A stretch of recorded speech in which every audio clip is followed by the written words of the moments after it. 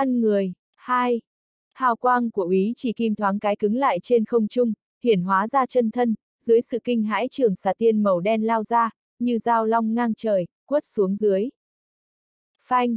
Cực lực chấn lên hắc xà kia, lập tức như như giật điện rụt về, hóa thành một đoạn roi ra, trở lại trạng thái phong ấn. Úy chỉ kim kinh hãi, dưới một kích này, thực lực cao thấp của hai người vừa nhìn liền rõ. Hắn thua chính là thua ở huyền khí quá kém, cây quạt của đối phương vừa nhìn đã biết không phải phàm vật, mà roi của hắn so với đối phương hoàn toàn là rác rưởi, hoàn toàn không cùng một cấp bậc. Hỏa âm trong nội tâm dùng mình, cũng cảm nhận được sự bất phàm của chiếc quạt kia, vội hỏi. Vị đại nhân này, thật sự của chúng ta không có được bất luận bảo vật gì cả, ngược lại tổn thất binh khí vừa tay, lúc này mới không cam lòng thủ hộ ở cửa đại điện. Hơn nữa bên trong còn có người, có lẽ, hắn đã nhận được thứ tốt gì đó cũng không chừng. Khương hội thư chấn động cự phiến trong tay, liền trực tiếp ép úy chỉ kim kia xuống dưới, lảo đảo lui về trước đại điện, lạnh lùng nói. Ngươi cho rằng lời ngươi nói ta sẽ tin sao? Trừ phi hai người các ngươi đi cùng ta một chuyến. Hai người trong lòng đều thầm kêu khổ, chỗ tốt gì cũng không được, tổn thất huyền khí không nói, hiện giờ còn quấn vào chuyện của Thành Hồng Nguyệt. Đừng thấy bọn hắn cũng là võ đế, làm không tốt sẽ phải lập tức vẫn lạc ngay. Hỏa âm cười khổ nói.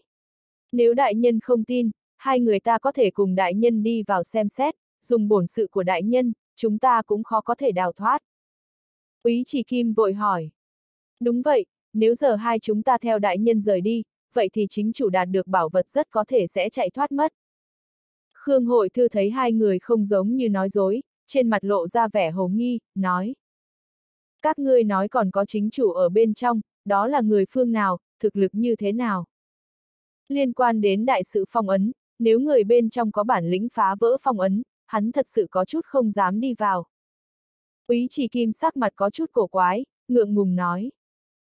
Thực lực, có thể là võ tôn đê dài A. Khương hội thư sắc mặt trầm xuống, giận tím mặt, quát. Đáng chết, lại dám đùa ta. Vô cực phiến trong tay hắn trầm xuống, uy áp cực lớn trên bầu trời lập tức đánh xuống dưới, rốt cuộc chẳng muốn nghe hai người giải thích nữa, toàn bộ cũng hóa thành một đạo quang mang, lao từ trên xuống. Oanh! Úy chỉ kim à hỏa âm trong lúc hoảng hốt đồng thời đánh ra, chỗ đứng lúc trước lập tức bị đánh nát, lực lượng khổng lồ trên cây quạt như quỷ mị hư vô đuổi theo hai người, tránh cũng không thể tránh.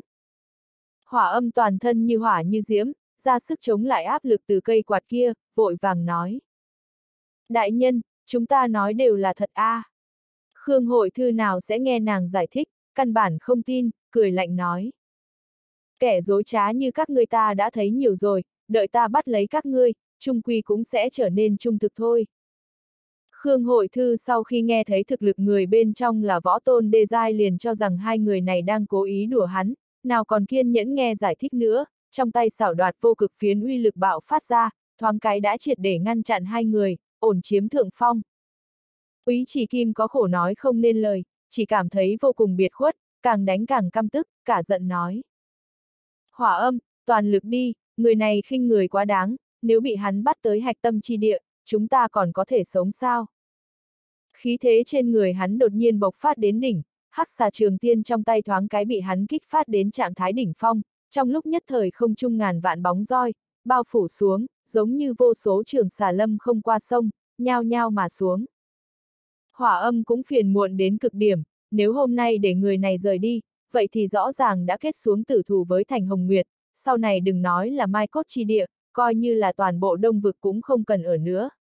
Nhưng nếu tùy ý để người này bắt đi, hơn nữa một mực chắc chắn rằng mình đoạt được bảo bối gì đó, thì đoán chừng cũng chỉ có đường chết.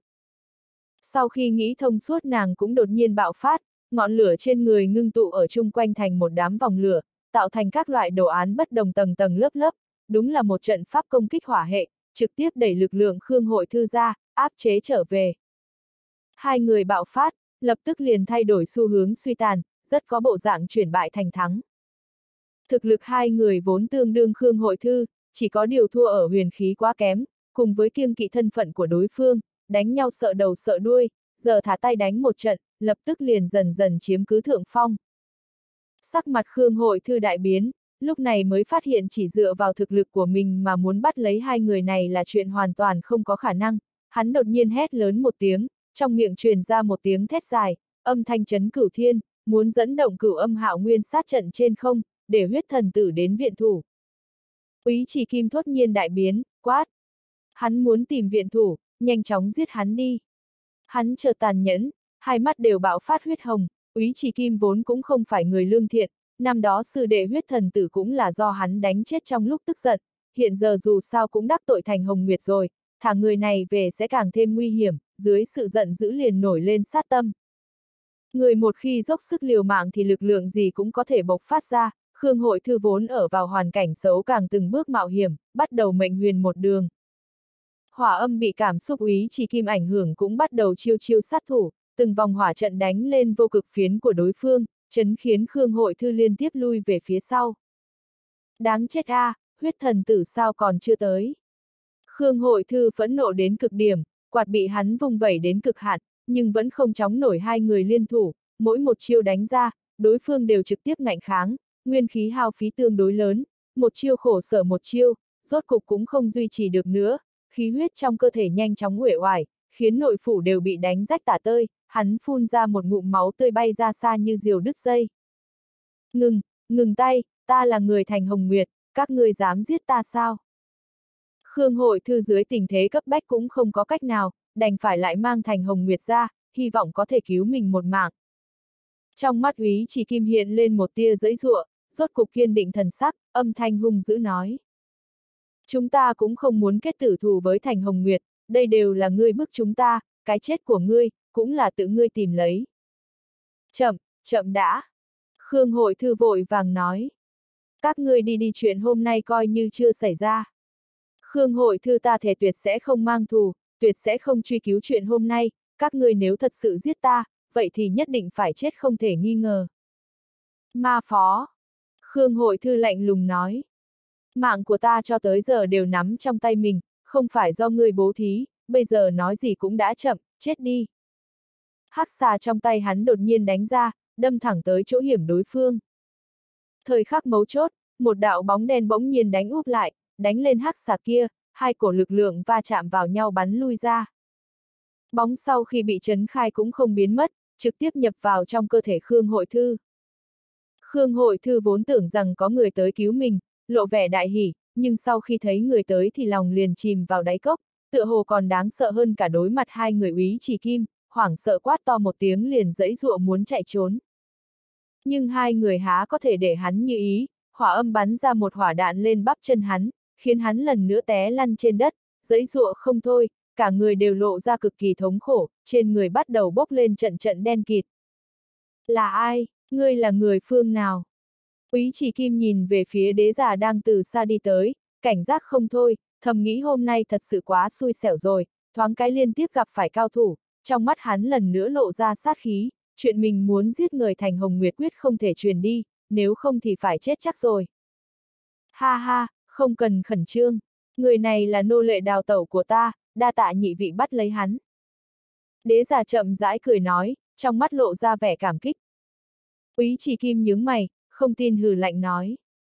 Hừ, nô lệ, ngươi lừa gạt ai, một gã võ đế tứ tinh có được huyền khí cửu giai, sao có thể là nô lệ của ngươi được, mau báo ra thân phận, ta có thể tha chết cho ngươi. Đế già khẽ cười nói. Người A, nói chuyện luôn nghĩ một đằng nói một nẻo, thần sắc trong mắt người rõ ràng là đang nói cho ta biết nhất định phải dế ta, nhưng trong miệng lại nói cái gì mà tha ta một mạng chứ. Ta từ trong mắt người thấy được âm hiểm xảo trá, người bây giờ đang tìm nhược điểm của ta, định thừa lúc ta không sẵn sàng đột nhiên ra tay đánh lén, có đúng không? Úy chỉ kim trong nội tâm đại chấn, cách nghĩ của hắn lại hoàn toàn bị đối phương nhìn thấu, một loại xấu hổ và giận dữ chi ý phảng phất trần trụi sông lên đầu, cả giận nói. Phải thì đã sao, cho dù ngươi có tuệ nhãn kinh người, hôm nay cũng khó thoát khỏi cái chết rồi. Trường xà tiên trong tay hắn lần nữa bắn lên, đột nhiên đánh tới đế giả, không chút nương tay. Khóe miệng đế già treo nụ cười nhạt, chậm rãi thì thầm. Con sâu cái kiến vô chi a. Đôi mắt thanh tịnh như nước, không có một tia rung động kia của hắn lọt vào mắt úy chỉ kim lại khiến hắn có chút hoảng, quát to. Nói nhảm gì thế, một bên nói bậy nói bạ, hắc xà quyển phong vân phá. Hắc xà trường tiên bay múa trên không trung, hiện ra quỹ tích đinh ốc qua lại như con thoi, hóa ra từng đạo khí tức màu đen, thoáng cái bao phủ cả người đế giả vào trong đó, đánh xuống dưới. Trong mắt úy chỉ kim bắn ra một đạo hàn mang lăng lệ, dùng phán đoán của hắn, chỉ cần một chiêu này đắc thủ, đối phương hẳn phải chết không thể nghi ngờ. Oanh! Trường xà đột nhiên đụng vào trên một cổ lực lượng khổng lồ, chỉ riêng lực phản chấn đã khiến úy chỉ kim thiếu chút nữa vụt mất trường tiên khỏi tay. Mà người ngăn trở công kích trước người đế giả đúng là Khương Hội Thư, một cổ thần sắc tà tà hiển hiện trong mắt hắn, hắn phẫn nộ quát. Xảo đoạt vô cực phiến, nhất phiến cực dương kinh thiên. Bành bành bành. Cự phiến vẫy ra, một cổ kình khí rất mạnh như chuỗi hạt châu nổ tung trên không trung, mỗi một đạo khí kình nổ bung đều chấn ra ma khí nhàn nhạt, nhạt, một đường chấn vang mà đi. Làm sao có thể? Úy chỉ kim hoảng hốt, không kịp ngẫm nghĩ nữa, trường tiên trong tay múa ra mấy vòng trước người, hình thành hình thái phòng ngự bàn xà. Hừ, ánh sáng hạt gạo, huyền âm liệt địa. Khương hội thư lần nữa hét lớn một tiếng, quạt xếp trong tay biến đổi chiêu thức, lật tay chúi xuống, toàn bộ mặt đất đột nhiên tạc lên, lực lượng khủng bố từ trong địa mạch lao ra, úy chỉ kim rốt cuộc không ngăn cản nổi nữa, phun ra một miệng lớn máu tươi bay ra ngoài. Hắc xà trường tiên trong tay cũng bị hắn dùng đến cực hạn, từng cái nổ bung, đứt thành từng đoạn rơi trên mặt đất. Cái này, cái này. Hỏa âm ngơ ngác nhìn tất cả, chẳng qua chỉ trong nháy mắt, một người vốn sắp chết lại bộc phát ra lực lượng cường đại như thế, không chỉ không còn bộ dáng gần chết, ngược lại một lần hành động cuốn sạch suy tàn, dễ dàng lật ngược thế trận. Quạt xếp trong tay Khương Hội Thư vừa thu lại, liền chỉ tay về phía hỏa âm. Một cổ cảm giác sợ hãi lan tràn trong lòng hỏa âm, chỉ một ngón tay kia đã khiến nàng sinh ra một cổ cảm giác khó có thể chống lại. Biến hóa trước sau không khỏi cũng quá lớn đi. Coi như là thần dược trong truyền thuyết cũng không thể nào khiến lực lượng Khương Hội Thư lập tức khôi phục A, hơn nữa còn mang đến cho nàng cảm giác cường đại hơn cả trước kia nữa. Tốt rồi, dừng tay. Đế giả nhẹ nhàng cười cười, nói. Điểm đến liền dừng là được, không nên tổn thương hòa khí, các ngươi sẽ lập tức thành người một nhà rồi. Vâng thưa chủ nhân. Khương hội thư cung kính bái nói, cẩn thận từng ly từng tí thối lui đến bên người đế giả, bộ dáng cực kỳ trung thành. Người một nhà. Trong lòng hỏa âm dâng lên một loại cảm giác xấu, xa xạo ý chỉ kim đang trọng thương trên mặt đất lòng cũng trầm xuống, hiện giờ đã không còn năng lực lượng chọn vận mệnh nữa rồi, chỉ có thể mặc người chém giết thôi. Đế giả cười nói, có phải các người cảm thấy rất kỳ quái, hắn rõ ràng sắp chết, sao lại đột nhiên trở nên sinh long hoạt hổ như trước không? Hai người đều tràn đầy nghi hoặc, còn có đắng chát vô tận nữa. Đế giả cười nói, đó là bởi vì ta ban cho hắn lực lượng, loại lực lượng này không những có được chiến ý vô cùng, lực lượng vô cùng, còn có thể ở trên cơ sở vốn có đề cao thêm một tầng, thực lực hắn chẳng qua chỉ là võ đế tứ tinh, sau khi đạt được lực lượng của ta rất nhanh có thể đạt tới tứ tinh đỉnh phong, thậm chí là ngũ tinh. Cái này, đây là khả năng thế nào, ngươi, ngươi rốt cuộc là người phương nào? Hỏa âm trong lòng hoảng sợ không thôi, trên võ đế, bất luận tiến giai một tinh nào đều khó khăn hơn từ đầu tu luyện tới võ đế nhiều. Người bình thường cảm thấy sau khi tiến vào cửu thiên cảnh về cơ bản có thể coi như đạt tới đỉnh phong võ đạo rồi, kỳ thật vẫn kém xa, bất kỳ một cửa khẩu nhỏ nào đều đủ khiến ngươi cả đời không tiến thêm nổi. Cho nên loại hiện tượng lập tức tăng thực lực lên một tinh, hơn nữa có thể có chiến ý vô cùng, lực lượng vô cùng này rất khó có thể hiểu được. Đế giả khóe miệng hiện ra lãnh ý, nhe răng cười nói. Các ngươi lập tức sẽ biết đây đều là sự thật, về phần ta là ai. Các ngươi cũng như hắn, xưng hô ta là chủ nhân là được rồi. Thân thể của hắn bỗng nhiên biến mất, hóa thành một đoàn ma khí đánh tới trên người úy chỉ kim. Thiên đạo thôi diễn, một. Úy chỉ kim kinh hãi hét lớn một tiếng, muốn phản kháng, sau khi đau khổ dẫy dụa vài cái liền không còn thanh âm nữa. Hỏa âm tuy rằng khống hỏa, lại cảm thấy toàn thân rét run, hoảng sợ quát to một tiếng liền hóa thành một đạo hỏa quang muốn trốn chạy, lại bị Khương hội thư chấn rơi xuống, thổ huyết không thôi. Nàng đối với lời đế giả nói không còn chút hoài nghi nào nữa, sau khi giao thủ nàng cũng cảm giác được thực lực của Khương hội thư giờ ít nhất cũng là tứ tinh đỉnh phong. Chi giác nàng tối sầm, liền chứng kiến một đạo bóng đen đánh tới chỗ mình. Trước bậc thang đi thông vào đại điện, rất nhanh song song đứng ba người, tất cả đều cung kính đứng trước mặt đế giả, hèn mọn như con kiến. Ân, thực lực ba ma phó này cũng không tệ lắm, lưu ở nơi đây có trọng dụng. Đợi sau khi xong chuyện lần này, ta lại ăn các ngươi a. À. Đế giả nhàn nhạt nói. Hiện giờ, nói tất cả những thứ các ngươi biết cho ta nghe đi. Hắn giơ tay lên, đầu ngón tay trực tiếp bắn ra ba đạo hắc tuyến, đột nhiên cắm vào trong não ba người. Vâng, có thể làm thực vật cho chủ nhân, là vinh hạnh trí cao của chúng ta. Trên mặt ba người đều tràn đầy hạnh phúc, cứ như vậy cảm thấy cực kỳ vinh hạnh đứng đó, tùy ý để đế giả đọc hết tất cả trí nhớ trong đầu mình. Thời gian trôi qua từng chút một, sau thời gian uống cạn chung trà, ba đạo hắc tuyến kia mới dần dần biến mất. Sắc mặt đế giả trở nên phức tạp dị thường, trong đôi mắt hiện lên một tia tinh mang, lẩm bẩm. Thì ra phong ấn còn chưa được phá giải, khó trách ta chỉ có thể cảm nhận được khí tức nhàn nhạt, xem ra ta phải tự mình đi một chuyến đến phong ấn chi địa kia rồi, đợi đám con sâu cái kiến này phá phong, có trời mới biết là lúc nào, nếu để cho cổ phân thân kia chạy tới thì phiền toái, tựa hồ cổ thần chiến tràng của ta còn ở trong tay hắn nữa. Sau đó, hắn nhìn qua thông đạo trước mắt, lạnh lùng lẩm bẩm. Dĩ nhiên là tiểu tử này, khối ngọc bi trong tay hắn ta trung quy vẫn có một loại cảm giác quen thuộc, nhưng lại không nhớ ra được. Hắn vỗ đầu mình, lộ ra vẻ thống khổ, giữ tợn nói. Phân thân chết tiệt, đoạt đi quá nhiều trí nhớ, khiến trí nhớ của ta mất trật tự không chịu nổi. Hắn qua hồi lâu mới phục hồi lại, hung hăng nói. Ta sớm muộn cũng sẽ thu hồi lại tất cả trí nhớ và lực lượng của mình, đám phân thân các ngươi chờ đó cho ta. Sau khi cảm xúc bình phục, đế giả lần nữa biến về bộ dạng phong khinh vân đạm, lạnh lùng nói. Tiểu tử kia nhất định là không thể buông tha, bất quá trước khi thu thập hắn, còn có một ít con sâu cái kiến tựa hồ phải thu thập trước. Hắn hướng phía trong hư không lạnh lùng nói. Đều xuất hiện đi, đám con sâu cái kiến, các người xem lâu như vậy, có thấy đã ghiền không? Không chung một mảnh yên lặng, không có bất cứ động tĩnh gì. Hư còn giả bộ. Đế giả hư lạnh một tiếng, trong tay bắn ra một đạo hắc mang, lập tức biến mất trên không trung, sau một khắc liền bắn tới trên bầu trời không xa. Không gian chấn động một hồi, cùng xuất hiện với đạo hắc mang kia còn có ba đạo nhân ảnh, tất cả đều kinh hãi nhìn qua hắn, đều là người của huyết thần cung, người cầm đầu đúng là huyết thần tử. Đế giả lạnh lùng nói. Từ sớm đã ẩn trên hư không, định xem tới khi nào đây? Huyết thần tử cả kinh nói. Ngươi, ngươi làm sao có thể nhìn thấu ta? Ở đây không phải áp chế thần thức sao? Năng lực chủ nhân ngập trời, há ngươi có thể biết được. Khương hội thư phẫn nộ quát. Huyết thần tử, người có gan, thì ra ngươi đã sớm tới rồi, thấy ta nguy hiểm vậy mà không cứu việt, người tâm cơ thật sâu, thủ đoạn thật là âm hiểm a. À. Trong mắt huyết thần tử hiện lên một tia kiêng kỵ, nhìn qua Khương hội thư, lạnh lùng nói. Khương đại nhân, ngươi còn sống không?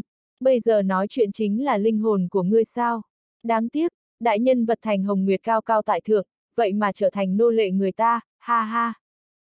Khương hội thư giận tím mặt, quát. Ta đương nhiên vẫn là ta, làm nô lệ cũng phải xem là làm cho ai. Hắn cười lạnh nói. Cũng may mắn ngươi không ra tay cứu ta, bởi vậy ta mới có cơ hội trở thành nô lệ của chủ nhân.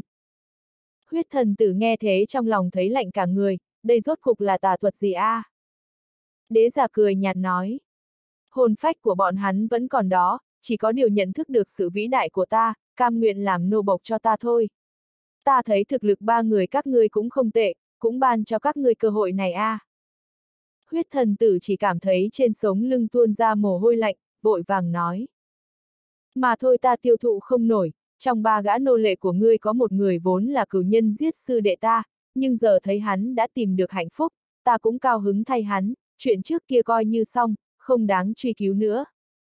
Hai gã khác huyết thần cung khác đều lộ ra vẻ cổ quái, đổ đầy mồ hôi, theo bọn hắn thấy, hiện giờ tình huống ba người úy chỉ kim còn khó chịu hơn cả chết, giết hắn đi chính là giải thoát cho hắn.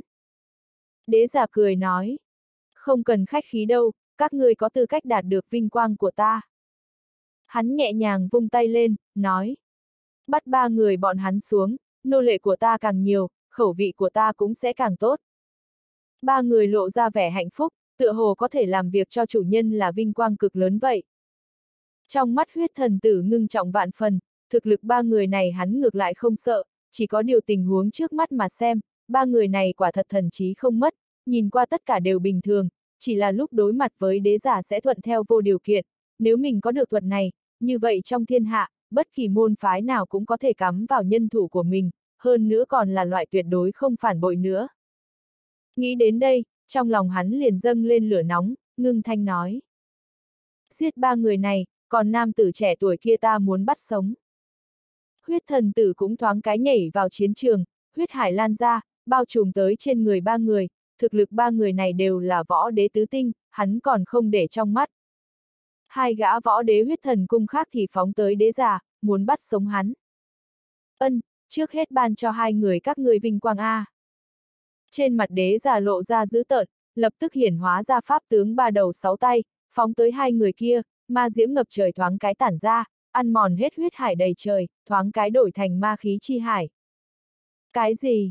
Ba người huyết thần cung đều chấn động, huyết hải của bọn chúng vốn là vật ô uế trong thiên hạ, có thể ăn mòn tất cả, kết quả lại trực tiếp bị lực lượng của đối phương ăn mòn mất, khiến ba người thoáng không kịp phản ứng. Vậy mà động thủ đối với chủ nhân, huyết thần tử ngươi đáng chết a. À. Thanh âm Khương hội thư truyền ra, giận dữ hét. Đáng chết, nhất phiến cực dương kinh thiên, nhất phiến huyền âm liệt địa, phá cho ta. Thiên đạo thôi diễn, hai. ầm ầm. Hai cổ lực lượng lao ra khỏi huyết hải, huyết sắc chi hải còn sót lại không nhiều lắm dưới hai cổ vòi rồng cũng triệt để tiêu tán, Khương hội thư mở ra cự phiến, đánh tới chỗ huyết thần tử. Bất động đao vương. Hoàng tuyền địa ngục hỏa. Úy chỉ kim hóa trưởng làm đao, hỏa âm đốt thân làm hỏa, hai cổ lực lượng khổng lồ cũng từ bên trong ma khí tuôn ra, đánh tới chỗ huyết thần tử. Sao lại mạnh vậy? Huyết thần tử cả kinh, hắn vốn là võ đế lục tinh, ba người này trong mắt hắn chẳng qua chỉ là con sâu cái kiến, nhưng giờ phút này huyết hải hắn vỡ ra, ma khí đối phương lại tăng vọt, tăng thêm ba người này sau khi nhập ma thực lực tăng nhiều, Khương Hội Thư lại càng đột phá đến võ đế ngũ tinh, uy lực vô cực phiến trong tay cũng càng được phát huy thêm nhiều. Ba cổ lực lượng đánh xuống, vậy mà trực tiếp đẩy lui hắn, hai gã võ đế đê giai khác càng đang đau khổ trèo trống dưới pháp tướng của đế già. Trong mắt huyết thần tử bắt đầu kinh nghi bất định, thấy hai người kia dần dần bị ma khí nhập vào cơ thể, nội tâm một hồi hoảng sợ, càng dâng lên một cổ hận ý vô tận đối với Lý Vân Tiêu, giờ phút này nếu huyết thú ở đây, hắn đã sớm giết sạch toàn bộ rồi. Lần này coi như các ngươi gặp may mắn, đi. Huyết thần tử hai tay bóp một huyết châu tử, đánh tới pháp tướng của đế giả, một cái huyết hải bỗng nhiên nổ bung, đây chính là thứ do tinh huyết hắn ngưng tụ, coi như là võ đế lục tinh cũng không dám đón đỡ. Hừ, chút tài mọn. Một cái đầu của đế già liền hóa thành ma đầu cự đại, mở ra miệng rộng trực tiếp nuốt hai hạt huyết châu tử kia vào, về sau lại không có chút phản ứng nào cả.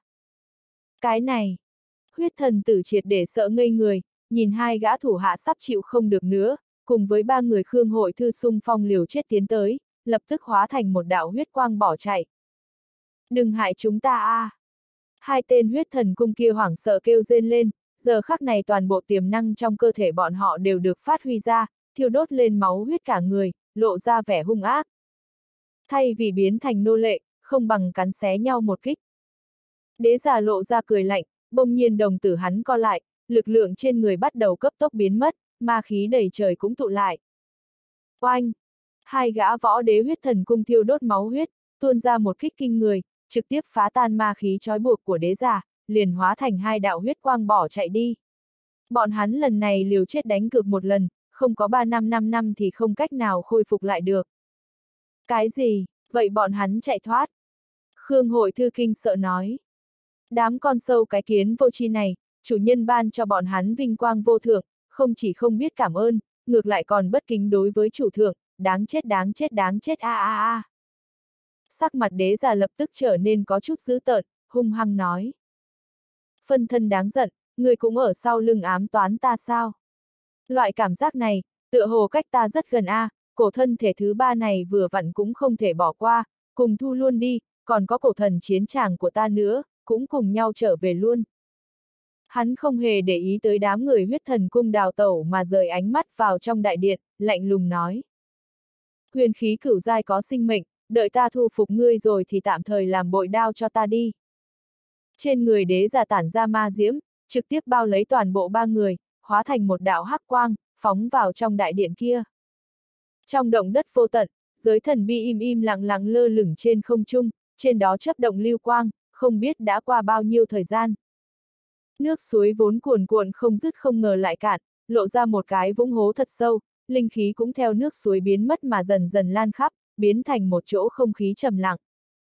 Trong giới thần bi, Lý Vân Tiêu một mực ở cảnh giới vong ngã rốt cục chậm rãi mở hai mắt ra, chỉ cảm thấy trong thiên địa một mảnh thanh minh, toàn bộ quy tắc chi lực trong giới thần bi đã xảy ra hóa lớn cực biến, từng cái thoáng hiện trong đầu hắn. Loại biến hóa quy tắc này, là một loại xu hướng bảo toàn hoàn mỹ, tứ vực địa, thủy, hỏa, phong toàn bộ triển khai, thế giới chi lực nguyên vẹn hiển hiện, đến giờ phút này, thế giới bên trong giới thần bi mới có thể chính thức xưng gọi là thế giới nguyên vẹn. Hắn dần đắm chìm trong những quy tắc biến hóa kỳ diệu kia, dốc lòng nhận thức cảm giác thiên địa sơ khai, đại đạo diễn sinh, hắn giống như một mẫu thể, bản thân chính là thiên địa, thai ngén lấy vạn vật sinh trưởng, dần dần diễn biến sinh trưởng trong ý thức hắn. Đây cũng là thiên đạo thôi diễn của thế giới trong bia, từng quy tắc đều là do thiên đạo không ngừng thôi diễn mà sinh ra, sau đó khắc sâu vào trong thức hải Lý Vân Tiêu, giờ khắc này, hắn cùng với giới thần bi là một thể. Thiên địa sơ khai hỗn độn, chính là trong không sinh có, cái gọi là đạo, chính là quy tắc bổn nguyên tất cả vạn vật, theo phát triển về trước, các loại quy tắc từng cái sinh ra dưới đạo, hình thành trật tự thế giới. Quy tắc sinh ra đời ở đạo, chính là khung sườn thế giới, sau đó vạn vật sinh sôi nảy nở, sinh ra đại thế giới. Lý Vân Tiêu cảm thụ được quá trình diễn biến này, võ ý đạo tâm xảy ra biến hóa trước nay chưa từng có, giới thần bi vào thời khắc này như dần dung hợp với hắn, trình độ khống chế đối với thần bia đạt đến trình độ hoàn toàn mới. Mà trong quá trình thế giới diễn biến, hắn còn khiếp sợ thấy được những quy tắc chi lực kia ngưng tụ thành nguyên một đám khoa đầu văn kim sắc, từ lúc đạo khởi nguyên, đến khi đến điểm cuối, văn tự do tất cả quy tắc ngưng tụ ra, cuối cùng tổ hợp lại cùng một chỗ, chính là đại giới thần quyết. Thì ra những văn tự này vốn là do quy tắc ngưng tụ, khó trách mỗi cái đại biểu cho lực lượng quy tắc nhất định. Ánh mắt Lý Vân Tiêu lộ ra vẻ khiếp sợ, lẩm bẩm. Quy tắc chi lực trong thiên địa, chúng ta chỉ có thể thông qua trí tuệ vô thượng đi cảm ngộ, nhưng thượng cổ đại năng chi sĩ có thể thông qua văn tự miêu tả ghi chép lại chúng, đây là thần thông bực nào. Hơn nữa thông qua ghi chép lại tự mô phỏng ra thiên địa, đây nhất định là thủ đoạn chỉ thần cảnh mới có. Tuy rằng cảnh giới này mù mịt không rõ, nhưng đại lục xưa giờ vẫn lưu truyền rất nhiều thần tích, chứng tỏ lấy đại cảnh giới này đã từng tồn tại qua. Lý Vân Tiêu phục hồi tinh thần lại từ trong cảm ngộ, ngóng nhìn thủy vực giới bên dưới, khô lâu đã biến mất không thấy gì nữa, một thanh thần đao sáng loáng sừng sững trên vùng đất, như mổ bia cho khô lâu kia, tựa hồ như muốn tố lấy tuế nguyệt vô tận vậy. Yêu Long cũng phục hồi tinh thần lại từ trong khiếp sợ, thì thào lẩm bẩm. Hắn đã chết sao? Lý Vân Tiêu thở dài một tiếng, nói. Hắn và nó, đều chết hết.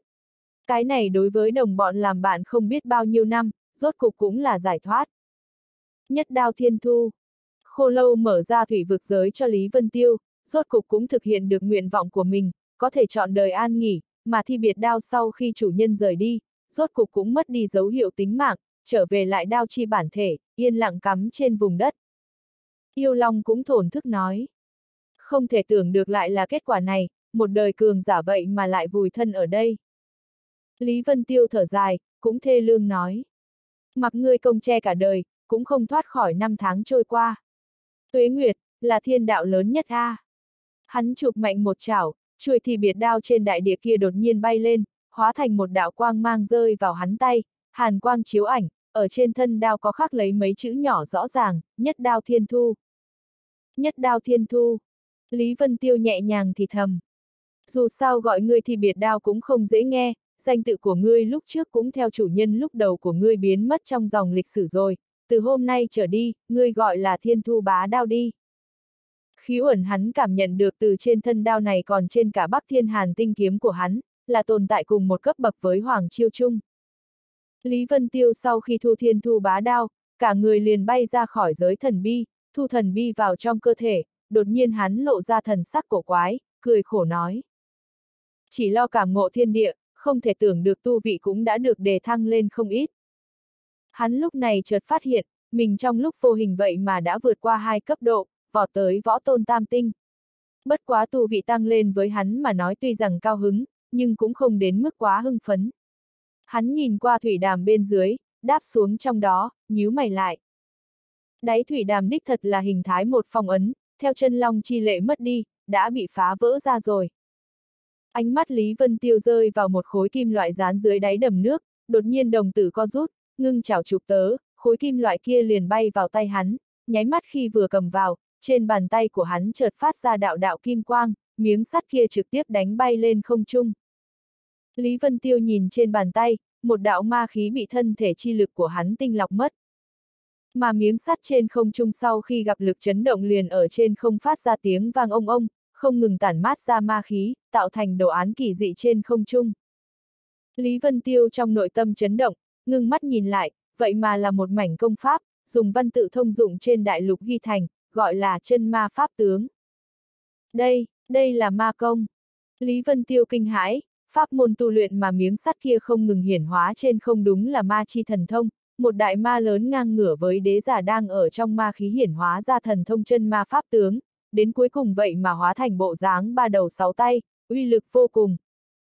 Toàn bộ quá trình biểu thị chẳng qua chỉ trong thời gian uống cạn chung trà, những đồ án kia sau đó liền chậm rãi nhạt xuống, tiêu tán trên không trung.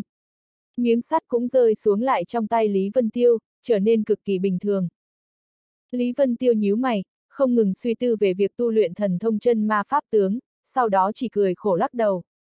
Pháp tướng ba đầu sáu tay kia quả thật uy lực vô cùng, nhưng loại công pháp này phải dùng ma khí làm điều kiện tiên quyết, mới có thể tu luyện ra pháp tướng, nếu không tất cả đều chỉ nói xuông. Mà nhân loại bình thường căn bản không cách nào nhiễm ma khí, nếu không thần trí mất hết, nhập ma thành cuồng ngay. Hắn hít một tiếng, thu hồi miếng sắt, cả người hóa thành một đạo quang mang liền xông ra ngoài. Trong đường hành lang cũng trở nên yên tĩnh, hắn nhanh chóng bay tới trước, đi thẳng tới chỗ tinh quang hồn thể bị diệt lúc trước.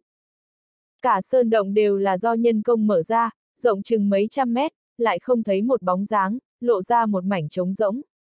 Nơi này cũng là nơi có thể che giấu phong ấn chi địa mà thành Hồng Nguyệt đào ra, tuy rằng không thể tìm được, nhưng cũng không kém xa lắm. Tinh quang hồn thể của V lúc trước chính là bị diệt ở đây. Là ngươi, quả nhiên không chết. Một đạo thanh âm lạnh như băng truyền đến, hai gã võ giả chẳng biết lúc nào đã ra xuất hiện trước mặt hắn, cau mày thật sâu. Một người trong đó nghi ngờ nói. Ta rất kỳ quái, người rốt cuộc là ẩn thân nơi nào, vậy mà có thể đột phá phong tỏa bên ngoài, hay là người từ một đường hầm trong động đất này đi tới. Hai người này đúng là người đã giết tinh quang hồn thể của hắn, sắc mặt Lý Vân Tiêu lập tức chìm xuống, lạnh giọng nói. Những thứ này đối với các ngươi đều không quan trọng. Hắn đột nhiên đưa tay ra bổ tới một trường, tuy ở trong động đất, lại vô duyên vô cớ nổi lên phong ba, khiến người cảm thấy trận trận hàn ý. Nhất trưởng phong vân. Đại phong vân trưởng đánh ra, trực tiếp bao phủ lấy hai người vào trong, hai người còn chưa thốt lên được một tiếng xương ngực và nội tạng đã vỡ vụn, chấn lên trên tường, trực tiếp lún vào trong, không thể rớt xuống nữa. Lý Vân Tiêu đã khống chế lực đạo của mình rất tốt rồi, hai người này đều chỉ có trình độ võ tôn nhất tinh, nếu một chiêu vô ý giết chết thì hắn cũng không hỏi được gì rồi. Phong ấn ở Mai Cốt Chi Địa đã phá mấy chỗ, người phá ấn hiện đang ở chỗ nào? Hắn hỏi thẳng. Không, không, không biết. Một người trong đó hấp hối, nhưng vẫn dùng ánh mắt phẫn hận và sợ hãi nhìn hắn, cả giận nói từng chữ. Chúng ta, chính là người thánh, thánh vực, ngươi. Song dài. Lý Vân Tiêu ánh mắt lạnh lẽo, nói. Các ngươi giết tinh quang hồn thể của ta, tuyệt đối không thể toàn mạng rồi. Hai con người hắn bỗng nhiên hóa thành huyết nguyệt, một cổ lực lượng yêu dị phát ra, trực tiếp chấn nhiếp tâm thần hai người, lập tức thi triển ra siêu hồn chi pháp. Siêu hồn chi pháp có yêu cầu cực kỳ nghiêm khắc đối với bản thân, nếu không rất dễ dàng tạo thành cắn trả, nhưng hai người trước mắt này quá cùi bắp rồi, căn bản không thể nào tạo thành bất kỳ uy hiếp gì có hắn cả. Rất nhanh, trí nhớ trong đầu hai người đã bị Lý Vân Tiêu siêu tầm không còn, liền mềm nhũn co quắp bỏ mình. Lý Vân Tiêu lẩm bẩm. Không thể tưởng được đã phá bốn chỗ rồi, tăng thêm chân long chi nhãn chỗ ta, bảy chỗ phong ấn chỉ còn lại hai, nguy hiểm rồi. Trong lòng của hắn do dự bất định, từ tin tức lấy được từ trong trí nhớ hai người, người thánh vực và hóa thần hải rõ ràng không biết bên trong phong chính là đại ma, tưởng rằng là bí mật thành thần từ xa xưa lưu lại, cho nên cực kỳ xuất lực. Không được, ta phải báo cho người phụ trách nơi này, quyết không thể mở ra một đạo phong ấn nữa, nếu không ma thể vừa ra, đến lúc đó đại lục nguy rồi. Hắn nghĩ đến lời khô lâu nói, chỉ có thánh khí mới có thể chấn áp ma thể, đủ thấy đại ma khủng bố cỡ nào, mà thiên hạ hôm nay có mấy người có được, hơn nữa có thể thi triển ra uy lực thánh khí chứ. Người là con nào? Một. Lý Vân Tiêu đột nhiên nghĩ đến Thương và Diệp Phàm, trong thiên võ giới hôm nay, có thể vận dụng thánh khí sợ rằng chỉ có hai người họ và mình thôi. Hắn đột nhiên hóa thành một đạo quang mang liền xông ra ngoài, động đất rất sâu, có đại lượng võ giả chấn thủ ở bên ngoài, hắn vừa đi ra ngoài lập tức liền kinh động đến tất cả mọi người. Người phương nào, mau dừng lại. Bảo ngươi dừng lại, có nghe thấy không? Đáng chết, ngăn người này lại. Sau vài tiếng hét kinh sợ chính là hơn 10 đạo hào quang phóng lên trời, đánh tới người hắn, trong đó kinh khủng nhất chính là một cổ đế khí hàng lâm, trực tiếp phong bế đường đi quanh thân hắn, bị buộc không thể không dừng lại. Hơn 10 đạo hào quang bay vào không trung, thoáng cái đã vây kín lấy hắn. Tên cường giả võ đế kia trợn mắt nhìn, lạnh lùng nói. Bọn chuột nhắt ở đâu ra chẳng lẽ không biết nơi này là hạch tâm mai cốt chi địa, xâm nhập hẳn phải chết sao? Lý Vân Tiêu cười khổ nói. Trong lúc nhất thời không nói rõ với các người được, người phụ trách cao nhất của các ngươi ở đây là hứa diễm phải không, ta muốn gặp hắn một chút, có việc quan trọng. Tên võ đế kia sắc mặt trầm xuống, khí thế bức người trên xuống, lạnh lùng nói. Tùy tiện A Miêu A cầu gì cũng muốn gặp hứa diễm đại nhân, đã nói không rõ ràng, vậy thì thúc thủ chịu trói, sau đó lại từ từ nói đi. Lý Vân Tiêu thở dài. Ta biết ngay là như thế này, hoàn toàn không có cách nào giải thích, đã như vậy, vậy thì đánh đi.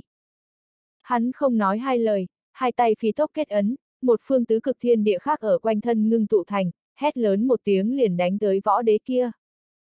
Võ giả bốn phía đều lộ ra vẻ khiếp sợ và ngưng trọng, lúc trước nhìn tuổi người này, cho rằng nhiều nhất đạt tới võ tôn đã là cao rồi, không thể tưởng được lực lượng một kích, vậy mà cường hãn như thế. Hừ, khó trách dám cản rỡ như thế, quả nhiên có chút tài năng. Võ đế kia kinh ngạc một chút, lạnh lùng cười cười, ngưng quyền thành ấn, đánh ra một quyền, lập tức nổ nát bầu trời, đánh tan chiêu tứ cực ấn kia của Lý Vân Tiêu, tay đấm không giảm oanh tới, trực tiếp đánh nát thân thể hắn. Ân, cái gì? Võ đế kia cả kinh, ánh mắt lộ ra một tia giận dữ, thứ bị nghiền nát cũng chỉ là một đạo tàn ảnh, bản thể Lý Vân Tiêu vậy mà đã hóa thành lôi đình chạy trốn mất rồi. Hừ, muốn chạy trốn, quá ngây thơ rồi.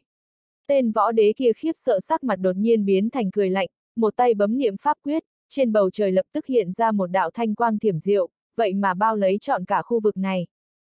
Sau mấy hơi thở, thân ảnh Lý Vân Tiêu lần nữa xuất hiện trước mặt hắn, lạnh lùng nhìn hắn. Tên võ đế kia cười to nói. Ha ha, hạch tâm chi địa há muốn tới thì tới, muốn đi thì đi chứ nơi này càng là nơi trọng yếu của hạch tâm chi địa, sớm có trận khí bố trí ở bốn phía, dù là một con ruồi cũng đừng mong tùy ý ra vào. Hắn đột nhiên nhướng mày, tựa hồ nghĩ tới điều gì đó, kinh hãi nói. Đúng rồi, ngươi là vào bằng cách nào? Lý Vân Tiêu nghe xong, cũng mặc kệ người này, chỉ nhìn qua bốn phía nhíu mày lại, thì thào lẩm bẩm. Cái này phiền toái, nếu cưỡng ép phá trận thì sẽ gây ra động tính quá lớn, tất nhiên sẽ dẫn người huyết thần cung đến đây. Hắn lại nhìn võ giả bốn phía một lần, mọi người càng thêm đề phòng, sợ hắn lần nữa đào thoát, không khỏi cười khổ không thôi. Tên võ đế kia thấy Lý Vân Tiêu khinh thị hắn, liền bị tức không nhẹ, cả giận nói. Phá trận đào tẩu, người bị chứng hoang tưởng sao? Hắn trực tiếp phung tay, ở trên không trung ngưng tụ thành kim chảo chụp xuống dưới, cực kỳ chói mắt, muốn trực tiếp đánh Lý Vân Tiêu vào sâu trong đại địa. Phiền quá! Lý Vân Tiêu khẽ quát một tiếng, một đạo đao mang chợt ngưng tụ trong tay, hóa thành bộ dáng thiên thu bá đao, đột nhiên chém tới kim chảo kia. Hắc hắc, cảm giác không tệ, để ta kiến thức uy lực của ngươi đi. Thiên thu bá đao sau khi mất đi tánh mạng, bằng vào Lý Vân Tiêu thì không cách nào phát huy ra toàn bộ uy lực của nó được, thân đao trực tiếp hấp sạch nguyên lực trong cơ thể hắn, phá không mà lên, hém vào trong kim chảo kia, vậy mà phá vỡ tất cả lực lượng do đế khí ngưng tụ. ầm ầm, võ đế kia dù chưa dốc hết toàn lực, lại bị một đao của hắn phá vỡ, khiến tất cả mọi người đều mở to hai mắt, ngốc trệ tại chỗ. Đây, đây là cái bảo đao gì? Tên võ đế kia khiếp sợ, nheo mắt lại, bắn ra hào quang kích động, cuồng hỉ nói. Đúng là huyền khí cửu giai ha ha, hôm nay đụng đại vận, vậy mà để ta gặp được một kiện huyền khí cửu giai. Người bốn phía cũng kinh hãi không thôi, nhìn chằm chằm vào bảo đao trong tay Lý Vân Tiêu lộ ra ánh mắt cực nóng, vẻ mặt hâm mộ ghen ghét. Sắc mặt Lý Vân Tiêu trắng bệch, lực khống chế của hắn đối với đao này cực kém, không nghĩ đến liền bị triệt để rút sạch, giờ ngay cả ngự không cũng có chút bất ổn, hắn vội vàng nuốt vào rất nhiều đan dược, lúc này sắc mặt mới dần chuyển biến tốt đẹp, sau đó thu đao vào, không dám dùng tiếp nữa. Võ đế kia cười lạnh nói. Cất đi sẽ không có chuyện gì sao, ngoan ngoãn giao ra đi. Thân thể của hắn lóe lên, liền lấn thân đến trước mặt Lý Vân Tiêu, trực tiếp chụp tới yết hầu, trong tay hắn lộ ra kim quang, đế khí của hắn chân áp xuống, hoàn toàn khóa chết Lý Vân Tiêu. Thiên mục trên trán Lý Vân Tiêu đột nhiên mở ra, đạo thiên kiếp chi lôi kia thai ngén mà lên, vọt tới chỗ tay đối phương. Tên võ đế kia cả kinh, lập tức cảm nhận được sự bất phàm của lôi đình chi lực kia, năm ngón tay hắn dương lên bắt xuống, trực tiếp cầm chặt thiên kiếp chi lực kia khiến nó nổ bung trong tay hắn, chấn khắp bốn phía. Lý Vân Tiêu thừa cơ lui ra phía sau mấy chục thước, lạnh lùng nhìn qua. Hiện giờ để hắn chống lại một gã cường giả võ đế vẫn có chút miễn cưỡng, đang định thả ra hắc liên thiểu hoàng để chấm dứt dây dưa trước mắt này, đột nhiên một đạo thanh âm quen thuộc lọt vào tai, khiến toàn thân hắn chấn động. Ai ôi, lâu ngày không gặp, thực lực của ngươi cũng đề cao rất nhiều a. À. Chật chật, cổ thân thể này ta càng nhìn càng thích rồi.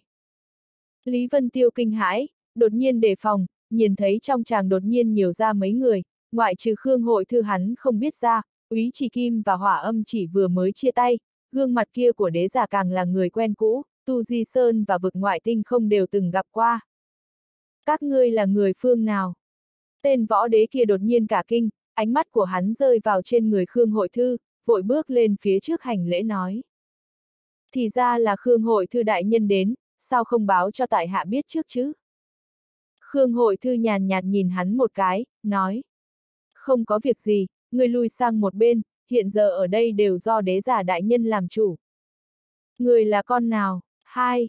Tên võ đế kia sững sờ, nhìn bộ dáng đế giả, thập phần lạ mặt, lại khiến hắn cảm thấy cổ quái nói không nên lời, trong lòng sinh ra trận trận hàn ý ra, vội nói. Vâng. Liền nhu thuận thối lui sang bên cạnh, chỉ là sắc mặt rất khó coi, trong lòng còn vạn phần nhớ thương chuôi bảo đao kia của Lý Vân Tiêu. Đế giả lộ ra dáng tươi cười nói. Sao hả, không biết ta rồi sao? Lý Vân Tiêu lòng tràn đầy đề phòng, từ chỗ khô lâu hắn đã biết được sự không đơn giản của đại ma, cười khổ nói. Ngươi là đầu trong tu di sơn hay là đầu ở vực ngoại tinh không kia thế? Đế giả hừ lạnh một tiếng, nói. Đầu nào, ngươi rất không tôn kính ta a, à, cổ phân thân kia thì ra bị trấn áp ở vực ngoại tinh không, cũng hay cho đám người kia nghĩ ra được. Cảm ơn ngươi đã tu luyện thân thể ta tốt như vậy, hiện giờ có thể trả cho ta rồi. Hắn ánh mắt lộ ra vẻ ác lạnh, nhìn thân thể Lý Vân Tiêu từ trên xuống dưới, càng nhìn càng thấy thích. Lý Vân Tiêu bị hắn nhìn chằm chằm cảm thấy một hồi sợ hãi, nói. Ta để cử cho ngươi một người, gọi bá thiên võ đế ngạo trường không, thân thể của hắn là bất diệt kim thân, đoán chừng ngươi sẽ rất thích đấy. Đế giả nhíu mày lại, nói. a à, người này ta đã thấy qua trong trí nhớ không ít người, là đứng đầu thập đại võ đế gì đó phải không? Nhưng hắn để làm lốp xe cao cấp đi, ngươi thì là lốp xe tạm thời của ta. Hắn cười lành lạnh nói. Ta biết rõ ngươi rất khó chơi, nhưng dưới tình huống hiện giờ ngươi còn định trốn sao? Lý Vân Tiêu khẽ cười nói. Đương nhiên, mặc dù là con sâu cái kiến cũng muốn dẫy dụa mà. Sắc mặt hắn dần trở nên nghiêm nghị, nghiêm mặt nói. Bất quá ta đối với chuyện của ngươi rất có hứng thú đấy, mai cốt chi địa này hẳn là chấn áp một cỗ phân thân khác của ngươi a, ngươi định phóng xuất hắn sao? Sau đó đám đại ma các ngươi cuối cùng dung làm một thể hay là sao? Những võ giả khu thứ bảy nghe hai người này nói chuyện, cảm giác càng ngày càng không hiểu, chỉ cảm thấy cổ quái nói không nên lời, nhưng thủ lĩnh bọn hắn không lên tiếng, nên nguyên đám đều chịu đựng nghe tiếp, huống hồ Khương hội thư đại nhân thành Hồng Nguyệt cũng ở đây, trời sập cũng có bọn hắn chống lấy. Đôi mắt đế già ngưng tụ, lóe ra đạo đạo hàn quang, lạnh như băng nói. Ngươi hiểu rõ không ít chuyện của ta a, à. dung làm một thể, có thể nói như vậy, phải hấp thu hết bọn chúng, mới là thân thể nguyên vẹn, khôi phục đến lực lượng đỉnh phong trước kia, cùng với toàn bộ trí nhớ. Hắn hử lạnh nói, còn gì muốn hỏi thì hỏi luôn đi, với tư cách là cổ thân thể đầu tiên sau khi ta tái nhập đại lục, người có thể đạt được vinh hạnh đặc biệt này. Lý Vân Tiêu sau khi suy tư một lúc, nói. Phân thân của ngươi tổng cộng có bao nhiêu? Phân biệt chấn áp ở nơi nào? Đế giả ngưng mắt, hừ lạnh nói. Hai vấn đề này cũng chính là điều ta muốn biết đấy, năm đó những người kia quá nhàm chán rồi, vậy mà muốn phân liệt chấn áp ta. Đợi sau khi đạt được thân thể của ngươi, ta sẽ đi tìm đáp án. Lý Vân Tiêu bờ môi khẽ động, còn muốn hỏi. Nhưng đế giả tựa hồ đã mất đi tính nhẫn nại, sắc mặt dần dần băng lãnh, vung tay lên nói. Đã đủ rồi, vinh hạnh đặc biệt đến đây là kết thúc, nên đến lúc vinh hạnh của ngươi rồi. Hắn khẽ mở môi, nói. Lên! Khương hội thư đột nhiên quát. Lên, nhưng không thể hủy nhục thể của hắn. Hắn cùng với úy chỉ kim và hỏa âm vào tới, tạo thành hình tam giác vây quanh Lý Vân Tiêu, trên người khí diễm ngập trời mà lên, uy áp kinh người mà xuống. Lý Vân Tiêu nhướng mày, lập tức phát hiện khí tức ba người này vậy mà không chỉ là cửu thiên đế khí đơn thuần, bên trong còn có ma diễm, lập tức trong nội tâm cả kinh, biết rõ ba người này đã bi ma hóa. Hắn chợt tế ra giới thần bi, không gian ngoài bi lóe lên, Mạc Tiểu Xuyên và Hắc Liên Tiểu Hoàng lập tức xuất hiện, còn có hồ lô Tiểu Kim Cương đã chữa trị tốt cũng cùng nhau phóng ra. Hồ lô Tiểu Kim Cương có đặc tính của thạch thú, chỉ cần trái tim không chết liền có thể vô hạn tự khôi phục, chỉ có điều thân thể sau khi biến thành tài liệu cửu giai tốc độ khôi phục cũng chậm chạm hơn nhiều. Cái gì? Thánh khí? Đồng tử đế giả đột nhiên co lại, âm lãnh nói. Thứ này dĩ nhiên là thánh khí, khó trách ta có một loại cảm giác nhìn quen mắt, bộ phận trí nhớ này không biết là cỗ phân thân nào lấy được nữa, đáng chết. Tất cả võ giả khu thứ bảy đều bị cảnh tượng trước mắt chấn kinh, lăng không thả ra người, lại nghe đế giả kia nói như vậy, chẳng lẽ khối ngọc bi này là huyền khí siêu phẩm sao? Đầu óc tất cả mọi người đều cứng đờ, thất thần trong chốc lát. Tên cường giả võ đế kia đột nhiên quát. Mọi người cùng nhau xông lên, trợ Khương Đại Nhân và đế giả Đại Nhân bắt lấy kẻ này. Hắn cho rằng thân phận đế giả tất nhiên cực cao, muốn thể hiện một phen để có cơ hội xuất đầu, đám võ giả còn lại dưới mệnh lệnh của hắn cũng đều tản ra, hình thành trận thế như thiên la địa võng, thần quỷ đều phải lui tránh. Mạc Tiểu Xuyên ngưng mắt, trầm giọng nói. Ba người này giao cho ta, đám lâu la bên ngoài giao cho ngươi. Hắc Liên Thiểu Hoàng khẽ nói. Bằng vào gì mỗi lần ngươi đều đánh lớn, tuy rằng ta hiện giờ chỉ có thực lực nhi tinh, nhưng bằng vào quyền ý vô hạn của ta, vượt qua 7-8 tinh khiêu chiến hoàn toàn không thành vấn đề. Mạc Tiểu Xuyên cười lạnh nói. Vậy được rồi, quả đấm của ngươi về sau giữ lại đi đánh ngạo trường không đi, giờ xin ủy khuất ngươi đánh tiểu lâu la rồi. Hắn nhìn Hắc Liên Thiểu Hoàng còn muốn lắm miệng, cả giận nói. Cầm miệng lại, lên. Nói xong hắn liền đoạt xuất thủ trước, cánh tay phải hóa thành kiếm khí, dẫn đầu chém tới Khương Hội Thư, tuy rằng thần thức bị trấn áp nhưng trực giác võ giả vẫn khiến hắn lập tức tìm ra được người mạnh nhất. Trên mặt Khương Hội Thư tràn đầy lệ khí, vô cực phiến bay ra khỏi tay, lập tức mở ra, đón đỡ trước người. Phanh! Tay phải mặc tiểu xuyên hóa kiếm, chém ra linh áp cực kỳ mạnh, lan khắp bốn phương tám hướng, bầu trời thoáng cái trở nên áp lực. Ân, ngang tay sao? Mạc Tiểu Xuyên cả kinh, thực lực của đối phương ngoài dự đoán của hắn, ý niệm muốn tốc chiến tốc thắng thoáng cái biến mất, Chu Thiên đãng ma kiếm dần hiện ra trong tay hắn, phát ra khí uẩn rất mạnh, càn quét chư ma. Đế già đồng tử hơi co lại, nhìn chằm chằm vào chuôi bảo kiếm kia của Mạc Tiểu Xuyên, lệ khí trên người dần nổi lên, trên kiếm kia có một cổ khí tức khiến hắn cực kỳ không thoải mái, đúng là càn khôn hạo đáng chi khí chu ma. Bảo kiếm vừa ra, ba người Khương Hội Thư cũng đồng thời kinh hãi, nhao nhao không tự chủ lui về sau một bước, hạo nhiên chính khí trên thân kiếm này cũng áp chế bọn hắn, khiến toàn thân trở nên vô cùng bực bội và thô bạo. Chuôi kiếm này, mau đoạt lấy nó cho ta. chương 175, Ma Hóa. 1. Đế giả lạnh lùng hạ lệnh, một tay đưa trước người bấm niệm pháp quyết, ma khí trên người dần bốc lên, bầu trời trở nên càng thêm áp lực, tất cả võ giả đều cảm thấy khó có thể chịu được, hoảng sợ nhìn qua hắn, duy chỉ có ba người Khương hội thư lại như được rót vào năng lượng, khí thế tăng vọt lên, dương nhanh múa vuốt. Mạc Tiểu Xuyên hừ lạnh một tiếng, sắc mặt như nước, từng đạo khí uẩn từ trên thân kiếm lan ra, tản khắp quanh thân hắn, vậy mà tự thành kết giới, ngăn cách ma khí kia ra bên ngoài, không cách nào xâm nhập chút nào, trong miệng hắn quát khẽ. Một đám đạo trích, đều hóa thành hạt bụi hết đi, thiên trinh hạo nhiên quyết, hàn phong suy tuyết ánh cô thành. Kiếm khí chu tà hạo nhiên từ trên thân kiếm chấn đông ra, trong ma khí đầy trời thậm chí có cả bông tuyết bay xuống, hàn quang ánh tuyết, chiếu xuất ra đạo đạo bóng dáng điều hưu, như thành cổ cô lập trong gió tuyết đầy trời. Kiếm khí chi hải từ trên chu thiên đãng ma kiếm tràn ngập ra, thoáng cái đã bao phủ ba người khương hội thư vào trong, vô số tuyết rơi hóa thành kiếm khí lạnh thấu xương, long cong rảo sát tới. Ba người khương hội thư kinh hãi, đột nhiên bộc phát ra lực lượng kinh người, nhưng kiếm khí chi hải kia ép qua, lập tức triệt để chấn trụ ba người kia. Dưới kiếm khí chi hải rảo sát tới, bọn hắn ra sức chống cự, lại vẫn luôn rơi vào hạ phong, phải đỡ trái đỡ phải khắp nơi. Xảo đoạt vô cực phiến của Khương Hội Thư cũng là huyền khí cửu giai, còn có thể bình tĩnh ứng đối, úy trì kim và hỏa âm lại không may mắn như vậy, từng đạo kiếm khí chấn vào trong cơ thể bọn họ, trên người bắt đầu không ngừng bị chém thương. Kiếm này quả nhiên có tác dụng áp chế ma khí rất mạnh. Trong mắt đế giả nổi lên sát ý.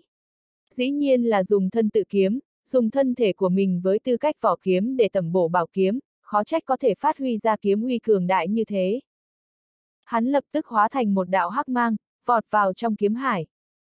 Sắc mặt Lý Vân Tiêu phát lạnh, âm thanh lạnh lùng nói. Đế già, người một lòng muốn đoạt thân thể của ta, quả nhiên cho rằng ta dễ khi dễ rồi. Nếu ta đã có thể thả ngươi ra, vậy thì cũng có thể trấn áp ngươi lại. Hắn lập tức khẽ động, liền rời vào trong kiếm hải, ngăn ở trước ngươi đế giả, đánh ra nhất trưởng phong vân. Ha, muốn chết. Đế giả cười to nói. Nếu ngươi đã không đợi được muốn dâng thân thể ra như thế, vậy ta cũng xin không khách khí nhận lấy vậy. Trong hắc khí ngưng ra một quyền ảnh, cũng đánh ra, bị trực tiếp chấn nát dưới đại phong vân trưởng của Lý Vân Tiêu, hắc khí bị đánh bay kia không giảm, lập tức lan tràn tới trên người Lý Vân Tiêu, không ngừng rót vào trong thân thể hắn. Thân thể Lý Vân Tiêu dần dần biến thành màu đen, hiện ra một mảnh hoa văn dài hẹp. Vân Thiếu. hắc liên thiểu hoàng kinh hãi, thân hóa thành một đạo kim quang vào tới, đánh một quyền kinh thiên về phía đế giả, ma khí đầy trời kia vào thời khắc này bắt đầu vặn vẹo, lại bị hút vào trong không gian quyền ý, bị áp chế xuống. Đế giả nhướng mày, nói. Bất hủ quyền ý, cũng có chút đau đầu a. À. Hai tay hắn mở ra ấn quyết, một đạo kết giới ngưng tụ trên thân thể, chấn trụ lấy cổ quyền ý kia, một quyền của Hắc Liên Thiểu Hoàng phảng phất như đánh lên khối sắt, rốt cuộc không cách nào tiến thêm chút nào được nữa. Lý Vân Tiêu đột nhiên mở miệng nói. Thiểu Hoàng, tránh ra. Sau khi ma khí nhập thể, thân thể của hắn không chỉ lộ ra ma vân màu đen, mà sau khi hợp thể với yêu long còn phát sinh thêm biến hóa, trên người sinh ra long lân, con mắt thứ ba đồng thời mở ra, một mảnh huyết hồng, ngưng tụ thành một trận hình kỳ dị, một cổ tinh thần lực cường đại từ trong đầu hắn khuếch tán ra. Đồng thuật, ám dạ. Lý Vân Tiêu nhẹ giọng khẽ quát, toàn bộ không gian đều run rẩy, giống như có ngàn vạn con chim đang không ngừng líu díu bên tai, thống khổ cực lớn chui vào trong đầu mỗi người, giống như đại não bị người đâm vào một đao vậy, võ giả ở bốn phía nhao nhao ôm đầu gào thét không thôi.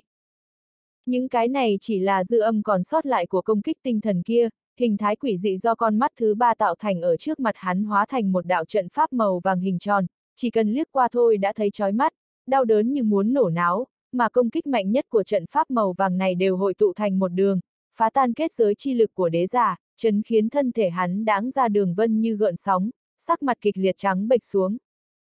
Hắc liên thiểu hoàng dưới tiếng quát nhẹ của Lý Vân Tiêu lập tức bay ngược ra, hơn nữa còn nín thở ngưng thần, đề phòng dư âm của công kích tinh thần kia.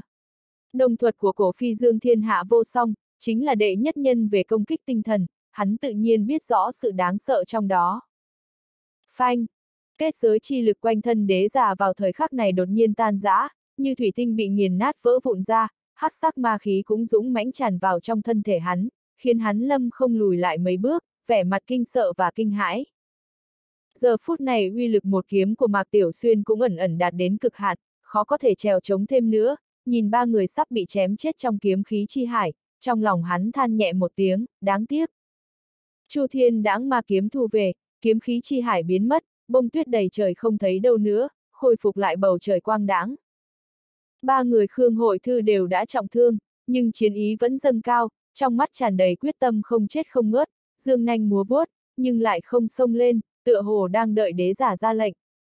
Mạc Tiểu Xuyên sau một kiếm kia, nguyên lực lập tức hạ thấp tới cực điểm, đột nhiên nuốt vào một ít đan dược, tập trung toàn bộ tinh thần đề phòng. Đám võ giả bốn phía sắc mặt đều trắng bệch, mồ hôi lạnh chảy xuống như mưa, đạo công kích tinh thần kia của Lý Vân Tiêu đã khiến bọn hắn thiếu chút nữa sụp đổ, nghĩ đến mình lúc trước còn đi bao vây người này, trong lòng càng cảm thấy một trận hoảng sợ, đáy lòng phát lạnh. Lý Vân Tiêu sau một kích thì con mắt thứ ba cũng nhắm lại, sắc mặt còn trắng bệch hơn bất kỳ người nào khác, một thoáng vừa rồi thật sự đã hao tổn quá lớn. Lúc lần nữa mở mắt ra, hai mắt hắn đã khôi phục như thường, nhưng trong đó vậy mà mang theo một giọt nước mắt, lóng lánh lấy hào quang long lanh. Đồng tử đế giả chấn động, chằm chằm vào hai mắt mở ra của Lý Vân Tiêu, kinh nghi bất định nói. Long lệ. Lý Vân Tiêu gật đầu nói. Chính là chân long chi lệ, dùng để ôn nhuận mắt ta thì không còn gì tốt hơn nữa rồi. Đế già ta khuyên ngươi vẫn nên từ bỏ ý định với ta đi, nếu không ngươi thật sự sẽ xong đời đấy. Chẳng qua chỉ là một chiêu thần kỳ, thật cho rằng mình đã thắng sao. Đế giả lạnh lùng nói. Đáng tiếc thân thể của ngươi vào một khắc ma khí nhập thể đã thuộc về ta rồi, chẳng lẽ ngươi không phát hiện, lực lượng của ngươi hiện giờ cường đại hơn trước rất nhiều sao? chương 176, Ma Hóa hai Hắn lộ ra nụ cười, hai tay bấm niệm pháp quyết, nhổ ra một ký hiệu cổ quái, quát. Vật. Toàn bộ bầu trời một mảnh yên lặng, không có chút thanh âm nào, chỉ nghe thấy tiếng gió vù vù mà qua. Đế giả nhướng mày, trong mắt lộ ra vẻ kinh ngạc ra, nhìn bộ dáng kia của Lý Vân Tiêu, quả thật toàn thân đã ma hóa, nhân tiện nói. Còn không mau qua đây tham bái ta. Trong lòng mọi người đều chấn động, kinh hãi nhìn qua Lý Vân Tiêu, Mạc Tiểu Xuyên và Hắc Liên Thiểu Hoàng tim như vọt lên cổ họng, hốc mắt dần dần trợn to, khẩn trương vạn phần. Tham bái. Khóe miệng Lý Vân Tiêu cong lên một đường vòng cung, cười nói. Đầu óc người bị nước vào sao? Cái gì? Thân hình đế giả chấn động, sợ hãi nói. Ngươi, ngươi quả thật đã ma hóa, làm sao có thể? Mặc dù là chiêu đồng thuật ám dạ vừa rồi, ta cũng cảm nhận được rõ ràng ma khí trong đó, vì sao lại không bị ta khống chế? Trong mắt Lý Vân Tiêu hiện lên một tia trào phúng, khẽ cười nói. Ta bị ma hóa cũng không phải lần đầu, loại ma hóa trình độ này còn không cách nào lau đi thần thức của ta. Hơn nữa, thanh âm của hắn đột nhiên lạnh lẽo, nhàn nhạt nói. Chính là bởi vì bị ma hóa có thể tăng cường lực lượng, ta mới có thể cho ma khí của ngươi nhập vào cơ thể, nếu không ngươi cho rằng chút ma khí buồn cười kia của ngươi có thể xâm nhập vào cơ thể ta sao? Trên mặt Lý Vân Tiêu lộ vẻ giễu cợt, hắc sắc ma văn trên người từng cái lui lại, dưới con mắt kinh hãi của đế già, cuối cùng biến mất hầu như không còn gì nữa. Sắc mặt đế già ngưng trọng vạn phần, lạnh giọng nói từng chữ. Ngươi lại có thể khống chế ma hóa, quả nhiên không lưu ngươi được rồi. Lý Vân Tiêu cười lạnh nói. Đừng dương nanh múa vuốt nữa, ngươi không lưu được ta. Hai người tranh phong, chiến sự hết sức căng thẳng, mọi người lần nữa trở nên khẩn trương lên. Đặc biệt là tên cường giả võ đế khu thứ bảy, sắc mặt sớm đã trắng bệch, hơn nữa hắn cũng nhìn ra đế giả tuyệt không phải người lương thiện gì, mà Khương Hội Thư cũng tựa hồ đã bị điều khiển, cho nên hắn thối lui ra xa khỏi vòng viên, bình tĩnh nhìn xem mọi chuyện. Đế giả sau khiếp sợ ngắn ngủi lập tức khôi phục bình thường, cười lạnh nói. Người quá đề cao chính mình rồi, ở trước mặt ta, bất luận loại thiên tài tuyệt diễm gì cũng đều chỉ là con sâu cái kiến. Ma khí trên người hắn lần nữa khởi động, chỉ im im lặng lặng đứng ở đó, ba người Khương Hội Thư đột nhiên sắc mặt đại biến, thống khổ ôm đầu, thân thể bắt đầu phát sinh biến hóa kịch liệt, dần bành trướng lên, biến thành giống như quái vật, lâm không dương nhanh múa vuốt, thực lực lần nữa được tăng lên cực lớn. Duy chỉ có hỏa âm tuy rằng thống khổ gào thét không thôi, nhưng thân thể lại chưa từng biến hóa, chỉ thấy trên người nàng dần dần dâng lên một tầng hỏa diễm màu vàng nhạt, bảo hộ nàng vào trong, tránh khỏi biến thành yêu ma. a à, lại có hỏa trùng biến dị nơi thân. Đế giả kinh ngạc nói. Cũng thế, nô lệ sau khi bị ma hoa triệt để cũng không có gì tốt, lưu một tên bên người cũng được. Hắn nhẹ nhàng búng tay, hỏa âm liền nhận được mệnh lệnh, phi tốc lui về sau lưng đế giả mới dần thoát khỏi thống khổ. Sắc mặt Lý Vân Tiêu đại biến, hắn phát hiện không chỉ Khương Hội Thư và Úy Chỉ Kim đã bị ma hóa triệt để, mà ngay cả đám võ giả đang trông xem ở xa xa cũng bắt đầu biến dị, thì ra ngay từ đầu đế giả đã thần không biết quỷ không hay khiến ma khí xâm nhập vào trong cơ thể những người này, ngay cả tên võ đế phụ trách kia cũng không ngoại lệ, trong lúc nhất thời đầy trời đều là yêu ma biến dị. Cái này thật sự chơi lớn rồi, ha ha. Hắc liên thiểu hoàng một bên kinh hãi không thôi, một bên cười ha hả, nói. Tiểu xuyên, lần này làm sao chia? Mạc Tiểu Xuyên lạnh lùng nói. Tên võ đế bị ma hóa để cho ta, cặn bã còn lại cho ngươi. Hắc liên thiểu hoàng hừ lạnh nói. Đừng cho là ta không nhìn ra, sau một kiếm vừa rồi nếu ngươi còn nửa phần khí lực thì cũng đã không bỏ mặc ba người kia không giết rồi. Sắc mặt Mạc Tiểu Xuyên khẽ biến, trường kiếm múa ra kiếm hoa, khí thế trên người bắt đầu liên tiếp tăng lên, nói. Chuyện của ta không nhọc ngươi quan tâm, lo cho tốt chuyện của ngươi đi. Hắc liên thiểu hoàng khẽ nói. Hừ, cuồng như vậy, đợi lát nữa xem ta cứu ngươi thế nào. Hắn lộ vẻ khinh thường, nhưng vẻ mặt ngưng trọng trong mắt lại càng ngày càng sâu, toàn bộ tinh thần đề phòng. Sắc mặt Lý Vân Tiêu trở nên ngưng trọng, trên người cũng dần dần lộ ra hàn khí, âm thanh lạnh lùng nói. Ngươi thật muốn chơi lớn sao? Không sợ động tính quá lớn, dẫn tới cao thủ các lộ đến đây chu sát ngươi sao? Đế giả khinh thường cười lạnh nói. Chu sát ta, ngươi quá ngây thơ rồi. Huống hồ nơi này có kết giới chi trận, cho dù đánh lật trời bên ngoài cũng chưa chắc có thể cảm giác được. Lý Vân Tiêu cười nhạt một tiếng, nói. Ngươi tự tin như thế.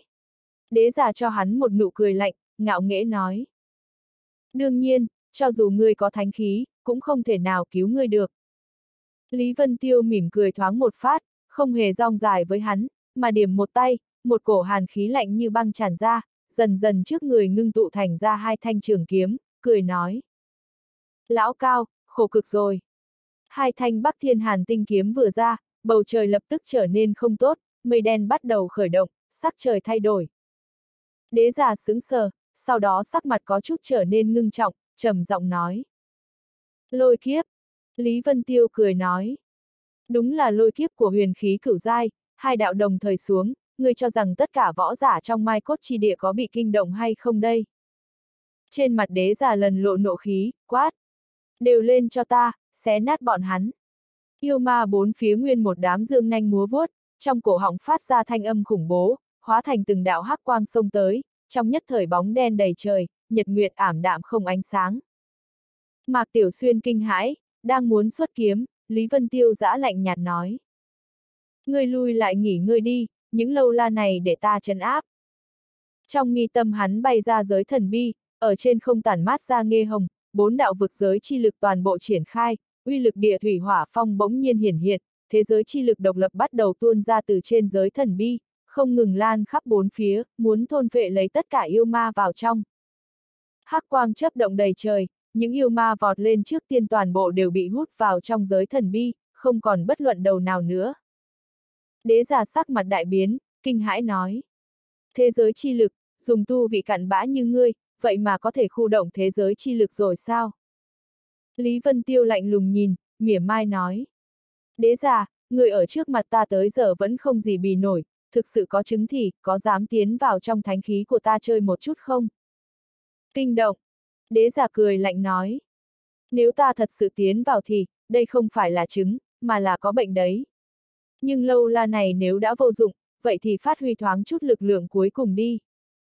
Hai tay của hắn bắt đầu bay múa, từng đạo ma ảnh thoáng hiện trước người, theo khống chế của hắn, những lâu la biến thành yêu ma kia nguyên một đám đột nhiên khí tức lần nữa phóng đại, thân thể bành trướng vô hạn, đúng là đang muốn tự bạo thân thể của mình. Xíu! Oanh! Thân thể một tên lâu la đã bành trướng tới cực hạn, mạnh mẽ xông tới, đâm vào trên thế giới chi lực của giới thần bi, hóa thành ma khí sụp đổ, không còn thừa lại chút nào cả. Lý Vân Tiêu biến sắc, sợ hãi nói. Sao lại mạnh như vậy? Vừa rồi chẳng qua chỉ là một tên lâu la võ hoàng đỉnh phong, tự bạo vậy mà khiến giới thần bi của hắn cũng phải khẽ rung động lắc lư, nếu đám yêu ma còn lại đều có uy năng như thế, vậy thì, giới thần bi của hắn cũng khó mà chịu nổi a. À. Đế giả đột nhiên cười ha hả, nói. Ha ha bởi vì bọn hắn bạo tạc không chỉ là thân thể của mình, không chỉ là kinh mạch của mình, mà càng là linh hồn nữa a. À. Mặt hắn bắt đầu dữ tợn, lạnh giọng nói. Một khi nhập ma, linh hồn đều sẽ do ta khống chế. Sắc mặt Lý Vân Tiêu đại biến, đột nhiên lại thấy hơn 10 đạo ma ảnh lao đến, hắn lập tức phát huy thế giới chi lực đến cực điểm, đồng thời ba đạo kiếm quang lần nữa bay ra khỏi cơ thể, cùng hai thanh trường kiếm lúc trước tạo thành ngũ kiếm kiếm đồ, bay múa quanh thân, hình thành trận thế phòng ngự cực hạn. Oanh! Oanh! Oanh! Những yêu ma kia nguyên một đám cười lớn lao tới tự bạo, mỗi tên đều chấn khiến khí huyết Lý Vân Tiêu quay cuồng, trong thất khiếu tràn ra máu tươi. Nét vui vẻ trên mặt đế giả dần dần giảm, ngẩng đầu lên liền qua bầu trời, giờ phút này lôi đình đã ngưng tụ, càng ngày càng mạnh, thiên uy chưa phát, chỉ cổ khí thế kia đè xuống đã khiến người cảm thấy một hồi hồi hộp khó hiểu. ầm ầm, lôi đình rốt cục đánh ra, thiên kiếp chi lực của hai thanh huyền khí ngưng tụ lại với nhau, to lớn vô biên, đánh rơi xuống dưới. Phía trên mọi người đột nhiên hiển hiện ánh sáng phòng ngự màu xanh, đúng là trận bàn kết giới, nó ngăn lôi đình kia lại, nhưng chẳng qua chỉ trong tích tắc, đã hoàn toàn bị công phá, lôi đỉnh rốt cục cũng đánh xuống Lý Vân Tiêu. Lý Vân Tiêu quát với hai người mặc tiểu xuyên. Đi vào. Trên giới thần bi lòe ra một đạo quang mang, trực tiếp thu hai người vào trong đó, sau đó hai tay hắn không ngừng kết ấn, từng đạo ánh sáng màu xanh tràn ra từ trong tay hắn, lan khắp bên người, dĩ nhiên là dẫn lôi chi pháp, hắn muốn mở rộng lôi đỉnh thêm ra. Đế giả mặt mũi tràn đầy ngưng trọng nhìn qua, hắn đối với thánh khí kia cũng cực kỳ kiêng kỵ, không dám tiến lên thử. Sốt cục, Lý Vân Tiêu cũng đã tiêu hao tới cực điểm, thế giới chi lực của giới thần bi biến mất, toàn bộ thân bi đều thu vào cơ thể hắn, lực phòng ngự của ngũ kiếm kiếm đổ vào thời khắc này cũng đột nhiên nghiền nát. Lý Vân Tiêu hét lớn một tiếng, một đạo khí lực cuối cùng hóa thân thể thành lôi đình, nghênh đón lôi kiếp kia đánh xuống. ầm ầm, thanh lôi cực lớn rơi xuống, thôn phệ tất cả yêu ma vào trong, mà ngay cả Khương Hội Thư và Úy Chỉ Kim cũng phải đau khổ chống cự dưới lôi đình kia, kêu thảm thiết không thôi, đám lâu la còn lại càng trực tiếp tan thành mây khói. Nguyên tố chi lực của Lý Vân Tiêu trong khi trải qua lôi kiếp tẩy lễ, lực lượng bất diệt kim thân thì lại điên cuồng hấp thu lôi điện kia chuyển hóa làm năng lượng bị thân thể hấp thu, hơn nữa nguyên tố chi lực của hắn dung nhập vào trong thiên kiếp chi lôi này, không ngừng bị rèn luyện lấy cùng với hai thanh huyền khí kia. Quanh thân đế giả hiện ra kết giới ra, ngăn cản lôi đình ở bên ngoài, lạnh lùng nhìn tất cả, hỏa âm ở sau lưng hắn cũng lộ ra vẻ khiếp sợ. Kiếp lôi dần dần biến mất, thân thể Lý Vân Tiêu chậm rãi hiển hóa ra, trên người vẫn đang có lôi điện không ngừng lập lòe, hắn chậm rãi mở mắt ra nhìn qua đế già. Sắc mặt đế già âm trầm như nước, lạnh giọng nói. Lần này lại để ngươi thoát. Trên thân thể của hắn đột nhiên tuôn ra ba cổ ma khí màu đen, hóa thành ba ma đầu cự đại, táp tới Khương Hội Thư và Úy Chỉ Kim, còn có tên võ đế phụ trách kia nữa, ba người không chút phản kháng, đã bị ba cái ma đầu kia nuốt chừng, sau đó chúng trở lại trong cơ thể đế già. Làm xong tất cả, hắn lạnh lùng nhìn Lý Vân Tiêu, liền hóa thành một đạo hắc khí, xoáy lên hỏa âm cùng nhau rời đi. Lý Vân Tiêu mở to miệng, phun ra một búng máu lớn, sau khi nuốt vào mấy viên thuốc hắn liền lập tức ngồi xuống tại chỗ. Rất nhanh, đại lượng võ giả lập tức vào tới hướng này, lôi đình chi lực vừa rồi quá mức khiến người sợ hãi, hơn nữa không ít người đều nhận ra đó là huyền khí lôi kiếp, nguyên một đám bắt đầu nổi lên lòng tham. Một kích của lôi kiếp không chỉ đánh tan toàn bộ phòng ngự khu thứ bảy, mà ngay cả cửu âm hạo nguyên sát trận của huyết thần cung cũng lần lượt cáo phá. Người huyết thần cung nguyên một đám kinh hãi không thôi, nhao nhao lao tới chỗ xuất hiện lôi kiếp. Chỗ đại bản doanh hạch tâm chi địa, hứa diễm sau khi trở về từ cây S13 Tây Nam, liền trông thấy lôi kiếp đánh xuống ở xa xa, lập tức sắc mặt đại biến, sợ hãi nói. Lôi kiếp, đây là, lôi kiếp huyền khí cửu giai sao? Người bên người hắn ngơ ngác nhìn qua lôi đỉnh kia, ngạc nhiên nói. Lôi kiếp huyền khí cửu giai. Ha ha, ha ha, đại nhân ngài đang nói đùa a à, chẳng lẽ có thuật luyện sư cửu giai nào đó ở chỗ đó luyện chế huyền khí sao? Hứa diễm lạnh lùng nhìn hắn một cái, nói. Ta không rãnh nói đùa với các ngươi, phòng ấn sắp bị phá, mai cốt chi địa tựa hồ trở nên càng thêm phức tạp, lập tức gọi cường giả theo ta tiến đến, hơn nữa phái một nhóm người tiến đến khu 10 ta Tây Nam tiến hành bảo hộ. Hắn nói xong liền hóa thành một đạo quang mang, tự mình lao về hướng lôi kiếp kia trước một bước. Hắn thân là ti trưởng nguyên tử thánh vực, trưởng quản trận pháp yếu quyết, bản thân cũng là đại thuật luyện sư cửu giai, đối với đạo lôi đình vừa rồi tuyệt đối không nhìn lầm, có thuật luyện sư cửu giai ở Mai Cốt Chi Địa, chuyện này tuyệt đối không đơn giản. Lý Vân Tiêu nhìn lên hơn 10 đạo hào quang ngang trời mà đến trên không trung, thì thào lẩm bẩm. Cũng không biết hứa diễm kia có bị kinh động không nữa. Hắn dần dần hóa thân thể mình thành lôi điện, chậm rãi ẩn vào trong một cây đại thụ. Lôi điện vốn là ớt mộc chi khí biến thành, dung nhập đại thụ không có bất kỳ trở ngại nào cả, địa mạch phong ấn khóa lại thần thức của tất cả mọi người, cao thủ cường đại hơn nữa cũng không thể nào phát hiện ra hắn được. Vậy mà không có một bóng người. Đi thật nhanh a. À. Mọi người xem trình độ phá hư ở đây này, lôi kiếp chi lực kia cường hãn như vậy, tuyệt đối là cửu giai không sai. Trò chuyện với nhau, một, Thật đúng là có thuật luyện sư cửu giai ở đây luyện khí, quá kinh người, đáng tiếc đã tới chậm một bước. Thuật luyện sư cửu giai vô luận ở đâu cũng đều là tồn tại như thần, sao lại chạy tới nơi quỷ quái này luyện khí cứ. Lỡ mất dịp tốt a, à, nếu để cho lão tử bắt được hắn, mỗi ngày bắt hắn luyện huyền khí cửu giai cho ta mới được. Thoáng cái liền vò tới hơn 10 người, biểu hiện trên mặt mỗi người đều không đồng nhất, có sợ hãi thán phục, có hối hận, có hầu nghi, có suy đoán. Huyết thần tử lâm không mà đứng, lạnh lùng nhìn phía dưới, quanh thân lập tức tụ tập hơn 10 tên cao thủ huyết thần cung, lẳng lặng mà đứng bên người hắn. Sư tôn, vừa rồi thật là lôi kiếp cửu giai sao? Chẳng lẽ có huyền khí cửu giai sinh ra đời sao? Một gã đệ tử tiến lên hồ nghi hỏi, đúng là Tào Á Tinh, hắn chính là đệ tử mà huyết thần tử yêu thương, cho nên có cái này dựa vào. Huyết thần tử sắc mặt âm trầm bất định, nói.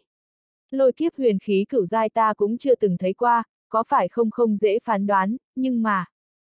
Hắn ngưng thanh nói. Ta trung quy vẫn luôn cảm giác thiên sư cự nhân xích ở ngay phụ cận, nhưng không cách nào định vị nơi cụ thể được. Tào Á Tinh cả kinh, vội hỏi. Sư tôn, thiên sư cự nhân xích không phải huyền khí bổn mạng tương tu của ngài sao? Sao lại mất rồi? Gương mặt huyết thần tử run rẩy thoáng một phát, lộ ra hung tướng, bình thường khi hắn lộ ra bộ dáng này chính là muốn giết người, Tào Á Tinh cũng cực kỳ hoảng sợ, vội vàng lùi lại sau mấy bước. Huyết thần tử thấy là học trò cưng của hắn, lúc này mới dần thu lại hung tướng, nhưng vẫn âm trầm như muốn chảy ra nước, nói. Vì sau khi luyện thành huyết thú có thể dễ không chế, nên ta đã bỏ luôn cả thiên sư cự nhân xích vào trong đó. À! Tào Á Tinh ngẩn ngơ, kinh ngạc nói. Nói như vậy, huyết thú kia chẳng lẽ ở ngay phụ cận sao? Ánh mắt huyết thần tử không ngừng đảo qua bên dưới, nói. Đúng vậy, thiên sư cự nhân xích cùng ta tức tức tương thông, nhưng vì sao lại không cách nào định vị cụ thể chứ? Hắn nghi hoặc nhìn về cây đại thủ mà Lý Vân Tiêu ẩn vào, sau đó ánh mắt lại rời đi, lộ ra vẻ bực bội khó hiểu. Các ngươi mau nhìn, là huyền khí cửu giai. Trong đám người phía dưới đột nhiên tuôn ra một tiếng kinh hô, lập tức ánh mắt mọi người đều theo thanh âm kia nhìn lại, một gã võ giả trong tay lóe lên hào quang, tựa hồ cất đi thứ gì đó, trong chốc lát liền hóa thành một đạo kim quang muốn lao đi. Mẹ ngươi, nhặt được huyền khí còn muốn chạy, ngăn lại hắn. Một người nổ quát một tiếng, lập tức thiên vạn đạo hào quang phóng lên trời, giống như mưa bom bão đạn bao phủ lấy tên võ giả kia. Võ giả kia cũng là tồn tại cường đại võ tôn đỉnh phong, hắn ngưng ra từng đạo lực lượng phòng ngự ở bên người, nhưng chẳng qua chỉ một lát ngắn ngủi đã trực tiếp bị oanh phá, cả người còn chưa tới kịp giải thích đã hoàn toàn bị đánh thành bùn nhão rồi. Huyền khí chữ vật của hắn cũng theo đó bị người đánh nát, đại lượng các loại nguyên thạch, đan dược, huyền khí nhao nhao rơi vãi xuống.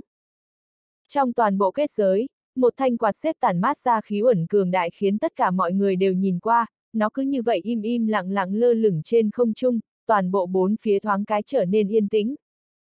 Đích thật là huyền khí cửu giai không thể nghi ngờ, không ai dám động vào cả, bởi vì vô luận là ai xông đi lên đoạt huyền khí kia, sợ rằng sẽ lập tức nối gót tên võ tôn đỉnh phong lúc trước, bị biến thành thịt nhão ngay. Xảo đoạt vô cực phiến của Khương Hội Thư. Huyết thần tử đột nhiên kinh hãi, hắn liếc mắt đã nhận ra chuôi quạt này, huyền khí tâm thần tương liên trở thành vật vô chủ, như vậy Khương Hội Thư tự nhiên đã bỏ mạng. Vật ấy huyết thần cung ta thu. Huyết thần tử hét lớn một tiếng, xông tới chỗ mọi người, một tay thu quạt xếp vào tay, nhìn qua một đám võ giả không cam lòng, lạnh lùng nói. Bất luận bảo bối nào khai quật được từ mai cốt trì địa đều phải ưu tiên bán cho huyết thần cung ta, đây là pháp tắc từ đầu, chư vị không quên đấy chứ. Mọi người nguyên một đám trầm mặc, với địa vị bá chủ của huyết thần cung ở mai cốt trì địa, bọn hắn không dám công nhiên phản kháng, mặc dù trong đó có vài tên cường giả võ đế cũng không dám lên tiếng, nếu không nhất định sẽ không tốt lành gì. Huyết thần tử trong tay cầm xảo đoạt vô cực phiến, thần sắc trong mắt phức tạp vạn phần. Khương hội thư vừa chết, hắn hẳn nên yên lòng mới đúng, nếu không đến lúc đó Thành Hồng Nguyệt truy cứu nhận trách nhiệm đến hắn cũng không thể thoát được. Nhưng thực lực Khương hội thư rất mạnh, còn có huyền khí cửu giai, càng có đế giả thần bí kia vạn phần kia, cùng với hai gã võ đế tứ tinh khác ở đó, là ai giết bọn hắn chứ? Tào Á Tinh đột nhiên nói. Sư tôn, nơi này tựa hồ là cấm khu thứ bảy. Cái gì? Mọi người đều chấn động, huyết thần tử đột nhiên lâm không mà lên, nhìn quanh mọi nơi, kinh hãi nói. Quả nhiên là cấm khu, vậy thì cường giả đóng ở đây đâu rồi? Ngay khi hắn kinh hãi không thôi, chân trời đã có một đạo quang mang lao tới, nháy mắt đã đến trước người rồi. Bên trong hào quang đúng là hứa diễm, và hai gã hộ vệ. Huyết thần tử đột nhiên cả kinh, vội bước lên trước bái. Dĩ nhiên là hứa diễm đại nhân. Ánh mắt hứa diễm trực tiếp rơi vào trong tay hắn, sắc mặt đại biến, sợ hãi nói. Xảo đoạt vô cực phiến. Thân hình huyết thần tử chấn động, nội tâm vô cùng phiền muộn, thầm mắng mình phản ứng quá chỉ đột, lẽ ra nên cất cây quạt này đi mới phải, lần này khẳng định không có phần mình rồi, đây chính là huyền khí cửu giai A, ngay cả hắn cũng cảm thấy thập phần tiếc hận, nhưng chuyện nặng nhẹ hắn vẫn rất rõ ràng, vội vàng hai tay chỉnh cây quạt lên, nói. Hứa diễm đại nhân, đúng là xảo đoạt vô cực phiến của Khương hội thư đại nhân, ta thấy ở đây có lôi kiếp đánh xuống, liền chạy đến xem xét, không nghĩ đến lại thấy nó, từ khí tức chấn động trên đó mà xem, Khương hội thư đại nhân có lẽ đã. Câu kế tiếp của hắn mặc dù chưa nói, nhưng mọi người đều rõ cả. Trong mắt hứa diễm lộ vẻ khiếp sợ khó có thể che giấu, tay nắm cây quạt hơi có chút rung rung, cả giận nói. Là người phương nào gây nên? Huyết thần tử cúi đầu, nói. Tại hạ không biết, cần một ít thời gian điều tra, nhưng tại hạ nghĩ, có thể nào quan hệ đến lôi kiếp lúc trước không? Trên mặt hứa diễm một mảnh băng hàn, tựa hồ rất khó tiếp nhận hiện thực trước mắt, được một hồi mới nói. Đạo lôi kiếp lúc trước đích thật là huyền khí cửu giai chi kiếp, điểm ấy không thể nghi ngờ, chỉ là... Hắn nhìn thoáng qua bên dưới, vẻ ngưng trọng trong mắt ngày càng đậm. Võ giả bên dưới sau khi mất đi tư cách tranh đoạt, không ít người bắt đầu vào tới chỗ một ít đan dược huyền khí mà tên võ tôn lúc trước lưu lại, cũng có không ít tốt bảo bối, tất cả đều bị đoạt sạch. Trò chuyện với nhau, hai, cũng có không ít người khiếp sợ nhìn qua hứa diễm, nhao nhao suy đoán thân phận của hắn. Ngay cả chủ nhân huyết thần cung cũng phải khúm núm, nịnh nọt nịnh nọt, tất nhiên là tồn tại danh chấn đại lục. Chỉ là cái gì? Huyết thần tử thấy hứa diễm thật lâu không thôi, nhịn không được hỏi, hắn cũng rất tò mò đến cùng đã xảy ra chuyện gì, rất muốn nghe hứa diễm giải thích. Hứa diễm ngưng thanh nói. Chỉ là lôi kiếp cửu giai, không đến mức tạo thành phá hư lớn như thế. Chỉ là lôi kiếp cửu giai thì cũng không có khả năng giết được Khương Hội Thư, đến cùng đã xảy ra chuyện gì chứ? Không ai có thể trả lời vấn đề của hắn, nhìn đám người dục dịch bên dưới, cũng có không ít lục tục ngo ngoe trên đường chạy đến, trên mặt hứa diễm lộ ra vẻ phiền chán.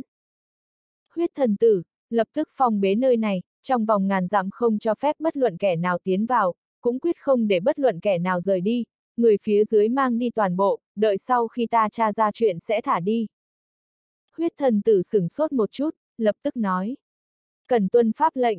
Hắn vung tay lên, liền truyền lệnh xuống, rất nhiều cao thủ huyết thần cung nhao nhao bắt đầu liên thủ bố trí kết giới, bộ phận người liền bắt đầu xua đuổi người bên dưới, muốn nhốt vào, lần này lập tức nổ nồi, mọi người đều nhao nhao không phục và kháng nghị.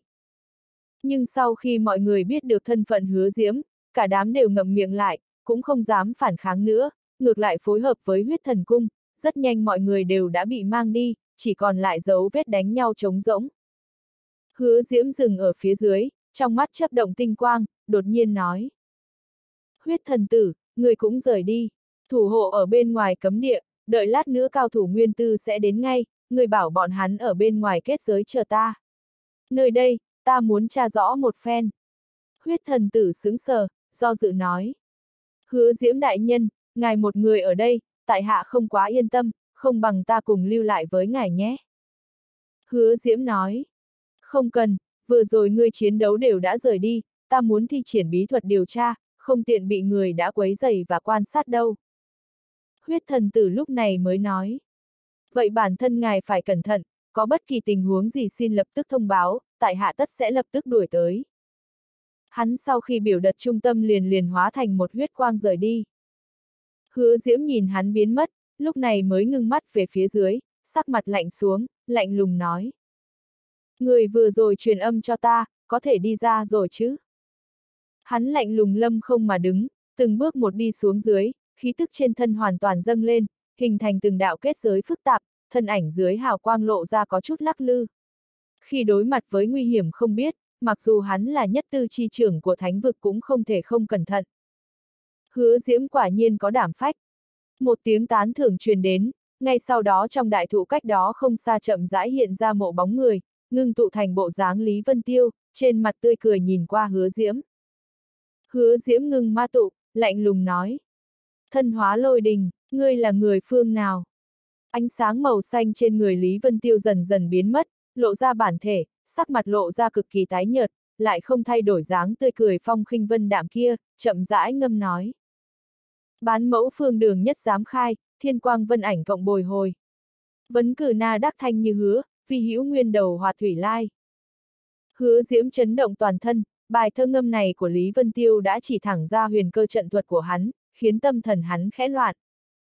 Thần sắc trong mắt hắn hóa thành lăng lệ, muốn triệt để nhìn thấu người trước mắt, nhưng vô luận như thế nào, kết quả lại khiến hắn rất khiếp sợ, bất luận mình cố gắng như thế nào, trong hai con người đối phương vẫn không hề bận tâm, chỉ có loại thoải mái coi thường thương sinh, phảng phất siêu nhiên thế ngoại. Người cũng là thuật luyện sư. Hứa Diễm cảm nhận được chấn động tinh thần lực trên người hắn, nhíu chặt mày, nói. Vì sao ta chưa bao giờ có ấn tượng với ngươi?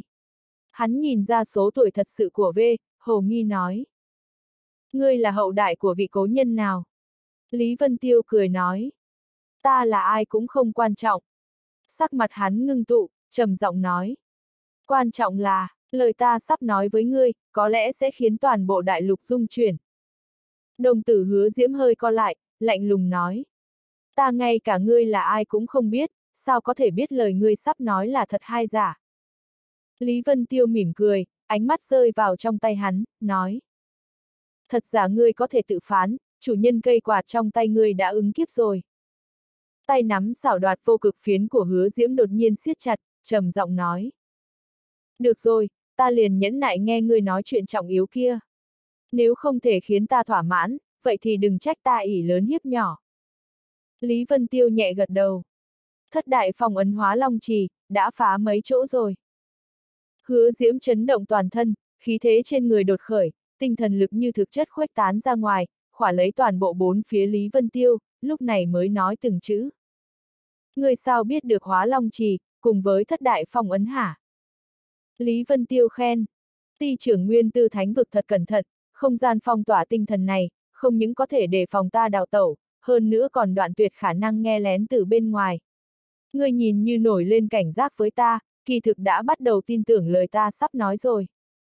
Hứa Diễm đột nhiên dâng lên một loại cảm giác vô lực, giao phong ngôn ngữ với thiếu niên này mình dĩ nhiên luôn lâm vào bị động, mặc dù là dưới loại thế cục mạnh yếu lập phán, mình chiếm hết ưu thế này, đối phương còn có thể bảo trì sức quan sát nhạy cảm và tâm tư kín đáo như vậy, đây là điều một thiếu niên có thể làm sao.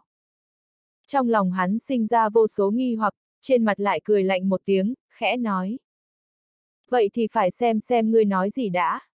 Ánh mắt Lý Vân Tiêu ngưng tụ, không chút sợ hàn mang lăng lệ của đại thuật luyện sư cửu giai, nhìn chằm chằm vào hai mắt đối phương, nói từng chữ.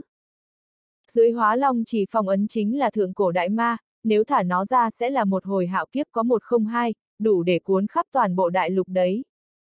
Hứa diễm bị hai mắt Lý Vân Tiêu nhìn chằm chằm khẽ giật mình, trong lòng nhấc lên cơn sóng gió động trời, mình chính là đại thuật luyện sư cửu giai, vậy mà lại bị đối phương nhìn thấu nội tâm. Sau kinh ngạc ngắn ngủi, hắn lập tức đột nhiên cười ha hả, khinh miệt nói. Ha ha, ngây thơ, là ai nói cho người biết dưới hóa long chỉ là đại ma thế? Tình huống nơi này chẳng lẽ ta không rõ hơn ngươi sao? Lý Vân Tiêu bị hắn trào phúng, cũng không tức giận, chỉ khẽ cười từng chữ. Có lẽ a, à, bất quá chủ nhân cây quạt trong tay ngươi đã bị đại ma giết chết. Ma Vân, một. dáng cười hứa diễm ngưng tụ, ngốc trệ một thoáng, nhìn vào quạt xếp trong tay, thần sắc dần dần bắt đầu trầm trọng. Hắn thật sự cảm nhận được một cổ ma khí từ trên đó, hắn ngưng thanh nói. Ý của ngươi là nói, đã có đại ma đi ra, hơn nữa còn giết Khương Hội Thư. Lý Vân Tiêu gật đầu nói. Đại ma giết chết Khương Hội Thư cũng không phải đại ma dưới phong ấn, nhưng mục đích của hắn chính là mở ra toàn bộ phong ấn, giải phóng đại ma bên dưới ra. Hắn ngưng trọng nói. Cho nên người bây giờ mau nói cho ta biết, bảy đạo phong ấn đã mở ra mấy đạo rồi. Hứa diễm trong nội tâm chấn động, dưới khí thế bức người của Lý Vân Tiêu, hắn vậy mà sinh ra một tia áp lực, cầm chặt lấy quạt xếp trong tay, sắc mặt âm trầm bất định. Đối với lời Lý Vân Tiêu nói về mặt lý trí hắn không thể tin, nhưng chẳng biết tại sao, về tình cảm thì lại đi tin. Bản năng thuật luyện sư khiến hắn cảm giác được đối phương cũng không gạt hắn, nhưng mà... Hắn thận trọng nói, nơi này ta đã xem qua rất nhiều điển tịch, căn bản không có nói đến đại ma gì cả, tất cả đều chỉ về một hướng, con đường thành thần. Lý Vân Tiêu nhướng mày, hừ lạnh nói. Hừ con đường thành thần, vớ vẩn, nơi này sở dĩ gọi là Mai Cốt Chi Địa, chính là vì có đại lượng thi hài võ giả thời xa xưa, nếu con đường thành thần ở trong đó vậy thì vì sao phải phong ấn, những người này lại vì sao mà chết. Sắc mặt hứa diễm trầm xuống, những điều này hắn cũng từng hoài nghi, nhưng ghi chép trong đại lượng sách cổ, khiến hắn dần mất đi hết hoài nghi. Đã biết rõ nơi này gọi là Mai Cốt Chi Địa, vậy tất nhiên hiểu được sự tồn tại của danh tự, đây là bảo mạch vô thượng đã từng sinh ra đời chân long, tự nhiên là nơi thành thần rồi. Lý Vân Tiêu lạnh lùng nhìn hắn, mỉa mai nói. Cho dù đã từng là linh mạch vô thượng, nhưng giờ thì sao? Chính vì nơi này từng sinh ra đời chân long, bởi vậy mới là nơi tuyệt diệu có thể bằng vào long khí để chấn áp đại ma A. Hứa diễm chấn động toàn thân, trong lòng đã bị hắn nói dao động, nhưng luôn khó có thể thừa nhận, liên tục lắc đầu nói. Không có khả năng, cố gắng nhiều năm như vậy, há có thể vì một người không hiểu thấu như ngươi nói một ít loạn ngôn mà thay đổi được, Ngươi rốt cuộc là ai? Nếu không bạo lộ thân phận thì đừng trách ta không khách khí. Khí thế trên người hắn lại vọt lên, dưới sự khống chế của tinh thần lực cường đại, hóa thành từng vòng bạch quang, vây quanh lấy bốn phía Lý Vân Tiêu, tùy thời chuẩn bị ra tay. Lý Vân Tiêu nhìn hắn, nói từng chữ. Bởi vì ta chính là người phá vỡ tầng phong ấn ở trước, những tin tức này là ta vừa mới đạt được, huống hồ ta cũng từng trong lúc vô tình thả ra phân thân của đại ma này, nếu để cho bọn hắn tụ cùng một chỗ, thì sẽ là một phiền toái rất lớn. Ngươi! Hứa Diễm kinh hãi nói. Phong ấn kia là do ngươi phá sao, ta không tin, mỗi một đạo phong ấn đều có lòng bí bảo chấn thủ, nếu ngươi đã nói mình phá ấn, vậy thì bí bảo đâu? Trong hai mắt Lý Vân Tiêu hiện ra nước mắt óng ánh, ánh huỳnh quang chớp động, tỏa ra khí thức tánh mạng vô cùng, lại lung lay không rơi xuống, nói. Chân Long chi lệ, đã tin tưởng chưa? Hứa Diễm hít một hơi lạnh, sắc mặt trắng bệch lên. Đối phương không chỉ lấy ra chân Long bí bảo, hơn nữa bí bảo này xem ra đã bị luyện hóa, coi như là hắn muốn luyện hóa một kiện bí bảo cũng không phải trong thời gian ngắn có thể làm được ngay. Giờ phút này hắn đối với lời Lý Vân Tiêu nói đã tin thất thất bát bát, trong lòng cực kỳ hỗn loạn, nếu bên dưới này quả thật có đại ma, hơn nữa có thể tồn tại thời gian lâu như thế, vậy thì đây tuyệt đối là một trường hạo kiếp. Lý Vân Tiêu nghiêm mặt nói. Người thân là ti trưởng nguyên ti thánh vực, có trách nhiệm ngăn phong ấn bị phá hư, nói cho ta biết, bảy đạo phong ấn hiên giờ còn mấy đạo. Hứa diễm tâm loạn như ma, kinh ngạc nói. Đã mở năm đạo, chỉ còn lại hai đạo cuối cùng thôi. Hơn nữa đạo thứ sáu. Hắn còn chưa dứt lời, đột nhiên một hồi đất rung núi chuyển chuyển đến, toàn bộ mai cốt trì địa đều bị run rẩy, ngay sau đó là tiếng oanh minh cực lớn truyền vào tai. ầm ầm, như rời sập đất sụt, chấn động dưới chân ngày càng mạnh, giống như đại địa tan vỡ vậy. Sắc mặt hứa diễm đại biến, nhìn qua phương hướng chấn động kia, thất thanh nói. Không tốt, đó là chỗ phòng ấn thứ sáu. Hai người dõi mắt nhìn lại, xa xa chỗ khu 13 Tây Nam bắt đầu bốc lên hắc khí, mây đen quay cuồng trên bầu trời, bắt đầu xuất hiện tầng tầng dị tượng. Lý Vân Tiêu kinh hãi nói. Ma khí thật mạnh. Trên mặt hắn ẩn ẩn hiện ra vẻ giận dữ ra. Phòng ấn vừa mở đã có ma khí mạnh như thế, ngươi là mù lòa hay là giả ngu? Vậy mà nói với ta là nơi thành thần gì đó. Hứa diễm cả người đều ngốc trệ, nhìn qua bầu trời bên kia lẩm bẩm. Cái này, làm sao có thể, trước kia chưa bao giờ có dị tượng như thế a, à, chẳng lẽ đạo phong ấn cuối cùng cũng đã không còn sao? Lý Vân Tiêu trong nội tâm chấn động, vội hỏi. Rất có khả năng, đạo phong ấn cuối cùng kia ở đâu?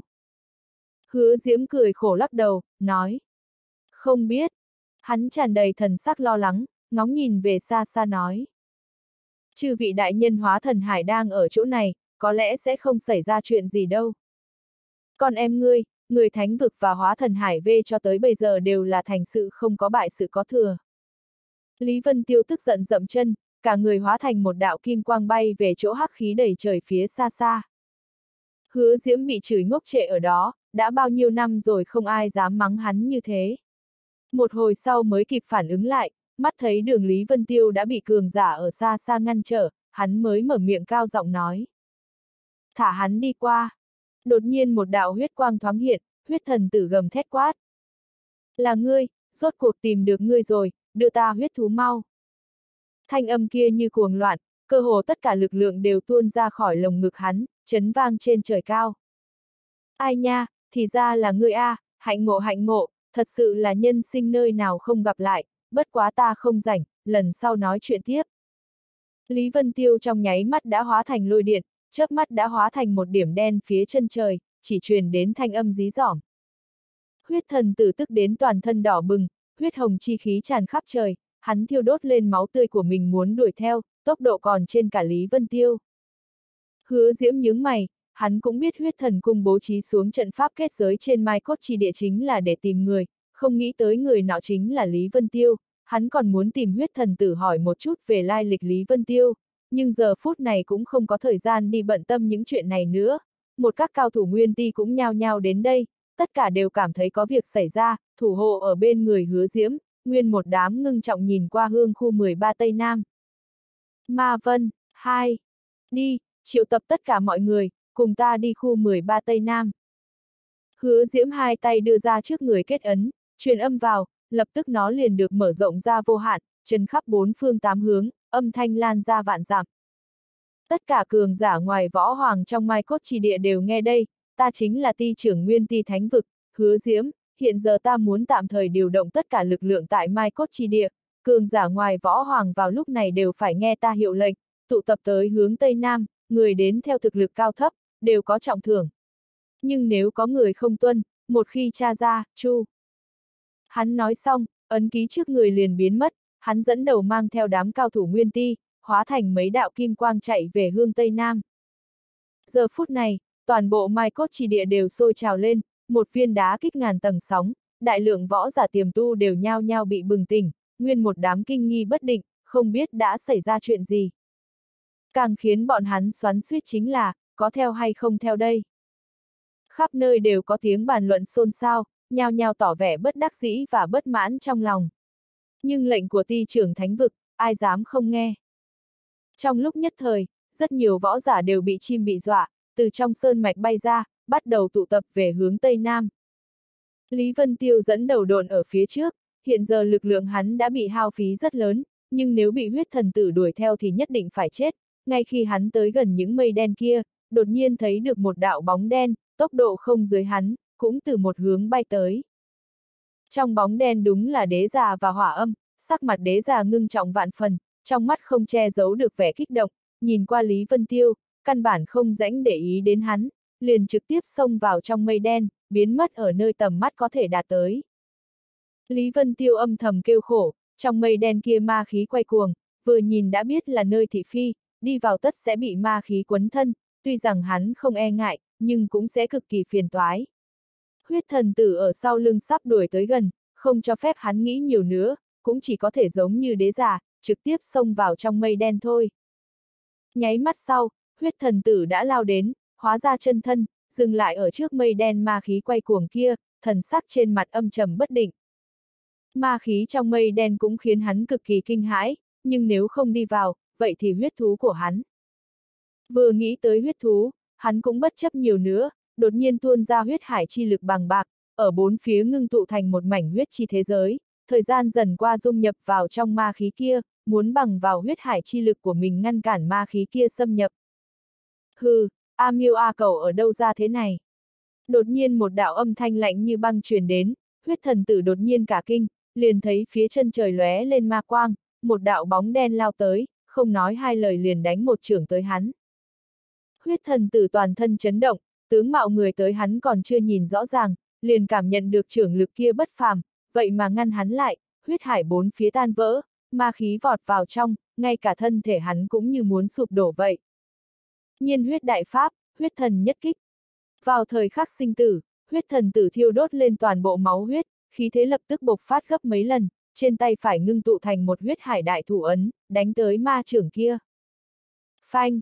Trên bầu trời hồng hắc nhi sắc đụng vào nhau, rằng co trong nháy mắt, huyết trưởng của huyết thần tử đã đột nhiên sụp đổ, một đạo ma khí trực tiếp chấn vào trong cơ thể hắn, đánh hắn bay ra ngoài. Ân, lại vẫn không chết. Đạo thân ảnh hắc sắc kia chậm rãi ngưng tụ ra chân thân trước mây đen, vẻ ngoài tuấn lãng lô ra một tia bất mãn, khẽ nói. Có lẽ là do ma khí hao phí quá lớn, vậy mà lại để tên căn bã này lưu được một mạng. Dưới chân của hắn đột nhiên xuất hiện một đạo vòi rồng, thời gian dần trôi qua hiển hóa ra một con cự ngạc, theo thật sát bên cạnh hắn.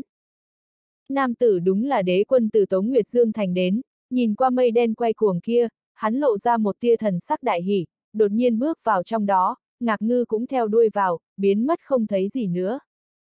Ngay khi đế quân bước vào trong mây đen, mảng lớn mây đen đột nhiên quay cuồng càng thêm kịch liệt, ma khí càng ngày càng mạnh, cưỡng ép căng mây đen kia ra, nhanh chóng tán khắp bốn phương tám hương, bao lấy cả bầu trời đại địa vào trong đó, không ngừng thôn phệ tất cả không gian. Huyết thần tử ở xa xa sau khi bị trưởng lực chấn động, cả người trọng thương không thôi, hoảng sợ liên tục lấy ra các loại đan dược ném vào trong miệng như đường đầu. Vừa rồi nam tử kia chẳng qua chỉ đánh một kích tùy ý, dĩ nhiên đã khiến hắn trọng thương, nếu không phải hắn mau chóng quyết định thiêu đốt đại lượng máu tươi, sợ rằng giờ đã vẫn lạc tại chỗ, vừa nhớ lại, liền khiến đáy lòng của hắn chấn động phát lạnh, nhìn không được sợ run. Giờ phải làm sao đây? Huyết thú còn trong mây đen kia, nếu cứ vậy rời đi, sợ rằng cả đời vô vọng thu hồi. Nhưng nếu đi vào, lại gặp người vừa rồi, nhất định cũng chỉ phí công, đến cùng nên làm sao mới phải đây. Huyết thần tử xoắn suýt vạn phần, không ngừng vò tóc, cơ hồ muốn nổi giận rồi, đột nhiên hắn ngừng tay lại, xa xa mây đen màu đen kia dùng tốc độ cực nhanh khuếch tán ra, hắn trong lúc kinh ngạc, thoáng ngốc trệ xuống, liền bị nuốt vào trong. Rất nhanh, mây đen không chỉ có huyết thần tử, bọn người hứa diễm phi tốc chạy đến, còn có rất nhiều võ giả vâng mệnh mà đến kia, cũng toàn bộ bị cuốn vào trong mây đen, toàn bộ mai cốt chi địa trong khoảnh khắc liền bị bao phủ dưới cổ lực lượng kỳ dị kia, trong thiên địa trở nên một mảnh đen tối. Nơi này là... Lý Vân Tiêu đột nhiên hít một hơi lạnh, sau khi hắn tiến vào trong mây đen, bên trong chính là một mảnh cảnh tượng thảm thiết, khắp nơi đều là thi cốt hài cốt, đại địa bị máu tươi nhuộm đến đỏ bừng, cực kỳ thê thảm. ọt ọt, Lý Vân Tiêu nuốt ngụm nước miếng, liếm lấy bờ môi khô khốc, thì thào lẩm bẩm. Nơi này, không phải là chiến trường từ thời xa xưa đây chứ. Hắn lâm không nhìn địa hình bốn phía, quả nhiên cực kỳ tương tự với mai cốt chi địa, chỉ là nhiều hơn một cổ tiêu điều thê lương vô biên vô hạn. Ân, rất có thể a. À. Yêu Long truyền âm nói. Phòng ấn thứ sáu bị cởi bỏ, liền xuất hiện dị tượng chiến trường này, như vậy phong ấn thứ bảy rất có khả năng ở ngay trong chiến trường này rồi. Lý Vân Tiêu cảm thụ ma khí đầy trời kia, lộ ra vẻ lo lắng. Cái này phiền toái, ma khí cường đại như thế, nếu võ giả mai cốt chi địa tiến đến, rất có khả năng sẽ bị ma hóa mất. Yêu Long nói, phiền phức không chỉ cái này, đế giả kia cũng vào được, hắn nhất định đang đi tới chỗ phòng ấn, nơi đây ma khí tung hoành, đối với hắn mà nói như cá gặp nước, nếu ngươi gặp phải có thể thắng được hắn sao? Long xác, thần sắc Lý Vân Tiêu ngưng trọng, nói. Trước tìm được phòng ấn trì địa đã nói sau, có hứa diễm ở đây, đám cao thủ nguyên ti kia đoán chừng hơn phân nửa cũng ở đây, những người này cũng không phải bài trí. Hắn sau khi suy nghĩ qua liền nhảy vào sâu trong dị tượng, bắt đầu tìm kiếm bốn phía. Giờ phút này hắn mới phát hiện, địa hình sơn mạch Mai Cốt trì địa hiện giờ, chính là do đại chiến tạo thành, những núi lớn sụp xuống, biến thành mô đất, đại địa đứt gãy, tạo thành dòng sông hiện giờ. Đột nhiên, cả người của hắn đình trệ trên không trung, sắc mặt biến hóa, lẩm bẩm. Phiền toái. Yêu Long tựa hồ cảm thấy gì đó, khẽ nói. Ai bảo ngươi tự đại, để ma khí của đế già kia nhập vào cơ thể, tuy rằng có thể khống chế, lại khó có thể triệt để bài trừ, sớm muộn gì cũng là tai họa ngầm. Lý Vân Tiêu không nói hai lời, liền xông xuống dưới, đáp xuống một chỗ đại địa đứt gãy, ngồi xếp bằng xuống, sau đó bố trí xuống một đạo kết giới ở quanh thân, ngăn trở ma khí ngoại giới xâm nhập, chính mình thì lại bay vào trong giới thần bi. Lý Vân Tiêu lâm không điểm xuống, một kiện áo giáp nghiền nát hiển hiện trước người, như sắt vụn vậy. Đúng là ma thiên giáp lúc ở Tống Nguyệt Dương Thành bởi vì ma khí mất hết nên đã bị vũ chém nát. Ma khí này cũng không phải hoàn toàn vô dụng. Lý Vân Tiêu ngưng thanh nói, tùy thời bắt đầu vận chuyển minh nguyệt thần thể, dần dần bức ma khí ẩn núp trong cơ ra ngoài, khiến nó mở mịt ẩn hiện ngoài làn da. Ma khí này vẫn một mực yên lặng trong cơ thể hắn, vốn cũng không sao cả, có thể tùy thời chấn áp, nhưng ở trong ma vân đã bị khí tức ngoại giới ảnh hưởng, những ma khí này vậy mà dục dịch ngóc đầu dậy. Ma khí nhàn nhạt kia sau khi bị hắn bước ra, vậy mà dần ngưng tụ ở trên không, hóa thành một gương mặt khủng bố, muốn bỏ chạy. Hừ. Lý Vân Tiêu hừ nhẹ một tiếng, tiện tay chụp tới, liền bắt ma đầu kia vào lòng bàn tay, trực tiếp đánh vào trong ma thiên giáp, sau đó gọi đến thần hỏa, bắt đầu lâm không luyện hóa. Tiện tay chữa trị huyền khí cửu giai, coi như là đại thuật luyện sư cửu giai cũng tuyệt đối không thể, nhưng nơi này là thế giới trong bia của Lý Vân Tiêu, hắn khống chế tất cả quy tắc, tế luyện cũng không cần tốn quá nhiều công phu.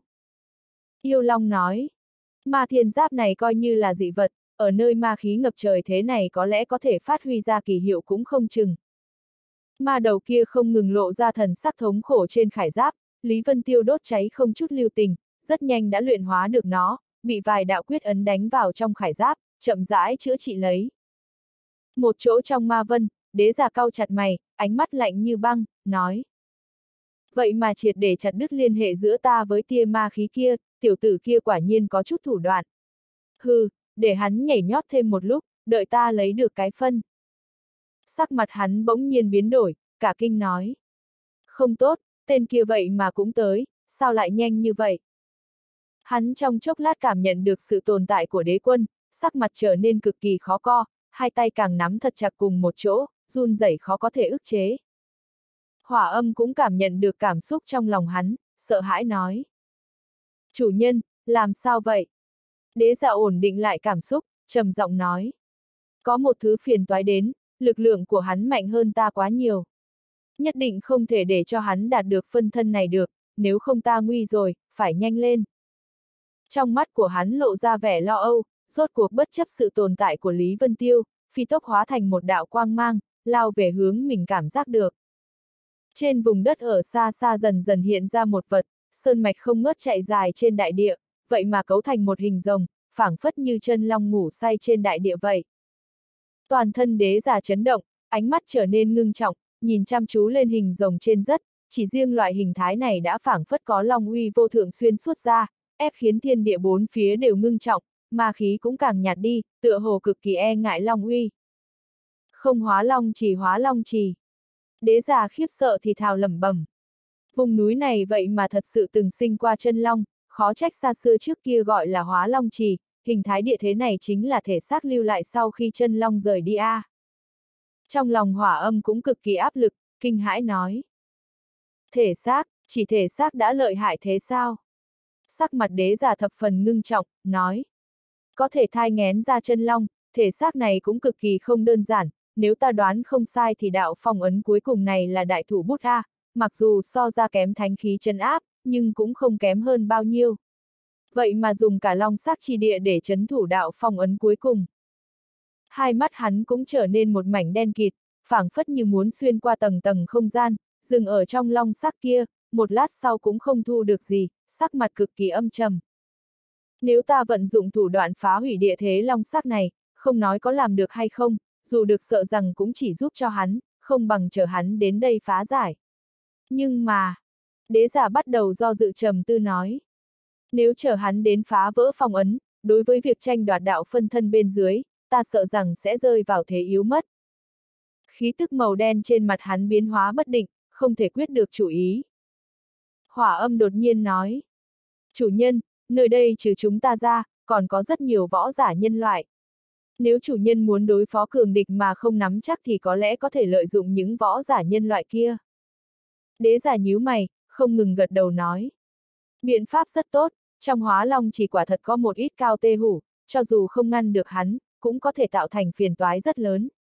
Hôm nay thì có thể hành sự tùy theo hoàn cảnh thôi. Đế già không do dự nữa, hóa thành một đạo hắc quang vọt vào trong long sắc kia. Toàn bộ long sắc sơn mạch kéo rất dài, vị trí cụ thể của phân thân kia cũng không dễ xác nhận lắm. Hắn đi tới chỗ đầu rồng, một cái hắc động sâu không thấy đáy mở ra miệng rộng, lộ ra ma khí rất mạnh. Đế giả hít một hơi thật sâu, lập tức sảng khoái tinh thần, liền đại hỉ trực tiếp nhảy vào trong đó, bắt đầu tìm kiếm ngọn nguồn ma khí. Ma vân cuồn cuộn bao trùm cả mai cốt chi địa vào trong, rất nhiều võ giả nhao nhao tiến vào trong đó, nguyên một đám liền hoảng sợ không thôi.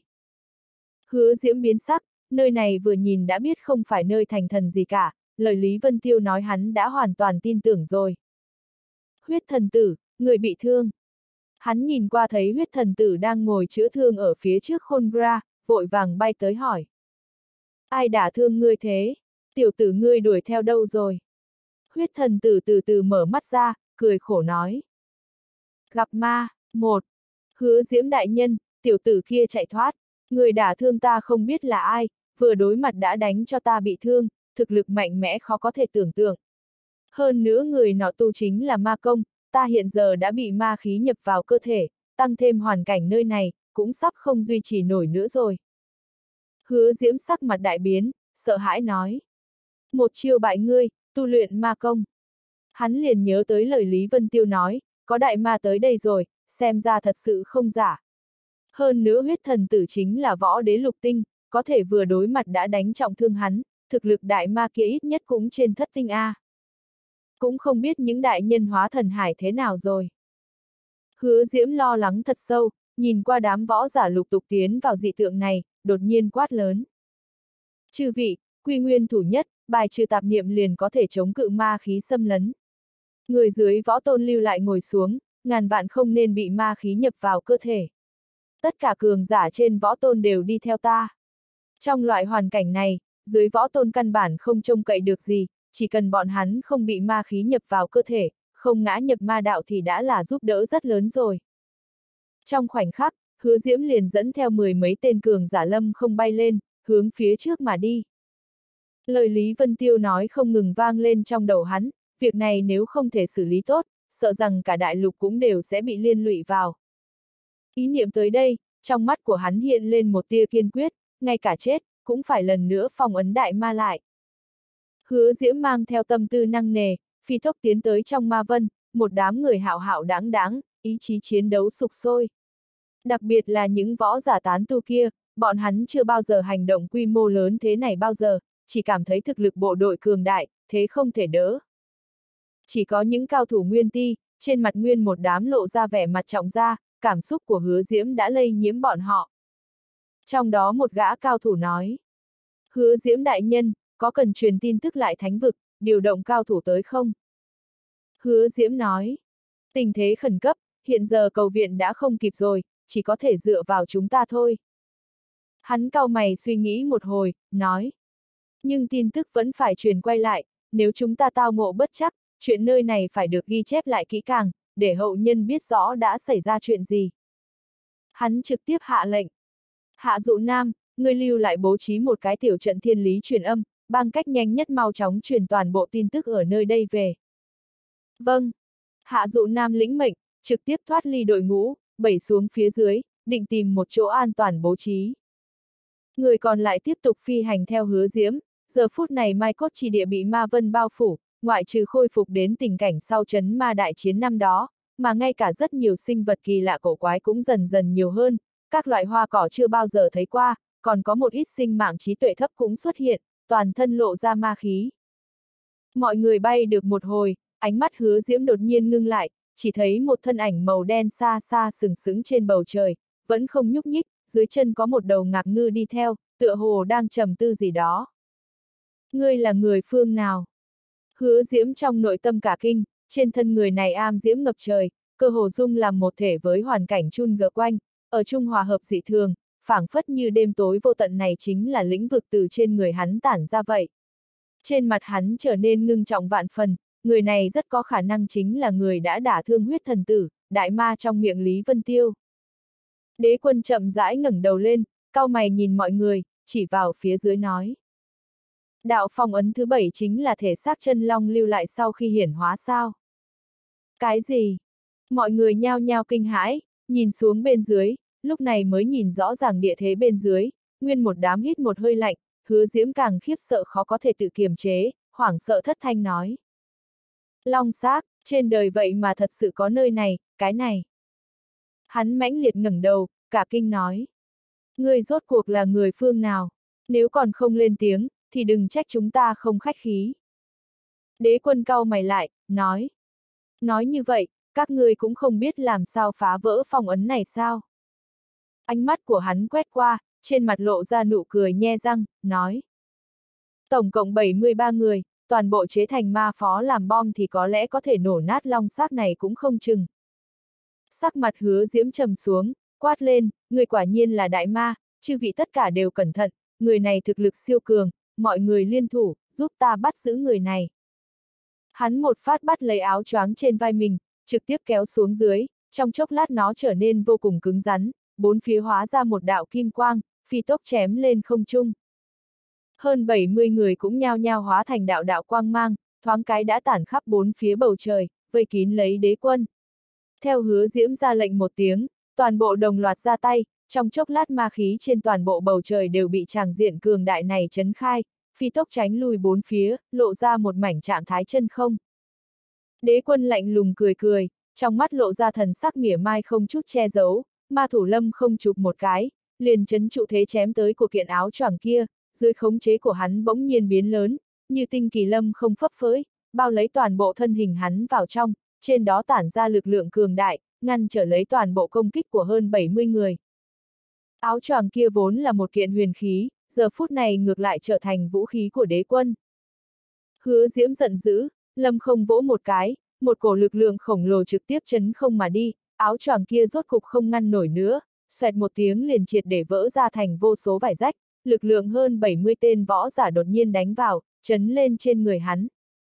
ầm ầm, thân hình đế quân lập tức bị tạc nát, ma khí đầy trời bay tứ tung, nguyên lực và ma khí cường đại va chạm trên không trung, nhưng đảo mắt ma khí liền chiếm cứ thượng phong, thôn phệ toàn bộ lực lượng kia vào trong, giờ phút này áo choàng vỡ vụn thành vô số vải rách cũng đột nhiên trở nên cứng rắn, tản mát ra hào quang đen kịt, ngưng trên không trung. Đi! Thanh âm lạnh lùng của đế quân từ trong ma khí truyền ra, vô số vải rách lập tức hiện ra cảnh tượng thiên nữ tán hoa, nhao nhao đánh tới võ giả bốn phía, không thể địch nổi. Long cong! Một gã cường giả đen kịt vội vàng dơ kiếm đón đỡ, huyết khí bảo kiếm thất giai của hắn lại bị một miếng vải rách trong đó đánh gãy, vải rách càng không giảm thế đi bắn vào trong cơ thể hắn, thân hình trong nháy mắt liền hóa thành đen kịt, sau đó lăng không nổ bung. Gặp ma, hai, bang bang, bang bang. Không chung không ngừng truyền đến tiếng kêu thảm thiết của võ giả và tiếng nổ tung, thoáng cái đã đoạt đi tánh mạng hơn 20 người, đều là những võ tôn đê giai cả, vừa đối mặt một cái đã triệt để vẫn lạc. Mặc dù những võ tôn cao giai có thể, tạm thời bảo trụ tánh mạng, nhưng cũng bị ma khí xâm nhập, thân thể bắt đầu dần dần biến thành đen, mất đi bản tính. Ha ha, lực lượng, lực lượng rất mạnh a. À. Một gã võ tôn đột nhiên ta ác cười ha hả, bay vụt đến sau lưng đế quân, trực tiếp quỳ xuống lại, hưng phấn nói. Bái kiến chủ nhân. Tất cả mọi người hít một hơi lạnh, hoảng sợ không thôi, lúc này lại có ba bốn tên võ giả phát sinh đồng tình huống như thế, mỗi người đều quỳ gối sau lưng đế quân. Đế quân cười to nói. Ha ha, rất tốt, rất tốt, ta đang cần một ít thủ hạ đây. Hắn nhìn qua người còn lại, nhe răng cười nói. Các ngươi cũng đều có tư cách này, không nên gấp, nguyên một đám đến đây đi. Hứa diễm hoảng hốt, đột nhiên quát. Tất cả võ tôn lui ra, đừng cho ma khí nhập vào cơ thể. Không có cửu thiên đế khí phòng ngự, căn bản không cách nào ngăn cản ma uy. Thoáng cái mỗi người biến sắc, những võ tôn kia đã sớm tâm kinh đảm hàn, đột nhiên phóng xuống phía dưới, nguyên một đám nuốt đan dược vào, vận công ngăn cản. Tào Á Tinh dưới một kích kia đã bị một tia ma khí chấn nhập vào trong cơ thể, hoảng hốt không thôi, vội vàng vận chuyển huyết thần công, muốn bước ra, nhưng lại phát hiện không có chút tác dụng nào cả, huyết hải chi lực có thể ô nhiễm vạn vật vậy mà lại bị ma khí ăn mòn. Hắn lập tức sợ tới mức trắng bệch, nhìn đám võ giả đang quỳ gối trên bầu trời kia, nội tâm vô cùng sợ hãi, hắn cũng không muốn trở thành ma phó gì đó đâu. Tào Á Tinh vọt lên khỏi mặt đất, hóa thành một đạo quang mang phóng về phía huyết thần tử, giờ phút này duy nhất có thể cứu hắn cũng cũng chỉ có sư tôn hắn thôi. Lâm trận mà trốn. Một gã võ đế thánh vực sắc mặt trầm xuống, muốn ra tay giết người, lại bị hứa diễm ngăn lại, nói. Để hắn đi. Lực lượng võ tôn đã hoàn toàn không thể dùng rồi, thiếu một người có lẽ ít đi được một địch nhân, những võ tôn bị ma hóa kia nguyên một đám chiến lên, trên mặt lộ ra hưng phấn cực độ và chiến ý ngập trời, thực lực còn cường hãn hơn trước không ít. Trên bầu trời, 17 tên cường giả võ đế còn lại, một nửa đều là cùng bức khổ tu ở Mai Cốt Chi Địa, tất cả đều cầm huyền khí bát giai, thực lực giảm bớt đi nhiều. Trong đó hai tên đến từ thành Hồng Nguyệt, cùng với năm tên cường giả nguyên ti thánh vực, trong tay đều là huyền khí cửu giai, nguyên một đám uy phong lẫm lẫm, hiển nhiên cường đại hơn rất nhiều.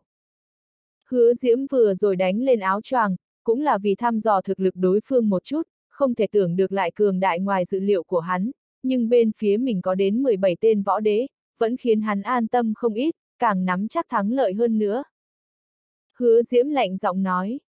Mà đầu, ta lại hỏi ngươi, phong ấn trong long xác này chính là đồng loại ngươi sao? Đồng loại. Đế quân khinh miệt cười, nói.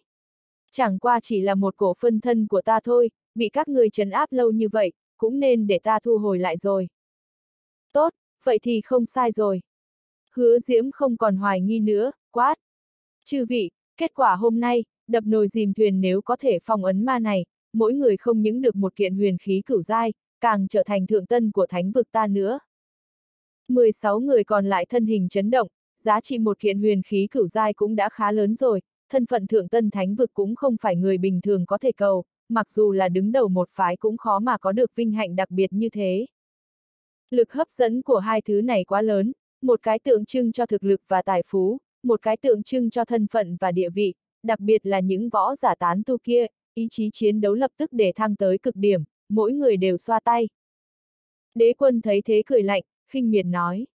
Dù trọng thưởng thế nào, cũng phải có mạng cầm mới được. Hắn vung tay lên, chín tên võ tôn bị ma hóa lập tức lần nữa biến hóa, hoàn toàn biến thành bộ dạng yêu ma, hưng phấn gào thét sông ra ngoài. 17 võ đế lập tức sát khí nghiêm nghị, một trận chiến kinh thế lập tức bộc phát. Hạ dụ nam ở phía xa bố trí trận pháp đưa tin sau khi bận rộn, trên mặt đất chín cái trận pháp phức tạp luyện thành một đường, dần dần đình chỉ vận chuyển. Hạ dụ nam rốt cục nhẹ nhàng thở ra, lẩm bẩm.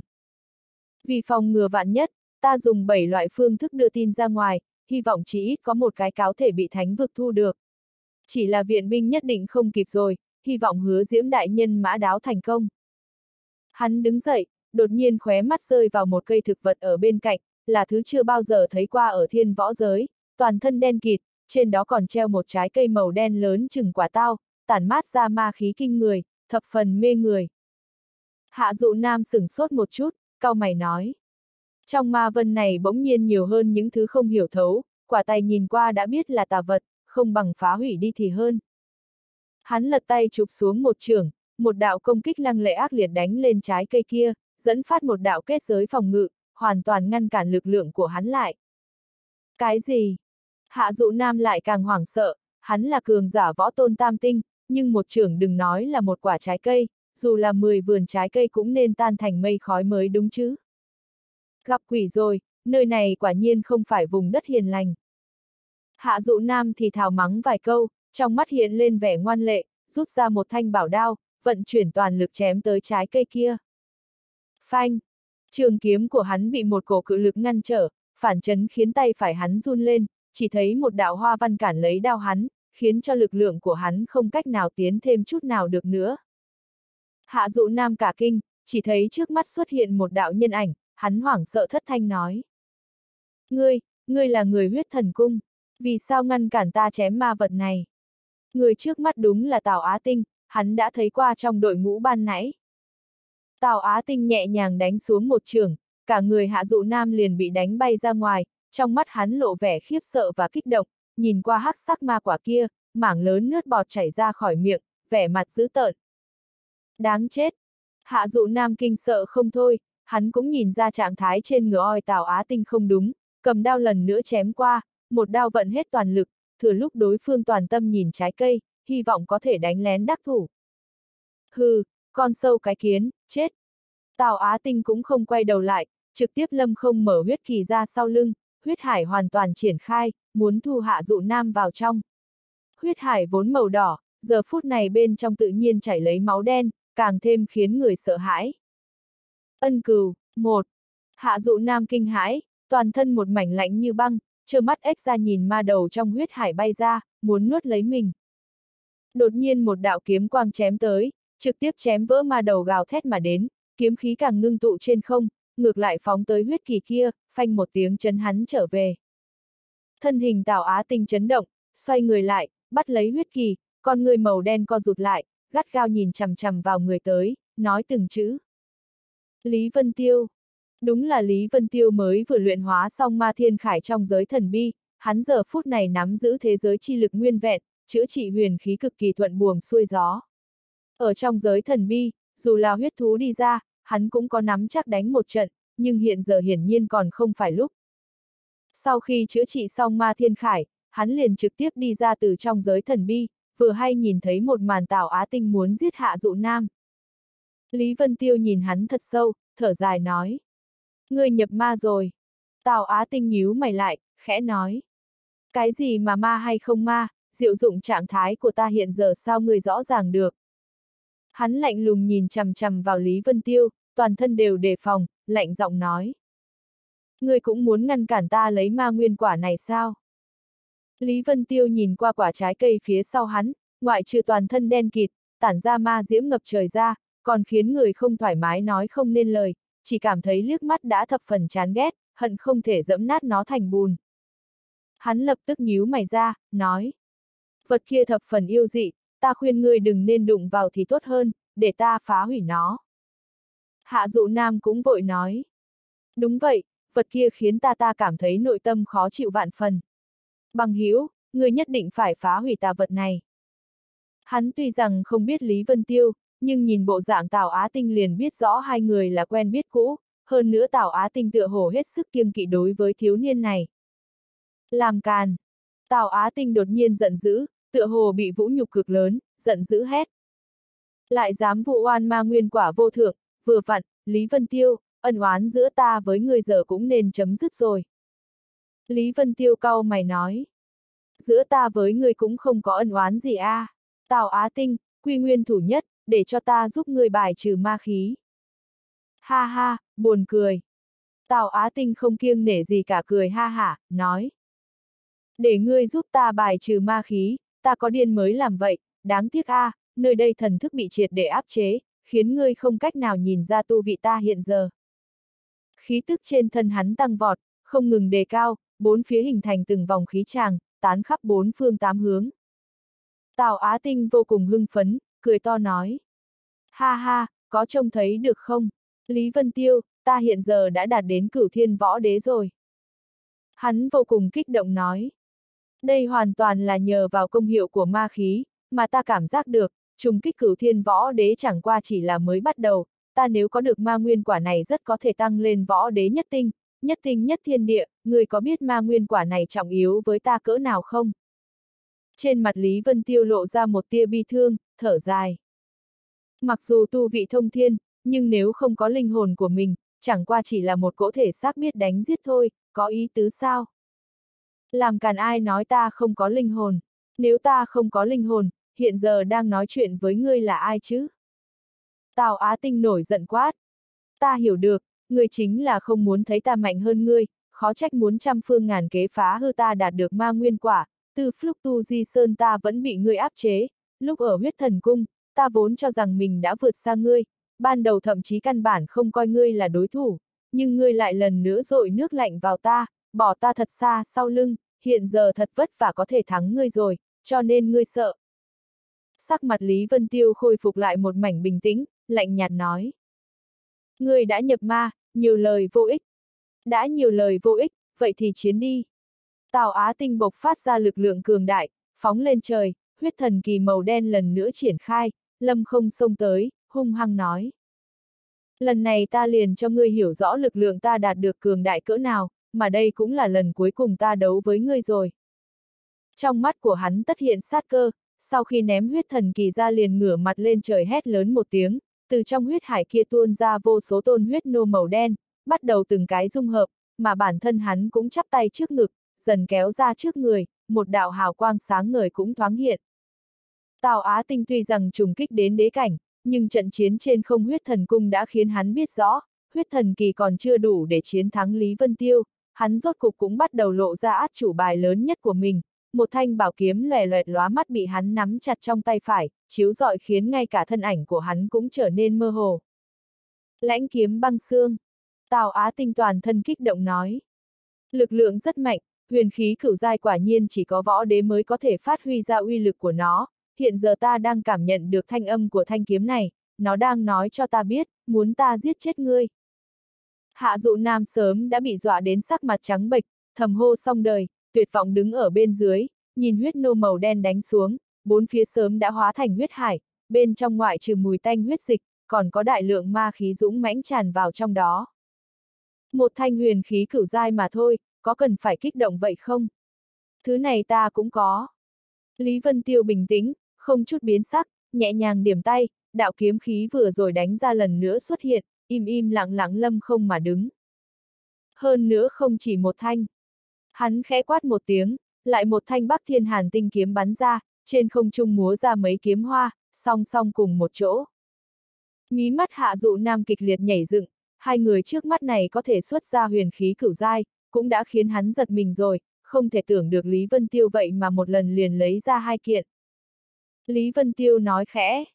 Hai thanh không đủ, lại đến một thanh nữa. Chuôi Bắc Thiên Hàn tinh kiếm thứ ba bắn ra, lập tức ba thanh kiếm hô ứng lẫn nhau, tạo thành trận thế kiếm đồ, từng đạo kiếm khí phát ra, không ngừng khoa trương, căng ra cả thế giới huyết hải, khiến ma khí không cách nào xâm nhập vào chút nào cả. Oa a a a, đáng chết đáng chết a. À. Tào Á tinh khí liên tục gào thét, hành vi của Lý Vân Tiêu hoàn toàn là khiêu khích hắn, ấn ký trong tay khẽ điểm, huyết nô võ tôn đỉnh phong kia lập tức gầm thét xong trưởng đánh lên kiếm đồ. Ân cừu, hai, oanh, đại lượng máu tanh và ma khí chấn lên, kiếm thế có chút nhảy lên, run rẩy vài cái. Huyết nô kia hoàn toàn không có tư duy và trí tuệ, không ngừng hai tay ôm quyền đánh xuống, ba thanh kiếm bắt đầu run rẩy kịch liệt, phát ra âm thanh thanh thúy. Bản thân Lý Vân Tiêu chỉ có thực lực võ tôn tam tinh, khống chế kiếm đầu ngăn cản loại oanh kích cưỡng ép này của võ tôn đỉnh phong cũng lộ ra cực kỳ cố hết sức. Hạ dụ nam cười khổ nói.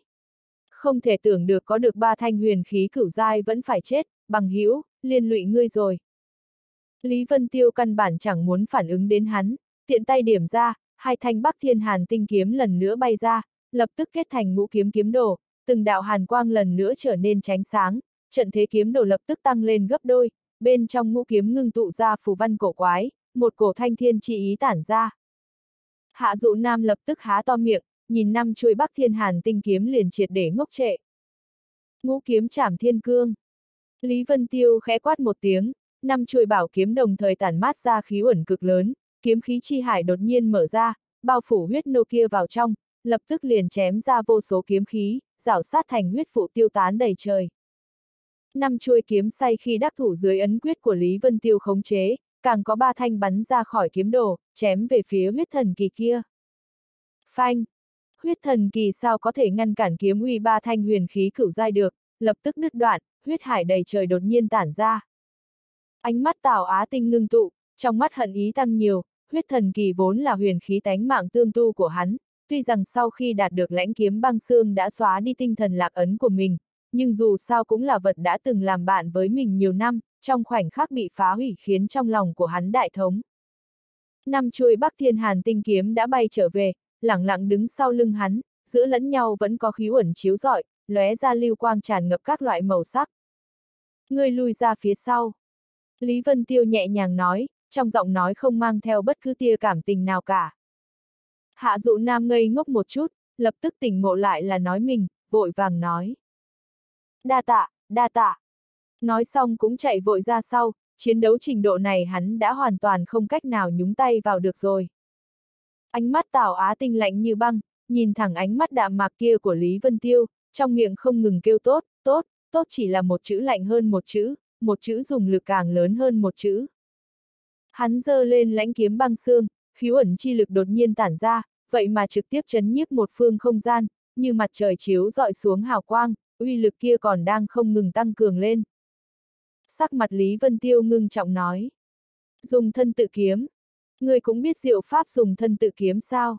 Nếu đã rõ, thì hôm nay hẳn phải chết không thể nghi ngờ, chuôi lãnh kiếm băng xương này hiện giờ ta ít nhất có thể phát huy ra một phần năm lực lượng, đây không phải là huyền khí cửu giai bình thường, mà là huyền khí đỉnh phong dùng để trấn áp đại ma trong tu di sơn A.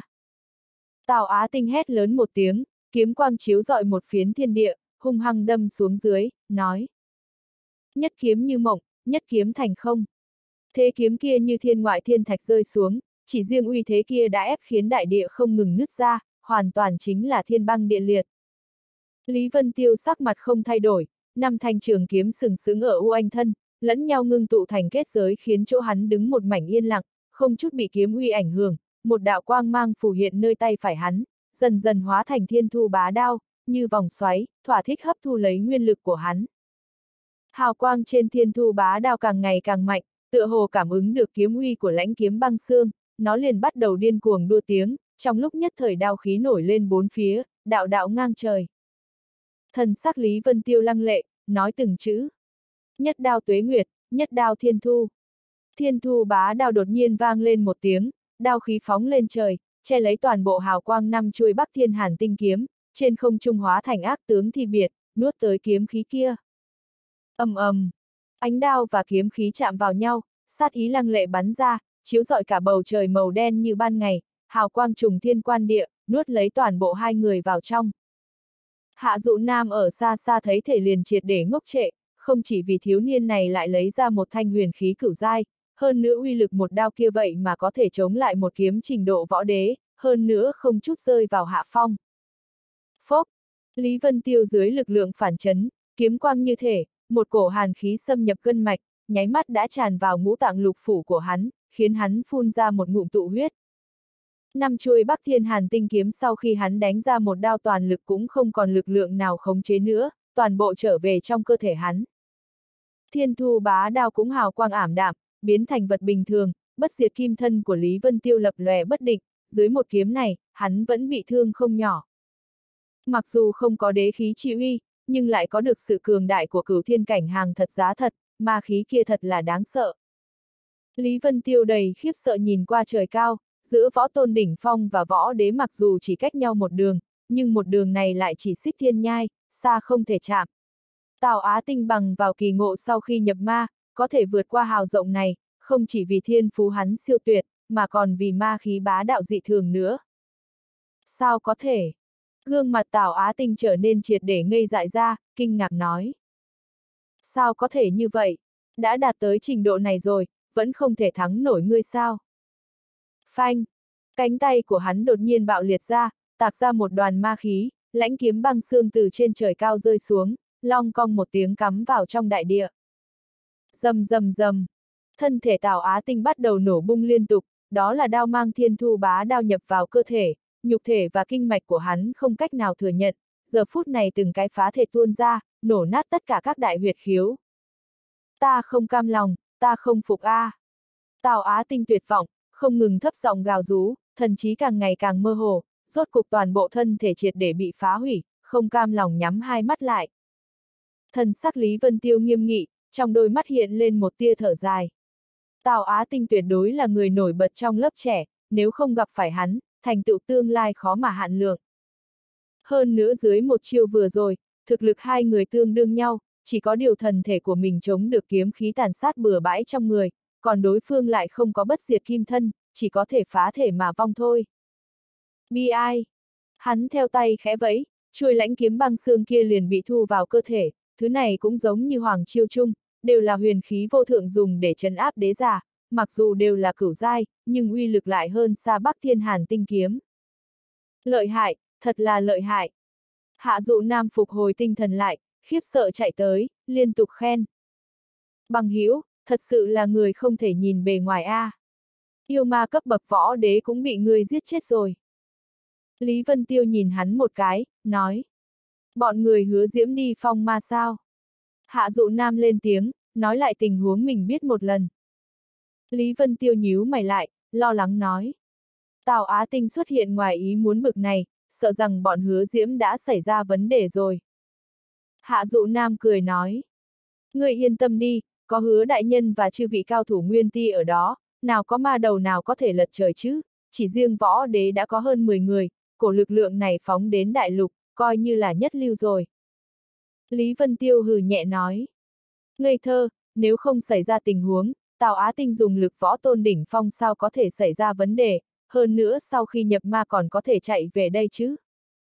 Hắn đột nhiên biến sắc, nhìn lại trong trời cao, chỉ thấp thi thể Tào Á Tinh đã bỏ mạng vậy mà không rớt xuống, mà hóa thành một đoàn ma khí và thịt nát máu chảy đầm đìa, không ngừng quay cuồng trên không trung, thời gian dần qua ngưng hóa ra bộ dạng yêu ma. Đây là cái gì? Hạ dụ nam hoảng hốt, trong lòng nổi lên một hồi lạnh ý, vội vàng trốn đến sau lưng Lý Vân Tiêu. Sắc mặt Lý Vân Tiêu tái nhợt, cả giận nói. Ma khí thật bá đạo, ngay cả chút tôn nghiêm của ngươi chết cũng không cho sao. Ngay cả sau khi chết cũng bị trà đạp. Yêu ma trên bầu trời dần dần thành hình, trên mặt dữ tợn còn bảo lưu lấy vài phần bộ dáng của Tào Á Tinh, nhưng khí thế còn trên cả Tào Á Tinh khi ma hóa, nó cười lớn vọt xuống dưới. Lý Vân Tiêu toàn thân đề phòng, một đao vừa rồi đã rút sạch toàn bộ lực lượng của hắn, đang định bảo đồ đệ đi ra ứng chiến, đột nhiên thân thể yêu ma kia đột nhiên đình trệ, ngốc trên không trung, trong mắt lộ ra vẻ hoảng sợ, nhìn chằm chằm vào ma nguyên quả kia. A! À, yêu ma kia kêu thảm một tiếng, toàn thân tựa như run rẩy, tựa hồ cực kỳ sợ hãi trái cây kia, đột nhiên muốn bỏ chạy về phía chân trời. Bỗng nhiên, trái cây vốn lẳng lặng bất động chợt biến hóa, dây leo bốn phía trong chốc lát liền xông tới, giống như vô số sợi dâu quấn chặt lấy yêu ma kia, trực tiếp kéo xuống dưới, lá cây bốn phía trái cây đột nhiên mở ra, ngưng tụ thành bộ dạng há to mồm, trực tiếp nuốt yêu ma kia xuống. Lá cây giống như hình miệng không ngừng nhai nuốt lấy, truyền ra tiếng xương cốt vỡ vụn, khiến Lý Vân Tiêu và Hạ Dụ Nam toàn thân rét run. Rất nhanh, yêu ma kia đã bị ma nguyên quả thôn phệ tiêu hóa mất, lá cây lần nữa mở ra, tất cả vụn vặt cũng thu về, ma nguyên quả kia so với lúc trước còn lớn mạnh hơn vài phần, ma khí càng đậm. Lý Vân Tiêu nổi giận mắng. Thực con mẹ nó quỷ dị. Thiên mục nơi mi tâm hắn mở ra, thả ra phượng hoàng thần hỏa đốt tới. Công kích bình thường sợ rằng không đủ để đối phó trái cây này rồi, vạn vật đều có năng năng e ngại hỏa diễm, hắn trước tiên liền nghĩ đến dùng hỏa đốt thử, huống chi còn à phượng hoàng thần hỏa. Ma nguyên quả kia quả nhiên đã có phản ứng, vậy mà phun ra đại lượng ma khí, bảo hộ lấy trái cây kia, ma khí ngăn cản ở bên ngoài, phượng hoàng chân hỏa vậy mà không thể đốt vào được. Trong liệt hỏa hừng hực, ma khí bắt đầu khởi động, mà ma nguyên quả lại bình thường không chút hao tổn, hạ dụ nam thấy thế cũng triệt ngốc trệ, chuyện quái gì xảy ra hôm nay còn nhiều hơn cả đời này hắn từng thấy. Cái gì? Lý Vân Tiêu sững sờ, giận tím mặt, quát. Ta cũng không tin ta ngay cả một trái cây cũng không đối phó được. Trong thiên mục hắn bắn ra một đạo lưu quang, giới thần bi đã bay ra ngoài, rơi vào trên không ma nguyên quả kia, đại địa vực giới chi lực mở ra, trọng lực vô cùng hối tụ ở một thân, hung hăng đè xuống dưới. Toàn bộ không gian dưới trọng lực đều trở nên vặn vẹo, ngay cả hạ dụ nam cũng cảm nhận được áp lực thật lớn, không gian ép tới chỗ ma nguyên quả kia, muốn triệt để ép nó thành bụi phấn. Lần này ma nguyên quả kia quả nhiên đã sợ, vô số rễ cây xuất hiện trên vùng đất, vậy mà trực tiếp thoát ly mặt đất lao lên trời, muốn bay đi. Trong mắt hạ dụ nam cũng lồi ra, một là khiếp sợ quả này vậy mà có thể bay, hai là trong lòng dâng lên một hồi cảm giác vô lực, thiếu niên này tiện tay lại ném ra một kiện huyền khí cửu dai. Hừ, muốn chạy trốn, nằm mơ. Lý Vân Tiêu thi triển ra đại giới thần quyết, tứ đại vực giới mở ra, thế giới chi lực trên giới thần bi đột nhiên hiển hiện, gắt gao trấn áp lấy trái cây kia, hơn nữa thế giới chi lực vận chuyển, dần hút trái cây kia vào trong giới thần bi. Trái cây kia không ngừng dẫy ruộng, vô số dây leo bay múa trên không trung, như yêu ma quỷ quái đang dương nhanh múa vuốt, nhưng lại không làm nên chuyện gì, cuối cùng bị giới thần bi triệt để hút vào. Lý Vân Tiêu điểm bí quyết, thần bi bay vào trong mi tâm, rốt cục tất cả đều bình tĩnh lại, chỉ là trên mặt đất cực kỳ lởm chởm, tất cả đều là do rễ trái cây kia tạo thành cả. Hạ dụ nam liếm lấy bờ môi khô khốc, gian nan nói. Bằng hữu ngươi, ngươi chẳng lẽ là thân nhi tử của bị đại thuật luyện sư nào đó tại hóa thần hải sao? Lý Vân Tiêu liếc mắt nhìn hắn, xếp bằng xuống tại chỗ, nói. Ta muốn ngồi xuống khôi phục nguyên khí một lúc, thay ta hộ pháp. Hạ dụ nam liên tục gật đầu, lâm không khoanh chân ngồi bên cạnh Lý Vân Tiêu, thay hắn hộ pháp. Đánh một trận với Tào Á Tinh đã khiến nguyên lực hắn hao tổn không còn, chữa trị ma thiên khải khiến hồn lực hắn hao phí thật lớn, lại vận dụng thần hỏa và giới thần bi, lúc này hồn lực cũng triệt để khô kiệt, cũng may công pháp của hắn nghịch thiên, đại diễn thần quyết và tạo hóa nhất khí công lần lượt vận chuyển lại, trực tiếp hấp thu rất nhiều nam hỏa kim tinh nguyên, giống như giang hà trào lên trong kinh mạch khô hạn, rót vào trong đan điền. Theo thực lực của hắn không ngừng đề thăng, nguyên lực hấp thu được sau mỗi một lần vận chuyển công pháp cũng tăng nhiều, thêm vào bá thiên luyện thể quyết một mực ở vào giai đoạn sơ cấp của bất diệt kim thân, không có công pháp phần sau, khó có thể lại tiến một bước, cái này cũng sinh ra chỗ tốt tương ứng đó chính là nguyên khí cần thiết khi tấn cấp cũng dần khôi phục lại bình thường. âm âm bầu trời và cả vùng đất truyền đến tiếng nổ vang rất mạnh, âm thanh chấn vạn giảm, nguyên lực chấn động cực lớn truyền ra, thiên địa biến sắc. Phương hướng kia là Hạ dụ nam cả kinh, mạnh mẽ đứng lên, hoảng sợ nhìn qua xa xa, đúng là hướng bọn người hứa diễm đi. Chẳng lẽ hứa đại nhân thật sự gặp phiền toái lớn rồi sao? Vây giết, một, âm âm, ầm ầm. Sau tiếng nổ vang thứ nhất, thanh âm liền không ngừng truyền tới, Lý Vân Tiêu cũng khó có thể nhập định, mày nhăn lại, chậm rãi dương đôi mắt. Bằng hiếu, hứa đại nhân bọn hắn thật sự gặp phải phiền toái. Hạ dụ nam vội vàng từ không trung đáp xuống, vội la lên. Chúng ta tranh thủ thời gian đi cứu viện đi. Lý Vân Tiêu nhàn nhạt nhìn hắn một cái, nói. Vẫn nên để ta đi thôi, chút thực lực cặn bã đó của ngươi, đi cũng chỉ thêm phiền toái. Hạ dụ nam. Hắn biết rõ Lý Vân Tiêu nói không sai, ngượng ngùng nói. Khục, khục khục, cái này. Vậy thì xin nhờ bằng hữu rồi. Lý Vân Tiêu nhẹ ân một tiếng, liền hóa thành một đạo quang mang, lao về hướng năng lượng chấn động kia. Chân trời không ngừng truyền đến chấn động cự đại, có thể thấy tình hình chiến đấu cực kỳ thảm thiết, rung động nhân tâm.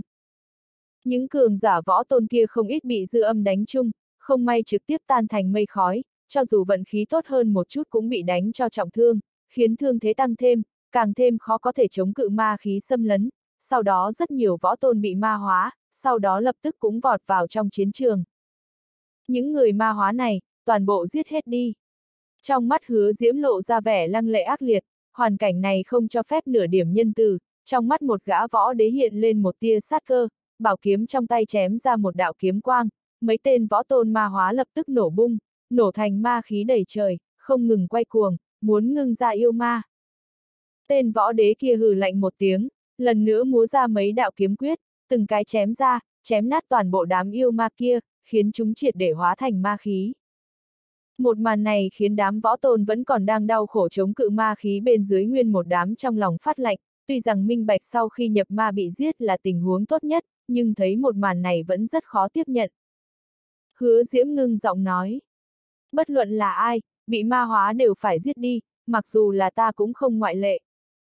Trong lòng mọi người dùng mình, càng thêm dốc sức liều mạng chém giết, không ai muốn biến thành loại nô tài dễ bảo kia cả, ngay cả chết cũng không có tôn nghiêm. Trong chiến trận, đế quân bị mọi người vây công, cũng rơi vào hạ phong, có chút đáp ứng không xuể, liên tục gặp nạn. Chẳng qua thân hình hắn là do ma khí ngưng tụ thành, bị đế khí xuyên qua cũng sẽ không chết, chỉ là khí lực không ngừng tiêu hao thôi. Con ngạc ngư kia cũng theo hắn né tránh, bị đánh đến không ngừng ngao ngao kêu to. Gọi con em ngươi à, tập trung một chút cho ta. Đế quân bị đánh trong cơn giận dữ, trong tay liền đánh ra một ma ấn, lóe lên trên không trung, đánh tới trên người ngạc ngư kia. Ánh mắt ngạc ngư lộ ra một tia e ngại, bị ma ấn đánh vào người, lập tức hóa thành cương phong tiêu tán, gào thét lên trong vòng chiến, nắm ngón tay đế quân chụp tới, cương phong kia lập tức xoáy qua chỗ khác, bảo hộ hắn vào trong, sau đó đế quân hai tay không ngừng kết ấn, từng đạo hắc ma ấn đánh vào trong cương phong, một cổ tiếng hô cuồng dã từ trong đó truyền đến. Thì ra là quái vật do nguyên tố biến hóa thành, khó trách cổ quái khó chơi như vậy. Một gã võ đế múa lên một đạo kiếm hoa, liền xông tới, quát. Cửu thiên đế khí đủ để chấn áp tất cả yêu ma quỷ quái, mặc dù là nguyên tố biến hóa cũng khó trốn chân áp. Thần sắc hứa diễm trầm xuống, đột nhiên quát. Coi chừng. Nhưng đã quá muộn, kiếm khí võ đế kia đã xông vào trong cương phong, định trực tiếp phá vỡ cương phong kích thương đế quân. Hừ, vô chi. Khóe miệng đế quân lộ ra một tia cười lạnh, cương phong kia ngưng tụ thành một đầu ngạc ngư, tốc độ cực nhanh, nháy mắt đã há to mồm, trực tiếp nuốt tên võ đế kia vào miệng. Tốc độ cương phong cũng dần chậm lại, trực tiếp từ bên trong ném ra ngoài một cỗ tại thi, đúng là thân thể tên võ đế lúc trước, giờ đã trực tiếp bị phong hóa mất, nhìn qua giống như đã trải qua vạn năm tuế nguyệt vậy. Sắc mặt tất cả mọi người trầm xuống, lộ ra vẻ kinh ngạc. Võ đế có cửu thiên đế khí hộ thân, nguyên tố chi lực bình thường căn bản khó có thể ảnh hưởng tới, lại bị cương phong kia trực tiếp nhập vào cơ thể, hóa thành tại thi. Giờ phút này thái cổ cương phong lắng xuống, ở bên người đế quân hóa thành một quái vật lớn, thân thể ma hóa ba đầu sáu tay. Bất quá ba cái đầu này đều là đầu ngạc ngư, đang rung đùi đắc ý, tựa hồ cực kỳ bất mãn đối với tạo hình của mình. Sáu cánh tay cũng đang sắn tay áo lên, trong đó trên tay phải cầm đúng là bảo kiếm của tên võ đế lúc trước, chém tới trước. Bọn người hứa diễm sắc mặt đột biến, quái vật kia bộ dáng tựa hồ rất khó giải quyết, hoàn toàn khác với bộ dáng ngạc ngư nhu thuận trước kia. Giống. Ngạc ngư quái kia lập tức liền xông tới một gã võ đế ở gần đó nhất, một cái đầu lập tức biến lớn mấy lần, há mồm liền cắn vào. Tên kia võ đế đột nhiên cả kinh, hai tay lập tức kết ấn, trước người kết xuất một phương kim ấn kim quang lập lòe, trên đó không ngừng hiện ra các loại hoa văn, đánh tới. Tuyệt huyền bá ấn. Oanh! Cái đầu cự đại kia của ngạc ngư thoáng cái bị nổ nát mất, chỉ còn lại hai cái đầu. Tên võ đế kia lộ ra vẻ đại hỉ, trái tim vọt lên cổ họng rốt cục buông lỏng xuống, tựa hồ không khó giải quyết như hắn nghĩ.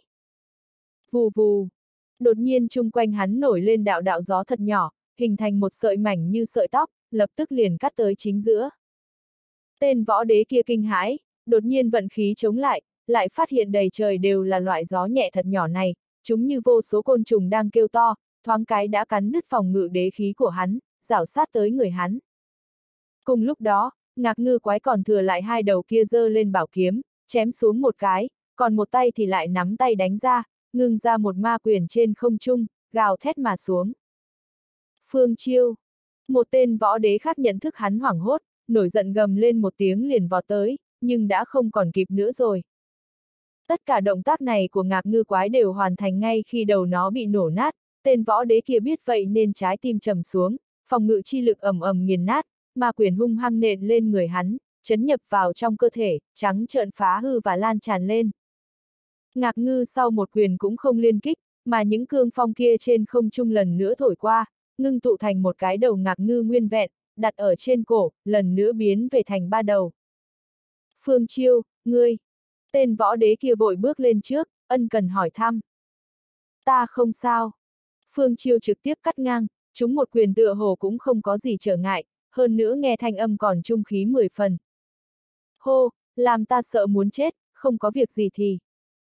Tên võ đế kia nhẹ nhàng thở ra, còn chưa nói xong, Phương Chiêu trước mắt đã lóe lên, một quyền trực tiếp đánh ra, trong lúc hắn không kịp đề phòng liền lập tức phá vỡ lồng ngực, cự lực từ sau lưng chấn ra, toàn bộ trên thân đều cơ hồ như nổ nát mất.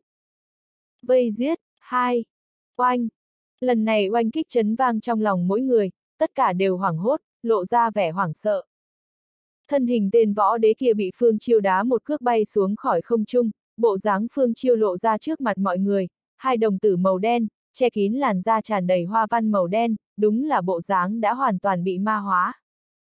Ngạc ngư sau khi biến thân thành ngạc ngư quái mới ngắn ngủn bao lâu. Đã khiến hai tên võ đế hải cốt không còn, một gã còn biến thành địch nhân thực lực tăng mạnh nữa. Cái này, còn lại chi nhân, tất cả đều là yết hầu phát tại, khát khó chịu, nguyên một đám trong lòng bàn tay bắt đầu đổ mồ hôi lạnh. Tham kiến chủ nhân, đa tạ chủ nhân ban cho ta ma lực. Phương Chiêu thoáng tham bái đế quân, trên mặt tràn đầy vẻ kích động tà tà. Đế quân cười to nói. Ha ha, giết cho ta, giết đám người kia đi, nếu ngươi có thể không chết, ta liền ban cho ngươi vinh dự trở thành đồ ăn của ta. Vâng. Phương Chiêu đại hỉ, tựa hồ trở thành đồ ăn là chuyện cực kỳ vinh quang vậy, đột nhiên hắn lao về phía bọn người hứa diễm, cũng mặc kệ đối phương bao nhiêu người, lộ ra vẻ cực kỳ kiên quyết. Sắc mặt hứa diễm vô cùng khó coi, hạ lệnh. Năm người nguyên ti cùng ta thi triển tiểu thừa thiên tuyệt trận áp chế ma đầu này, người còn lại đối phó tên võ đế ma hóa kia và ngạc ngư quái. Vâng. Mọi người cùng nhau lĩnh mệnh, thoáng cái bắt đầu phân công nhau, chiến trường lập tức mở rộng, hứa diễm dẫn đầu mang theo 5 người trực tiếp phóng tới đế quân, hai tay không ngừng kết ấn, toàn bộ bầu trời bắt đầu biến hóa. Trước cuốn lấy hắn, cho ta một chút thời gian. Hứa diễm mãnh liệt quát một tiếng, trong tay hiện ra một lá cờ màu trắng, lâm không khẽ vẫy, nó liền hóa thành lá cờ cửu sắc, từng cái bắn lên bầu trời, cắm xuống ở chín phương vị, không ngừng biến lớn, đón ma khí mà phất phới. Thân hình đế quân chấn động, lá cờ cửu sắc kia sau khi cắm xuống, hắn liền cảm thấy một cổ sao động không hiểu, tựa hồ có quy tắc chi lực nào đó đang bắt đầu khởi động. Hắn giận dữ, lập tức hóa thành một đạo ma quang phóng tới một mặt cờ xí trong đó, ma trưởng ngưng tụ, muốn đánh nát trận thế kia. Ma đầu, muốn chết. Một gã cường giả võ đế nguyên ti hoành kiếm chém tới, hừ lạnh nói. Nhất kiếm quán nhật bách xuyên lưu, uy chấn tứ hải băng hà động. Hóa ra một đạo hàn quang lạnh như băng, trên kiếm mang kia lại hội tụ thành bộ dáng một đầu thủy điểu, tựa hồ như sóc bay muốn bay liệng vậy, nó ngưng trên không trung, đúng là kiếm khí vô song, kiếm đi không chút dấu vết, chém vỡ ma trưởng đầy trời. Bất động nhất kiếm như sơn, bất lưu nhất tiết thiên lý, bất minh vạn cổ trường tồn.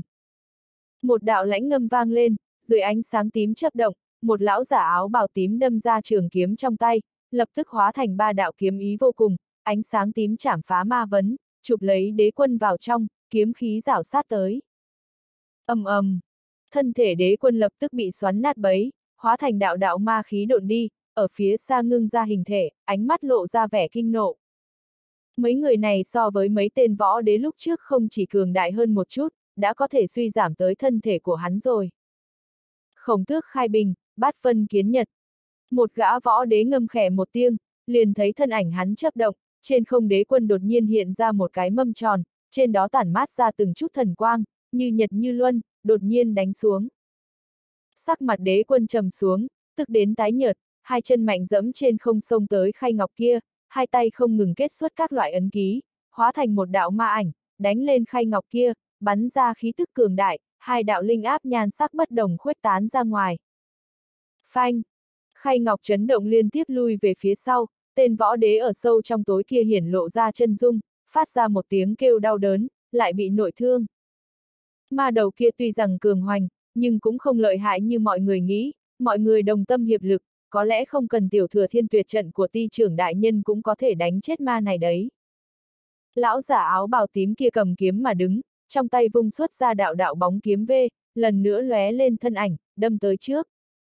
Tên võ đế kiếm hóa bạch điều kia cũng lần nữa vung kiếm lên, kiếm thế như trăm sông đổ về một biển, liên tục không dứt, ngang trời cao. Võ đế dùng ngọc bàn cũng lần nữa để khí, khai ngọc như nhật như luân, giống như khổng tước xòe đuôi đánh tới. Mà hai người khác lại im im lặng lặng thủ hộ ở bên người hứa diễm, thay hắn hộ pháp, để tránh lúc bầy trận bị đánh gãy. Sắc mặt đế quân đại biến, hiện ra thần sắc thô bạo, trong đôi mắt sát khí tất hiện, hắn giơ tay phải lên, cổ tháp dần hiển hiện trong lòng bàn tay, biến ảo biến lớn, một loại cổ vận khó nói nên lời chấn ra, giống như đang giảng dai hoang vu và thê lương trong năm tháng vô tận. Đây là... Tất cả mọi người lập tức liền cảm nhận được một cổ nguy hiểm khó tả, mà ngay cả hai gã cường giả võ đế thủ hộ bên người hứa diễm cũng thay đổi sắc mặt, trong lúc kinh hãi bỗng nhiên ra tay. Trưởng hóa vạn thiên, thiên địa nhất khí. Lưu tiết thiên hồng, chấn thiên thần kích. Hai người hộ pháp cũng bộc phát ra khí thế tuyệt cường, hóa thành hai đạo quang mang, đồng thời ra tay đánh tới cổ tháp kia. Năm người liên thủ, giả vân tế nhật, khí thức mạnh mẽ, xa xa đẩy tới, khiến đám võ đế ở xa vây giết ngạc ngư trong lòng rung động lắc lư, hoảng sợ không thôi.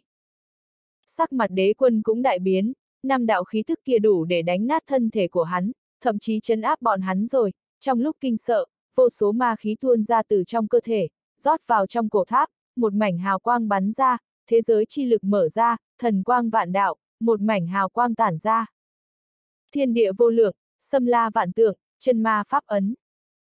Đế quân đột nhiên hét lớn, bản thể hắn trong nháy mắt hóa ra pháp tướng chân thân ba đầu sáu tay, sáu cánh tay đồng thời bấm niệm pháp quyết, vô số bí quyết ấn đánh vào trong cổ tháp, thế giới chi lực đột nhiên vận chuyển lại. Năm đạo công kích tuyệt cường nhảy vào trong thế giới chi lực, lập tức cảm thấy nguyên khí ngưng tụ, đế khí không phá không gì không phá cũng trở nên chậm chạp. Năm kiện huyền binh cửu giai càng phát ra rung động lắc lư mãnh liệt, chấn vào màng tai người, trong thất thiếu của mấy người vậy mà bắt đầu tràn ra máu tươi. Chuyện gì xảy ra, cổ tháp này rốt cục có địa vị gì? Tên lão giả áo bào tím kia sắc mặt trắng bệch, hoảng hốt đột nhiên lần nữa rót một ngụm nguyên khí vào trong bảo kiếm, ngăn lại cổ cảm giác sợ hãi kia, kiếm khí tản ra trong thế giới chi lực. ầm ầm, một cổ lực lượng khổng lồ nổ bung ra, tên lão giả áo bào tím kia bị chấn phun ra một miệng lớn máu tươi, bị đánh bay xa ra ngoài. Thiên quang vân ảnh, Bốn người khác cũng cắn răng chống cự, dốc sức liều mạng chống lại cổ tháp kia, lực lượng một kích của lão giả áo bào tím khiến lực lượng trong cổ thần chiến chàng bắt đầu hỗn loạn, thoáng cái mất đi cân đối, đột nhiên co rút lại, trong chốc lát lần nữa bành trướng trùng kích ra. ầm ầm, chỉ thấy bốn đạo nhân ảnh từng cái bị đánh bay, mau phơi trời cao. Sắc mặt đế quân cũng trở nên lúng túng, trở nên vô cùng dữ tợn, cổ thần chiến chàng kia còn chưa hoàn toàn diễn biến trở về trong tay, linh khí tổn hao nhiều. Cái này khiến trong lòng hắn cảm thấy đau lòng không dứt, huyền khí này vốn đã hư hao nghiêm trọng, mỗi khi dùng một lần liền tiêu hao một lần, nếu không phải ma khí nơi đây rất lớn, khiến hắn có thể dễ dàng khu động tháp này thì sợ rằng cũng khó mà bỏ được. Khuê, thất, lý, xỉ, thất, lý, xỉ. Ngôn ngữ cổ quái không ngừng vang lên từ miệng đế quân, cổ thần chiến tràng huyền ở bên người hắn, sáu cánh tay bắt đầu đồng thời bấm niệm pháp quyết, ma khí trên người cũng theo chú ngữ bắt đầu dần tăng cường, tựa hồ từ đằng xa hấp thu lực lượng vô tận, tăng lên từng chút một. Không tốt, lực lượng ma này tựa hồ như vô cùng vô tận vậy. Lão giả áo bào tím kia kéo lấy thân thể trọng thương bay tới, trên mặt lộ ra vẻ kinh hãi, bốn người còn lại cũng nhao nhao bay về, không người nào không trọng thương, sắc mặt trắng bệch. Huyền khí cửu dai trong tay bọn họ thật giống như gặp khắc tinh vậy, dưới một kích vừa rồi đã hoàn toàn rơi vào hạ phong, hơn nữa linh khí hoàn toàn biến mất. Quả nhiên là công pháp rút ra ma lực. Sắc mặt hứa diễm trầm xuống, lạnh lùng nói. Trong cửu thiên thập địa này, quả thật không có ma khí rót vào. Bất quá trong tiểu thừa tuyệt thiên trận của ta, có thể phong bế lục đạo ngũ hành, triệt để ngăn cách với bên ngoài. Hắn lâm không điểm ra một ngón tay, chín mặt cờ xí bắt đầu chuyển động, một cổ lực lượng kỳ dị tản ra, thế giới tựa hồ như muốn biến đổi. Năm tên người nguyên ti đại hỉ, một người khen. Tiểu thừa thiên tuyệt trận của hứa diễm đại nhân danh chấn đại lục, ngoại trừ vương tọa đằng quang ra, sợ rằng không ai có thể phá được. Đế quân quả nhiên biến sắc, hoảng sợ mở ra hai mắt, trong phương thiên địa này vậy mà bắt đầu ngăn cách liên hệ giữa hắn với ma nguyên, mà ngay cả cảm ứng với đế giả cũng đã bị chặt đứt. Ma đầu, nhận lấy cái chết. Trận pháp hứa diễm đã bố trí hoàn tất, dưới sự điều khiển của hắn, chín mặt cờ xí vận chuyển lại, trên đó ngưng khắc nguyên một đám đồ án cổ quái, chiếu rọi lẫn nhau, nối thành một mảnh. Trong toàn bộ trận pháp dưới sự cộng minh của chín mặt cờ xí, đột nhiên nứt ra một vết rách, xua tán ma vân, một đạo hào quang sáng ngời chậm rãi soi vào, theo hào quang kia tiến vào, còn có thiên uy hách hách, chấn động trong lòng mỗi người. Sắc mặt hứa đi ế ngưng trọng, tiểu thừa thiên tuyệt trận của hắn vô cùng cường hãn, chính là át chủ bài mạnh nhất của hắn. Không chỉ là đại trận phòng ngự rất mạnh, mà còn có thể dùng làm đại trận phong ấn, hơn nữa trong đó còn ẩn chứa một thức sát chiêu hủy thiên diệt địa, thiên quang vân ảnh, phù hợp quy tắc thiên đạo, đủ để gạt bỏ tất cả. Trong đầu hắn đột nhiên hiện ra thân ảnh Lý Vân Tiêu, thiếu niên thần bí kia lúc nhìn thấy hắn đã tiện nói ra mấy câu thơ, trực tiếp phá tan lá bài tẩy của hắn, hơn nữa cực lực thuyết phục hắn đối kháng đại ma, có lẽ vào lúc kia, thiếu niên cũng đã ý thức được chỉ có một thức quy tắc thiên đạo của mình, mới có thể gạt bỏ tên này thôi. Trong nội tâm hứa diễm hơi chấn động, không nhịn được suy đoán về Lý Vân Tiêu, nhưng giờ khắc này lại không cho phép hắn nghĩ nhiều nữa, toàn bộ tâm thần đều tập trung vào trận pháp, cẩn thận từng ly từng tí dẫn thiên quang xuống.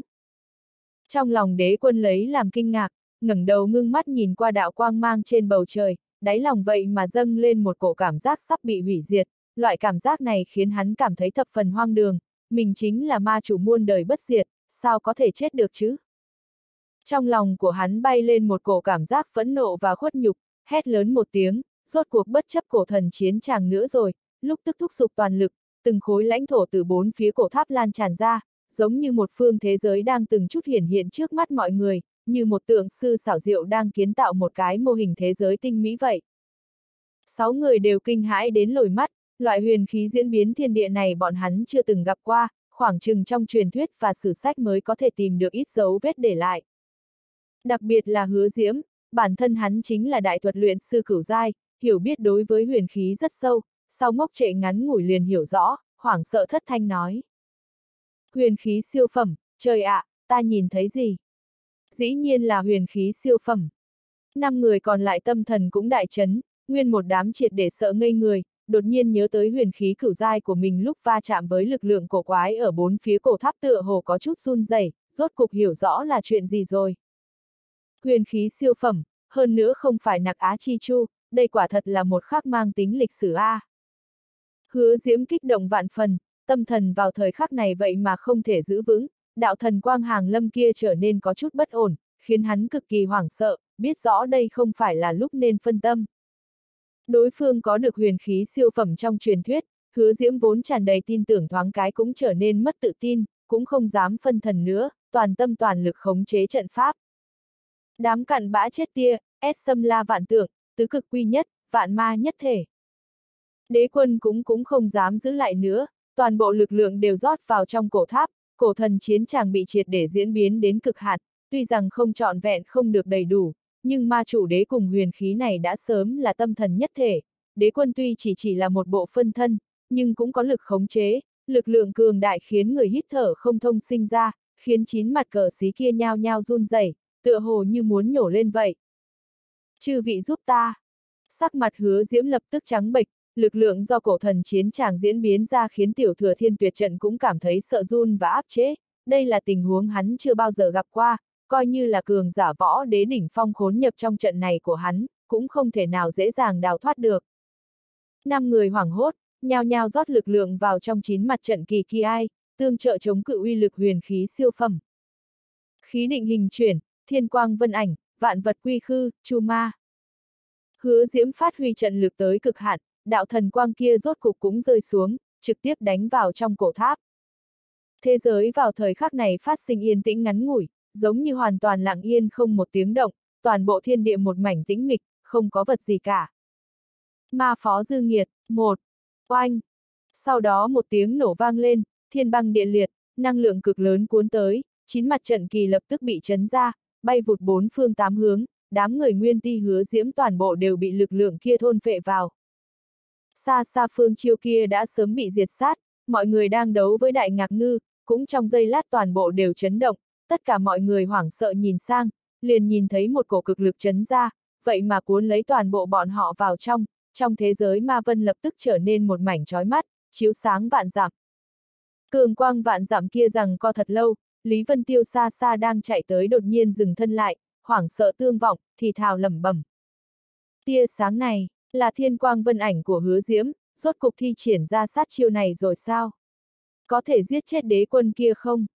Bên trong hào quang kia, không chỉ chói mắt, hơn nữa còn mang đến rung động tâm linh rất mạnh, Lý Vân Tiêu một mảnh thần sắc nghiêm nghị. Hứa Diễm tuy rằng dùng trận thuật nổi tiếng, nhưng cũng là cường giả trên thiên địa phong vân bảng, nếu không phải tiểu thừa thiên tuyệt trận của hắn thi triển ra quá chậm, căn bản không cách nào phát huy tác dụng trong chiến đấu tay đôi, nếu không mặc dù vào không lọt vào top 10 thì ít nhất cũng phải vào được top 20. Có thể giết chết không? Buồn cười a. À. Thanh âm yêu long truyền đến, lạnh lùng nói. Nếu loại trình độ này có thể giết chết đại ma, vậy thì hắn còn có thể dương oai lâu như vậy sao? Chỉ có thể phân thây hắn, sau đó dùng huyền khí siêu phẩm để chấn áp từng phần. Loại lực lượng trình độ này, nhiều lắm cũng chỉ không kém lắm với một kích của khô lâu kia thôi. Lý Vân Tiêu nhướng mày, khẽ nói. Thời đại thay đổi, thiên địa cũng thay đổi. Những đại ma này bị trấn áp từ lâu, có lẽ đa sớm suy yếu không thành bộ dáng. Có lẽ mục đích đại năng chi sĩ thời xa xưa trấn áp chính là để hôm nay có thể diệt sát. Yêu Long hừ lạnh một tiếng, khinh thường nói. Quan điểm này, người tin sao? Lý Vân Tiêu khẽ giật mình, sau đó cười khổ không thôi, thuyết pháp này quả thật ngay cả chính hắn cũng không tin được. Bất kể như thế nào, đại ma có được cổ tháp kia dưới một kích này ít nhất cũng phải bị thương nặng, cùng thì ta thu hắn vào trong giới thần bi, chọn đời chân áp. Lý Vân Tiêu nói xong, liền cấp tốc bay tới trước, sau một kích kinh thiên kia, toàn bộ bầu trời vậy mà không thấy một bóng người nào nữa. Phía dưới mai cốt chi địa, ở trong long xác một mảnh lờ mảnh. Đế già vừa bước vào trong đó, liền cảm nhận được một cổ lực lượng đè xuống, giống như lĩnh vực, lại mạnh hơn vô số lần. Đây là, long tức. Đế già cả kinh, chân trước vừa bước vào đã lập tức thu về, lộ ra vẻ khiếp sợ, nói. Bao nhiêu năm qua, lại vẫn bảo tồn lại long tức, thượng cổ chân long, không hổ là mạnh nhất. Sắc mặt hỏa âm cũng hơi trắng bệch, cả kinh nói. Chủ nhân, đây là khí thức thần cảnh thập giai lưu lại sao? Tu vị võ đế tứ tinh của ta, vậy mà cũng cảm thấy áp lực vạn phần, không nhịn được muốn cúng bái. Đế giả tiện tay đánh ra một cái ấn quyết, chấn vào trong cơ thể hỏa âm nói. Thần cảnh cũng không có gì kỳ lạ, chỉ có điều chân long này ở trong chân linh nhất tộc cũng là tồn tại cường đại dị thường, không phải chân linh thập phương bình thường có thể so sánh được. Đạo ma ấn kia đánh vào, hỏa âm lập tức cảm thấy áp lực giảm bớt, hắc khí trên người đậm đặc thêm vài phần, nàng đại hỉ nói. Đa tạ chủ nhân. Ân, thực lực của ngươi không tệ, trước giữ lại sử dụng, về sau lại ăn. Đế giả nói xong, liền đi nhanh vào trong long xác, trên mặt hỏa âm lộ vẻ cực kỳ vinh hạnh theo sát phía sau. Hai người phi tốc tiến tới trong long xác, đế giả khẽ trao mày, lẩm bẩm. Long tức này thậm chí còn lưu động, cái này. Hắn nhìn phong ấn bị phá giải đầy đất, còn có các loại chấn động long tức, chứng minh trước đã có người tiến vào, hơn nữa còn phá vỡ tất cả trở ngại. Đế già đầy bụng hoài nghi, hai người chạy vội thời gian uống cạn chung trà, sau đó chợt ngưng thân hình lại, chỉ thấy phía trước lóe ra ánh lửa, một mảnh tươi sáng. Trong lòng của hắn dùng mình, sắc mặt lập tức chìm xuống, hai chân dẫm trên đất, cùng hỏa âm chậm rãi tiến tới trước. Ân, hướng chảy long tức có lẽ chính là hội tụ ở chỗ này rồi. Bên người hành nguyên giấy lên mấy đạo hỏa diễm, chiếu sáng đại địa, cẩn thận quan sát, không ngừng dùng tay lục lọi trên mặt đất, sau đó cả kinh, cười to một trưởng chấn ra, lập tức thổi tan bụi bẩm, lộ ra dưới một mảnh đường vân trận pháp dài hẹp bên dưới, tản mát ra long tức chi lực rất mạnh, phản chấn trưởng lực của hắn lại. Quả nhiên, tất cả mọi người hóa thần hải một hồi đại hỉ, y thành doanh vội vàng thi triển công pháp, không ngừng đánh vào trong đại địa, khiến cho cả trận thế đều hiện lên.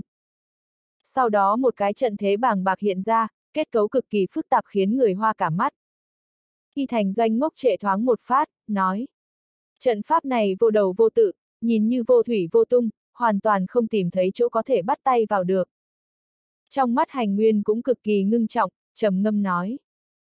Nơi này là trung tâm long xác, mà long xác lại là trung tâm cả hóa long trì, những người năm đó phong ấn ma chủ không chỉ có hội tụ cả sơn hạ chi lực trong hóa long trì hội tụ lên long xác, mà còn hội tụ lực lượng long xác đến đây, khó trách đã qua lâu như vậy rồi nhưng ma chủ đại nhân cũng không cách nào thoát khốn được.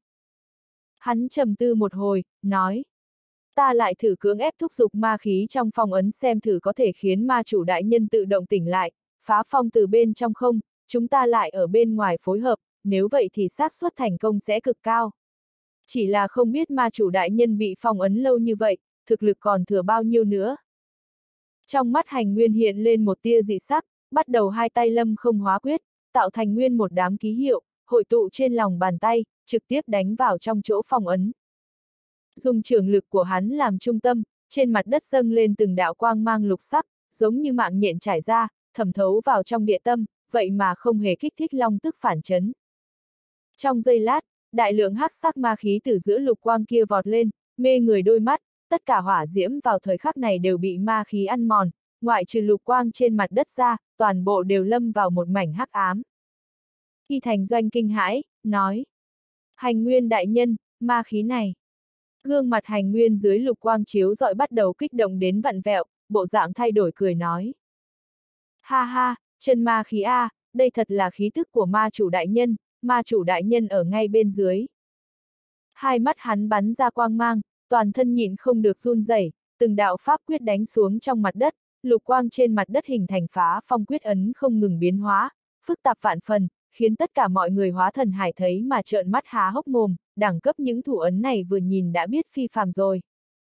Ma phó dư nghiệt, hai Ân, đích thật là khí thức của phân thân. Ta còn tưởng rằng sẽ phải trả qua rất nhiều khó khăn chắc trở, không thể tưởng được lại được đến hoàn toàn không phí công phu như thế này.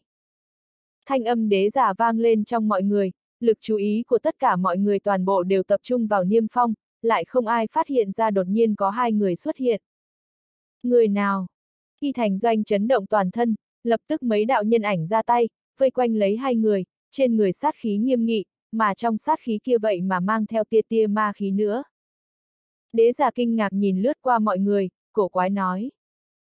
Ta còn rất ngạc nhiên các ngươi là người thế nào đấy? Trên người thậm chí có ma khí thuần khiết, nhưng lại không phải ma phó. Ồ, chẳng lẽ nhân loại đã tìm được pháp môn khống chế ma khí, lại có thể không thay đổi tâm tính sao? Hắn không khỏi nhớ tới Lý Vân Tiêu, bộ dáng cũng như vậy, có thể lợi dụng ma khí, lại không bị ma khí khó khăn. Làm càn! Y thành doanh hét lớn một tiếng, một đạo khe hở lập tức hiển hiện trong lòng bàn tay, nhanh chóng bay ra, ở trên không trung hóa thành bảy đạo trảm kích, thẳng đến hai người. Siêu, siêu, xíu. Không trung vang lên đạo đạo thanh âm cắt đứt, đế giả nhẹ nhàng cười cười, một tay giơ lên, trên đó chấp động lên một cái ma ấn, lập tức ma khí đầy trời từ trong địa mạch phong ấn tuôn ra liền cuồn cuộn mà lên, bay vào trong tay hắn bắt đầu quay cuồng, ngưng tụ thành một cái bàn tay cực lớn, hung hăng chụp xuống dưới. Đây là... Hành Nguyên đang một mức phá phong thoáng cái liền ngốc trệ, kinh ngạc nhìn đại thủ kia hạ xuống, vậy mà quên mất luôn phá phong quyết ấn trong tay. Oanh! Đại thủ đảo qua không trung, lực chảm kích từ bảy đạo khe hở kia đều nát bấy, thủ thế càng đánh xuống trên người y thành doanh, tất cả mọi người hoảng sợ nhao nhao ra tay, ngăn cản ma trưởng. Đại thủ màu đen rơi vào trên phòng ngự của hai người, đánh tan thành vô số ma khí, một ít thực lực thấp kém trực tiếp bị nghiền nát phòng ngự, ma khí nhập vào cơ thể, bắt đầu bị ma hóa. À, dừng tay! Hành Nguyên đột nhiên hét lớn, ánh mắt lộ ra vẻ sợ hãi, toàn thân run rẩy nói. Ngươi, ngươi, ngài là ma, ma chủ đại nhân. Ánh mướt đế giả rơi vào trên người hắn, đưa mắt nhìn một hồi, kinh ngạc nói. Ngươi là người phương nào? Lại nhận ra ta, thân hình đoạt xá, chắc đoạt xa trong vạn bất đắc dĩ a, dùng thực lực của ngươi vậy mà chiếm một cỗ thân thể võ tông cặn bã thiên này, quá đáng buồn rồi. Hành nguyên toàn thân rét run, không còn hoài nghi nữa, hai đầu gối trực tiếp quỳ xuống, dốc sức liều mạng dập đầu nói. Ma chủ đại nhân, ta là truyền nhân của Diêm Tích A. Ân, Diêm Tích, ngươi chính là hậu nhân của hắn sao? Đế giả lộ ra vẻ kinh ngạc, đột nhiên cười nói. Năm đó hắn vậy mà không chết. Một màn này khiến tất cả mọi người hóa thần hải đều trợn mắt há hốc mồm, kinh ngạc nhìn xem, hành nguyên chính là người đứng đầu của bọn hắn, rõ ràng lại quỳ xuống với người này, còn gọi hắn là ma chủ, chẳng lẽ? Nghĩ đến đây, tất cả mọi người toàn thân đều chảy ra mồ hôi lạnh. Mà giờ khắc này người ma khí nhập thể lúc trước, cũng đã nhao nhao quỳ xuống, hô to chủ nhân, lúc này mọi người không hề hoài nghi nữa. Hành Nguyên nói với mọi người. Đây chính là ma chủ đại nhân chính thức, đế, là chủ nhân của chúng ta, các người còn không mau mau quỳ xuống. Bọn người y thành doanh hai mặt nhìn nhau, tuy rằng bọn hắn tu luyện chính là ma công, hơn nữa một mực phụng dưỡng đế làm ma chủ, nhưng giờ phút này thật sự nhìn thấy người này, hơn nữa còn là một gã thiếu niên nhìn cực kỳ bình thường như vậy, trong lúc nhất thời vẫn còn có chút khó có thể tiếp nhận. Giống như ngươi hoàn toàn tín ngưỡng một thần linh, có một ngày một người đột nhiên xuất hiện trước mặt ngươi nói hắn chính là thần linh, bảo ngươi quỳ xuống vậy, việc này khiến mọi người thật khó tiếp nhận a. À. May mắn tâm tính bọn người y thành doanh rất mạnh, cũng biết hành nguyên sẽ không lừa gạt bọn hắn, sau xoắn suýt ngắn ngủi, nguyên một đám cũng quỳ xuống. Hành nguyên lúc này mới nói với đế già. Bẩm ma chủ đại nhân, diêm tích năm đó chưa chết, nhưng ma thể lại tan vỡ, sau khi đào tẩu liền phong ấn ký ức chuyện đã trải qua, cùng với 72 đạo ma công, còn có một quả ma trùng vào cùng một chỗ, tam lưu lại cho hậu nhân. Mà ta, chính là truyền nhân của nhất mạch này. Hắn chỉ vào bọn người y thành doanh nói. Bọn hắn cũng đều xem như đệ tử ta, nhất mạch chúng ta vẫn luôn một mực cố gắng tìm kiếm nơi hạ lạc của ma chủ ngài, cuối cùng trời cũng không phụ lòng người A. Đế giả nhẹ nhàng gật đầu nói. Thì ra còn có chuyện như vậy, hóa long chỉ này là do các phương phá phong. Quả nhiên là khổ cực. Hành nguyên được sự tán thưởng của đế giả, toàn thân đều kích động không thôi, nói. Vì để cho ma chủ đại nhân tái nhập thiên hạ, chút khổ ấy có là gì, chúng ta đã sớm tra ra hóa long chỉ là chỗ trấn áp ma chủ đại nhân, chỉ tiếc lực phong ấn ở đây quá mạnh mẽ, qua nhiều năm cố gắng cũng không có kết quả. Sư tổ ta liền nghĩ đến một cách tuyệt diệu, bắt đầu thả ra tin tức, nói dưới hóa long chỉ có dấu bí mật thành thần, hơn nữa còn vụng trộm sửa chữa và giả tạo đại lượng sách cổ, tiến hành các loại miêu tả về nơi này, bởi vậy mới có thể khiến thánh vực và hóa thần hải coi trọng, mượn nhờ lực lượng của bọn hắn thả ngài ra. Đế giả cao mày nói. Khúc chiết như vậy, các ngươi cố tình rồi. Bất quá ta không phải các ngươi thả ra, người các ngươi muốn thả vẫn còn ở dưới phong ấn này. Cái gì? Audio điện tử võ tấn bền. Sắc mặt hành nguyên đại biến, kinh sợ nói. Ngài, ngươi, ngươi không phải ma chủ. Đế giả mỉm cười, nói. Chớ khẩn trương, ta chính là ma chủ, chẳng qua là năm đó đế bị phân ra chấn áp, ta chỉ là một trong số đó, bên dưới phong ấn này có một phần, bên ngoài long sắc cung có một phần. Nhìn xem vẻ mặt ngốc trệ và mê hoặc của mọi người, đế già khẽ cười nói. Không cần khẩn trương, hiện giờ liền giúp ta mở ra phong ấn, để cho ta thu hồi phan thân dưới mặt đất này đi. Hành nguyên cảm nhận được loại ma khí thuần khiết kia trên người đế giả, có lẽ không giả, lúc này mới gật đầu nói.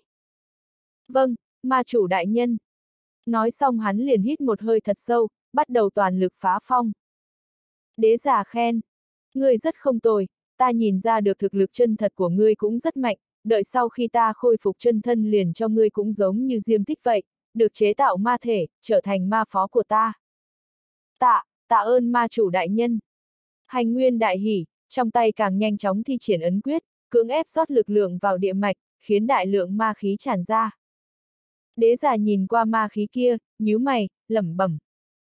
Kỳ quái, đây đều là chân ma chi khí về, chẳng lẽ tên ở bên dưới đã bị long tức ép tan thành mây khói, triệt để tiêu vong, trở về thành chân ma khí bổn nguyên rồi sao? Cướp đoạt phân thân, một, ầm ầm. Ngay khi hắn hoài nghi không thôi, tất cả mọi người khẩn trương cao độ chờ đợi phá phong thì đột nhiên bên ngoài long sắc truyền đến một đạo dung mạnh, toàn bộ đại địa đều tựa hồ như nứt ra, vị trí bọn hắn đang đứng là hạch tâm long sắc, vậy mà đang dùng tốc độ cực kỳ nhanh chóng sụp đổ xuống. Không chỉ có long sắc, chỗ bị phong ấn kia cũng nhanh chóng vỡ ra, đất rung núi chuyển, cảm giác như thế giới sụp đổ, tất cả mọi người trong lòng đều hoảng sợ nhao nhao đề phòng, sợ xảy ra chuyện. Lực lượng một kích của hứa diễm và đế quân, không chỉ đánh nứt cả bầu trời, lực lượng chấn động kia rất mạnh, trực tiếp rơi vào sơn mạch, đánh gãy cả long xác, toàn bộ thân hình bắt đầu dần dần sụp đổ xuống. Địa mạch phong ấn cũng bắt đầu tan rã, như thiên băng địa liệt, phảng phất tận thế.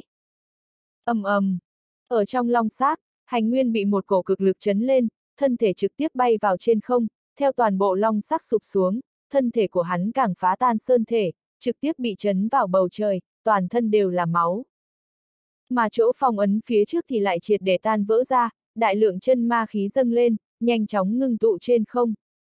Toàn thân đế giả tê chấn động, kích động vạn phần, cười to nói. Ha ha, thuộc về ta. Hắn xông mạnh tới, lại đột nhiên thấy một vật rơi xuống, đánh tới đầu hắn, đồng tử đột nhiên co lại, thất thanh nói. Cổ thần chiến tràng. Một đạo thân ảnh giống hắn như đúc hiển hiện trên không trung, chỉ là sắc mặt tái nhợt như tờ giấy, lạnh lùng nói. Phân thân, lại dám đảo khách thành chủ, ta còn chưa có chết đâu. Hắn một chiêu tế ra cổ thần chiến tràng, bản thân lại kéo lấy thân thể trọng thương lao tới chỗ chân ma khí bắt đầu khởi động kia, ma khí quay cuồng kia dần ngưng thực, hóa thành một cỗ thân hình nam tử, không hề khác gì với bọn họ cả. Đến cùng ai mới là chính chủ, ai mới là phân thân, cũng không phải là do ngươi. Đế giả đột nhiên tăng vọt khí thức toàn thân, lộ ra pháp tướng ba đầu sáu tay, đồng thời một đạo bóng đen cự đại hiển hiện ngay phía sau hắn, trong bóng đen duỗi ra một cánh tay, muốn thu cổ thần chiến tràng. Đế quân hừ mạnh một tiếng, trong tay biến đối ấn quyết, cổ thần chiến tràng phóng xuất ra đạo đạo lưu quang, biến thành cổ tháp cực lớn đánh xuống dưới. Mà bản thân hắn lại chỉ muốn phóng tới cổ phân thân thứ ba kia, muốn thừa lúc tình huống của hắn bất ổn nhanh chóng thôn phệ lấy, như vậy liền có thể chữa trị thân thể trọng thương của mình, hơn nữa có thể một lần hành động nuốt mất đế giả. Oanh! Cánh tay như bóng đen cực lớn của đế giả lần nữa biến lớn, một tay cầm chặt lấy cổ tháp, trong tay nhanh chóng đánh ra pháp quyết, cười lạnh nói. Cổ thần chiến chàng ngươi có thể khống chế ta cũng có thể, muốn dùng nó để chấn áp ta, xem ra chỉ số thông minh của ngươi thật đáng ngại đấy. A à, ha ha, không công lại tặng ta một kiện thánh khí. ầm ầm, ngay khi hắn đắc ý, cổ thần chiến tràng mang theo hào quang bay lên, mạnh mẽ chấn lên trên cánh tay cực lớn của hắn, trực tiếp chấn vỡ cánh tay kia, hóa thành một mảnh ma khí. Làm sao có thể? Đế giả kinh hãi, hoảng sợ cả giận nói. Ngươi đã làm gì trong thánh khí rồi? Đế quân đã vào tới bên cạnh phân thân kia, năm ngón tay hóa thành một mảnh ma khí dài hẹp quanh quẩn, lập tức triệt để trói phân thân kia lại, nhìn không được lộ ra nụ cười kích động, nói. Ha ha, chỉ số thông minh đáng ngại chính là người đấy, nếu không thi triển thủ đoạn ở trên đó, ta há có thể ngu xuẩn dùng nó để trấn áp ngươi chứ. Hắn lăng không khẽ vẫy, liền muốn thu hồi cổ thần chiến tràng kia, lạnh giọng nói. Hôm nay lưu ngươi một mạng, đợi ta triệt để hấp thu phân thân này, lại đến thu ngươi sau. Đế quân tuy rằng phân thân đến tay, nhưng lại phát hiện mình thật sự bị thương quá nặng, sợ là rất khó lại chống lại đế giả, liền trực tiếp nghĩ tới trốn chạy, trước tiên lui một bước trời cao biển rộng. Đáng chết ta há có thể để ngươi nguyện, muốn đi cũng được, thả phân thân kia ra. Đế giả nổi giận, nếu cổ phân thân thứ ba bị đế quân hấp thu, tăng thêm hắn khống chế cổ thần chiến tràng, vậy thì mình không có một tia hy vọng chiến thắng nào nữa rồi. Xâm la vạn tượng, ma hóa vạn thiên.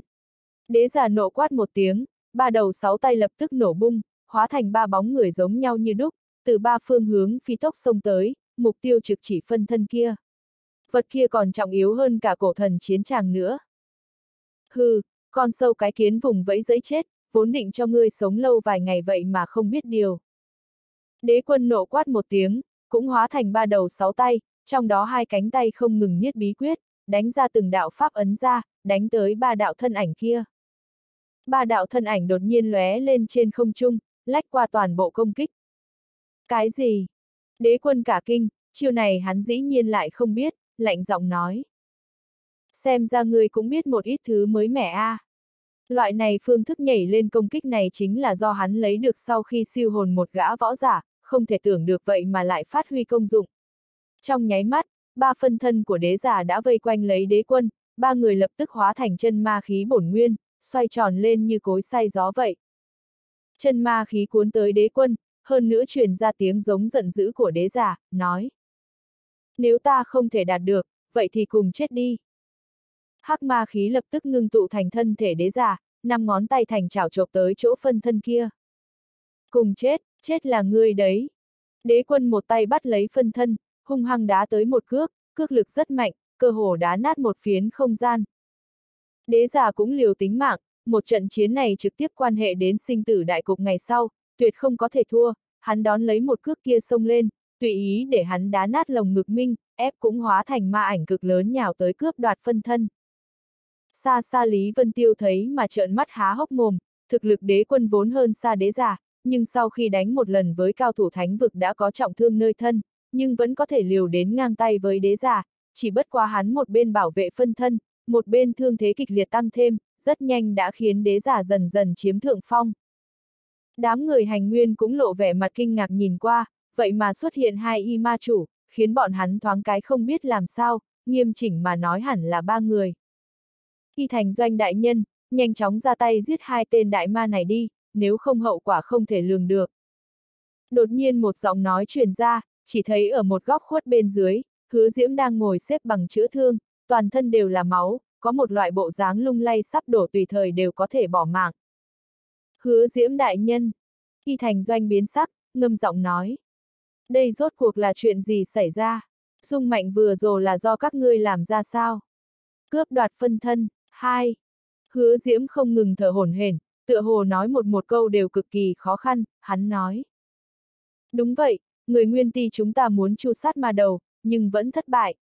Nhưng giờ phút này hắn thân chịu trọng thương, còn làm phiền chư vị đại nhân hóa thần hải ra tay, nhanh chóng chu sát ma này, giúp đỡ cho đại lục A. Thì ra là thế. Sắc mặt y thành doanh dần phủ lên một tầng hắc khí, lạnh lùng nói. Sứ mạng nhân sinh của các ngươi đã hoàn thành, những năm gần đây vất vả rồi, tiếp theo nên nghỉ ngơi cho tốt đi. Ân, nghỉ ngơi thật tốt, có ý gì đây? Hứa Diễm nhìn y thành doanh chậm rãi bay tới, đột nhiên có một lọ ai dự cảm bất tường, không chỉ hắn, mấy tên người nguyên ti khác cũng có ba người còn sống, ở ngay chỗ cách hắn không xa, lão giả áo bảo tím kia đột nhiên hô. Hứa đại nhân chạy mau, bọn hắn nhập ma rồi. Nhập ma.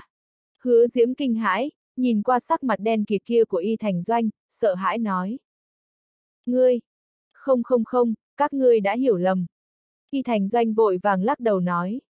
Chúng ta không nhập ma, chẳng qua là chúng ta vốn tu luyện ma công thôi, nhưng đối với các ngươi thì kết quả đều giống nhau cả, đó chính là đều phải chết.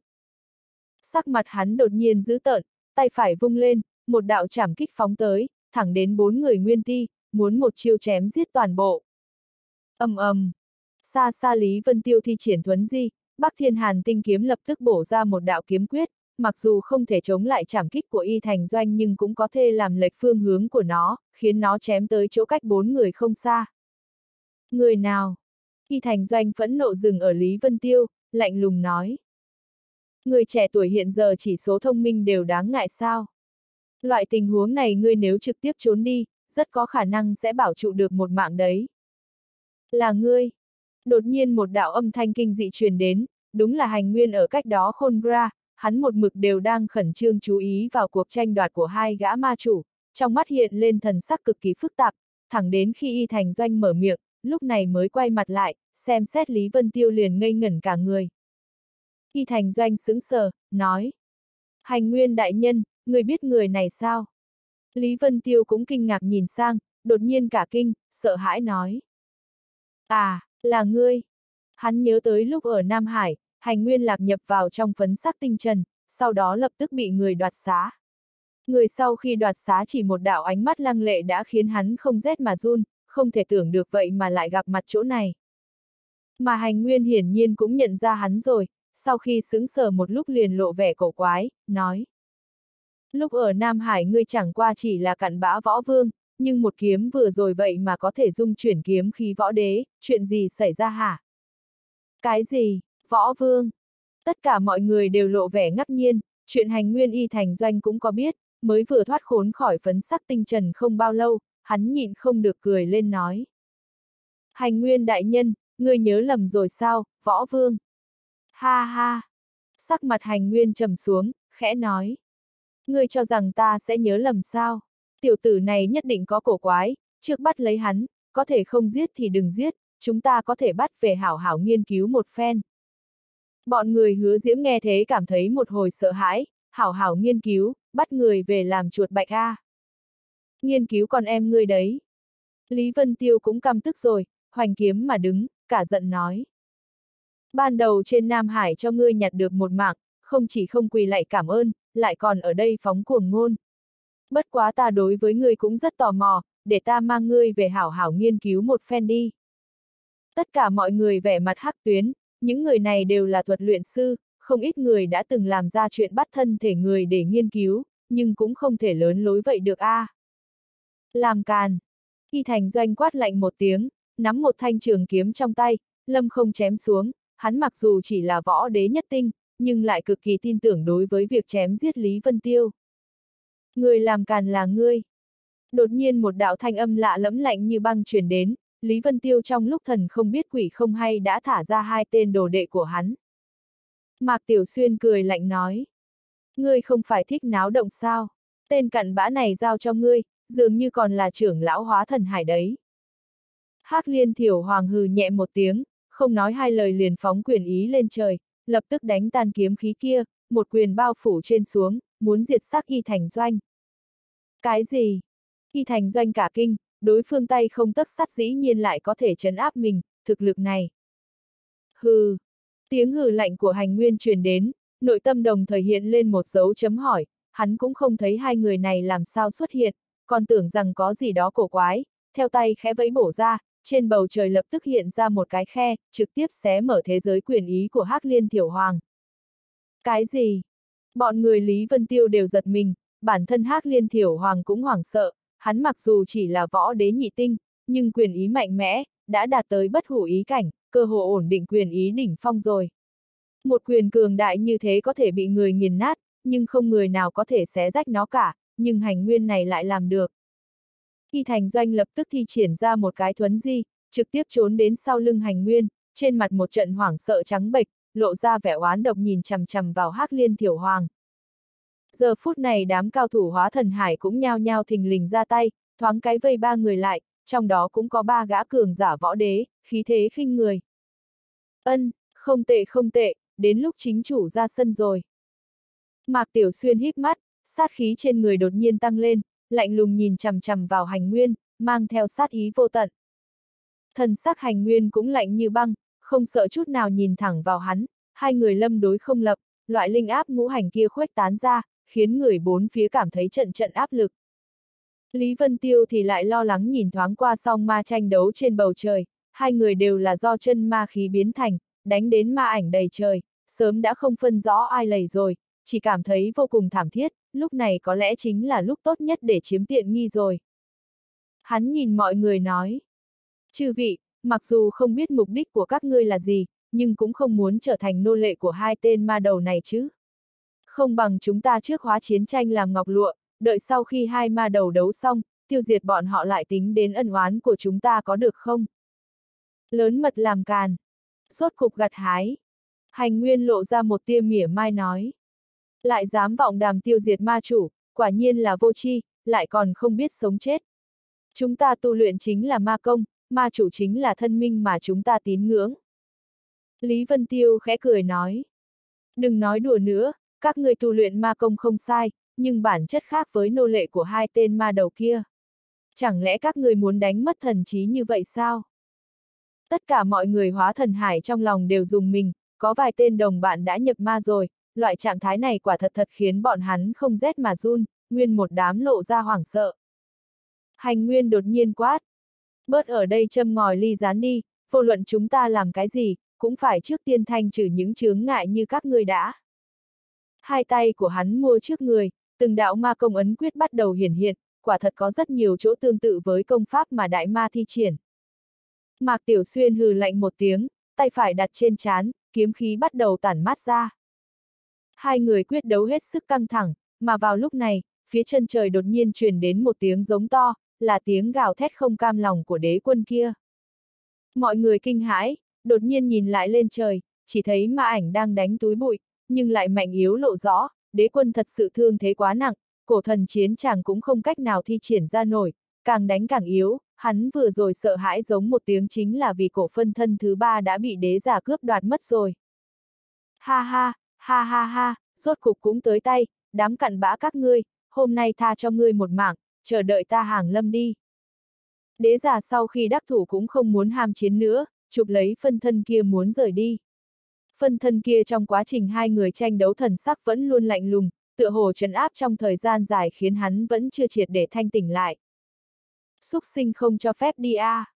Đế quân gầm thét, hai mắt đều là một mảnh đỏ bừng, gào thét lớn đuổi theo. Đế giả lạnh lùng cười cười, đột nhiên sắc mặt đột biến, sợ hãi nói. Ân, chuyện gì xảy ra? Ánh mắt của hắn rơi vào trên cổ phân thân kia, chỉ thấy cái gương mặt giống mình như đúc kia, lạnh như băng vô cùng, trên khóe miệng tựa hồ lổ một tia giễu cợt. Loại cảm giác này khiến hắn toàn thân chấn động, một cổ hoảng sợ nổi lên trong lòng, lan tràn ra không cách nào ức chế. Đây là... Trên trán đế giả chảy xuống mồ hôi lạnh to như hạt đậu, chỗ yết hầu thoáng cái phát ra tiếng nuốt nước bọt, hắn đột nhiên xé mở phân thân kia, đồng tử bỗng nhiên trợn to. Đế quân ở xa xa nổi giận gào thét vào tới, nhắc tới một ngụm ma khí muốn đánh tới nhưng cũng bị động tác cổ quái của đế giả hấp dẫn xứng sở nhìn về phía phân thân kia, thân hình cũng đại chấn, thất thanh nói. Xác không? Chỉ thấy trong lồng ngực phân thân dĩ nhiên không có gì, không chỉ có thế, chỗ quần áo che đậy lúc trước còn lộ ra từng đạo hoa văn, đan vào cùng nhau, hình thành trận pháp liên hoan, giờ phút này đang tản mát ra hắc mang cực kỳ sáng ngời. Đây là ma bạo chi trận. Đế quân hoảng sợ dừng lại, trên trán lộ ra mồ hôi lạnh, ma lực vốn muốn công kích đế giả bỗng nhiên hiển hiện trước người, kết thành từng đạo phòng ngự, cổ thần chiến tràng cũng bị hắn lần nữa dốc sức liều mạng thúc giục. Sắc mặt đế giả càng thêm khó coi, giận dữ hét. Cầm ở trong tay lâu như vậy, người vậy mà mà không phát hiện ra là giả, người là heo sao? Hắn không cam lòng hét lớn một tiếng, mãnh liệt ném cái xác không kia ra ngoài, bản thân lại thi triển ra độn thuật, muốn lao ra thật xa. Nhưng đã trễ, xác không kia ngay khi vừa bị hắn ném ra đã tách ra hắc mang mãnh liệt, từng đạo bắn ra, như hắc nguyệt cắn nuốt tất cả hư không. ầm ầm, cổ xác không có bộ dạng ma chủ kia rốt cục nổ tung ra, toàn bộ bầu trời lập tức một mảnh hắc ám, nhìn không ra nửa điểm hào quang, hai người đế giả và đế quân lập tức bị nuốt vào, toàn bộ thế giới lâm vào hắc mang vô tận. Mọi người bên dưới cũng bị biến hóa đột phát này triệt để dọa ngây người, trong lúc nhất thời mờ mịt đứng ở đó, dù sao ánh mắt nhìn không thấy được một tia ánh sáng, lúc này ngay cả hỏa diễm cũng không chiếu dọi được, tất cả đều là hắc mang. Loại dị tượng hắc ám này trọn vẹn rằng co chừng thời gian uống cạn chung trà, hắc khí đầy trời mới dần dần tiêu tán, trên bầu trời sớm đã không còn một bóng người, cũng không biết hai ma đầu kia thế nào nữa. Chết, đã chết rồi sao? Hành nguyên đầu tiên lộ ra vẻ kinh hãi, hiển nhiên thoáng cái không cách nào tiếp nhận sự thật này, có chút thất thần, trong ấn tượng của hắn, ma chủ hẳn là tồn tại vô địch thiên hạ, muôn đời bất diệt, sao có thể bị nổ chết được. Ân, có lẽ không chết, nhưng cũng bị đả thương nặng. Ta đoán chừng đã trốn ở đâu đó rồi. Thần sắc trên mặt Lý Vân Tiêu vô cùng ngưng trọng, ánh mắt hắn quét qua bầu trời, hy vọng có thể phát hiện ra chút gì đó. Hành Nguyên sững sờ, nói. Sao ngươi biết được? Lý Vân Tiêu lạnh nhạt nói. Những nô lệ bị đế giả ma hóa cũng không chết, chứng minh chủ nhân của bọn hắn còn sống. Mà đại ma còn lại, kiện thánh khí kia ngươi có thấy không? Nếu chủ nhân đã chết thì thánh khí đã là vật vô chủ, tự nhiên sẽ trôi nổi trên bầu trời, mà bầu trời không có, cho nên hai người này đều trốn đi rồi, giờ sợ rằng cũng đang hấp hối rồi. Hành Nguyên không khỏi nhìn nhiều Lý Vân Tiêu thêm vài lần, không thể tưởng được tâm tư người này lại cẩn thận như thế, thần sắc trong mắt hắn trở nên cực kỳ phức tạp. Lý Vân Tiêu thần sắc mặt ngưng trọng nói. Không thể tưởng được hai ma đầu này đều bị ám tóa, nếu cổ phân thân kia đã là giả dối, vậy thì cái thật sự đi đâu rồi? Tất cả mọi người trong lòng khẽ động, bọn người hứa diễm thì trầm xuống, vốn đều trông cậy vào hai tên đại ma lưỡng bại câu thương, bọn hắn có thể kiếm tiện nghi, không thể tưởng được vậy mà còn ẩn tàng một nhân vật khó có thể giải quyết. Bỗng nhiên cách đó không xa truyền đến tiếng thổ nang buông lỏng, mọi người đột nhiên chấn động thân hình, cảnh giác nhìn qua, nhưng lúc này không ai còn sức nữa. Chỉ thấy một cây thực vật đang chậm chạp di động đến, không ngừng vỡ ra thổ nang, trái cây đen nhánh treo trên đó phát ra ánh sáng âm u, khiến nhân tâm cũng cảm thấy phát lạnh. Nhưng người bị ma hóa trước kia, lại nguyên một đám mạnh mở to hai mắt, như thấy được đồ ăn ngon nhất trên đời vậy, gào thét lớn tranh giành nhau vào tới trước. Những người bị ma hóa này lúc không có đại ma ở đây, thần chí cũng không khác gì người thường, nhưng giờ phút này nguyên một đám đều như phát điên, dốc sức liều mạng muốn đoạt trái cây kia. Lý Vân Tiêu khẽ giật mình, kinh ngạc nói. Ma nguyên quả. Trong giới thần bi cũng có thu một quả, chỉ biết là thứ cực kỳ quái dị, lại không biết có tác dụng gì. Nguy cơ, một. Bỗng nhiên, trên ma nguyên quả kia mở ra một cái khe, thời gian dần qua không ngừng khuếch tán, một đạo hắc quang từ trong đó bắn ra, triệt để căng trái cây ra, khiến cho người hoảng sợ chính là một bóng người từ trong đó đi ra, gương mặt kia không khác gì hai đại ma kia cả, hơn nữa còn mang theo dáng tươi cười âm lãnh. Đại ma! Toàn thân mọi người đều chấn động, hoảng sợ kinh sợ thối lui. Đại ma kia lạnh lùng cười cười, mạnh mẽ hóa thành hình thái yêu ma cao hơn mấy lần, há to mồm lập tức lao đến, nuốt lấy toàn bộ đám võ giả ma hóa đang luông cuống không biết nên chạy trốn thế nào kia. Muốn ăn trái cây, kết quả lại bị trái cây ăn hết. Mọi người hoảng sợ nhìn một màn này, ánh mắt lộ ra sợ hãi. Đại ma kia không ngừng nhai nuốt lấy, sau khi ăn xong nhìn bên phía Lý Vân Tiêu, liền trực tiếp bay vào không trung, hắn lâm đứng ở trên không, chợt thi triển ra một cái quyết ấn, phóng đại vô hạn trên không. Đây là mấy đạo hắc quang từ mấy chỗ khác nhau bay lên, phóng tới chỗ đại ma kia, mọi người tương vọng nhìn xuống, vậy mà lại là nguyên một đám ma nguyên quả, có lớn có nhỏ, im im lặng lặng lơ lửng ở bốn phía đại ma, tổng cộng 7 cái.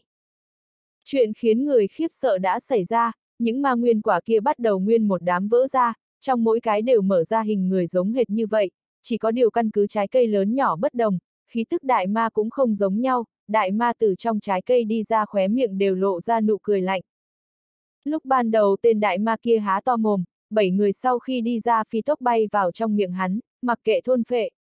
Sau khi liên tiếp nuốt bảy người, thân thể của hắn cũng bắt đầu dần dần nổi lên biến hóa, dung hợp lực lượng bảy người, bộ dạng tựa hồ có chút thống khổ. Tất cả mọi người đều triệt để ngốc trệ nhìn một màn này, sau thời gian uống cạn chung trà, tên đại ma kia rốt cục đã triệt để sáp nhập bảy người vào cơ thể mình, mở to mắt ra. Trong cặp ma nhãn kia chớp động tinh mang, vậy mà ẩn chứa nộ khí vô tận, ở trên trời cao kinh sợ quát. Sao lại thiếu một cái? Chạy đi đâu mất rồi? Đại ma này gầm lên giận dữ, rung động ở bên tai mỗi người, đều cảm thấy đại địa cũng vì đó run rẩy, không chỉ có sức mạnh cực cường, càng là biểu lộ ra cực kỳ phẫn nộ. Lý Vân Tiêu há to mồm, một mặt dại ra, trong hai tay hắn chảy ra mồ hôi lạnh, viên ma nguyên quả kia là ở trong giới thần bi của hắn, mà đầu kia không biết có thể phát hiện hay không, nếu như bị phát hiện, mình còn có thể trốn đi được sao? Hiện tại nội tâm mỗi người cũng đã không phải làm sao hàng ma, mà là làm sao bảo mệnh. Ánh mắt đại ma căm tức nhìn xuống, lạnh lùng nói. Còn có một quả trái cây, các người người phương nào thấy qua? Người bị ánh mắt của hắn nhìn kỹ, toàn bộ ngơ ngác lắc đầu, không ngừng lui về phía sau, Lý Vân Tiêu cũng theo mọi người đồng thời lắc đầu, nhưng nội tâm lại chảy mồ hôi.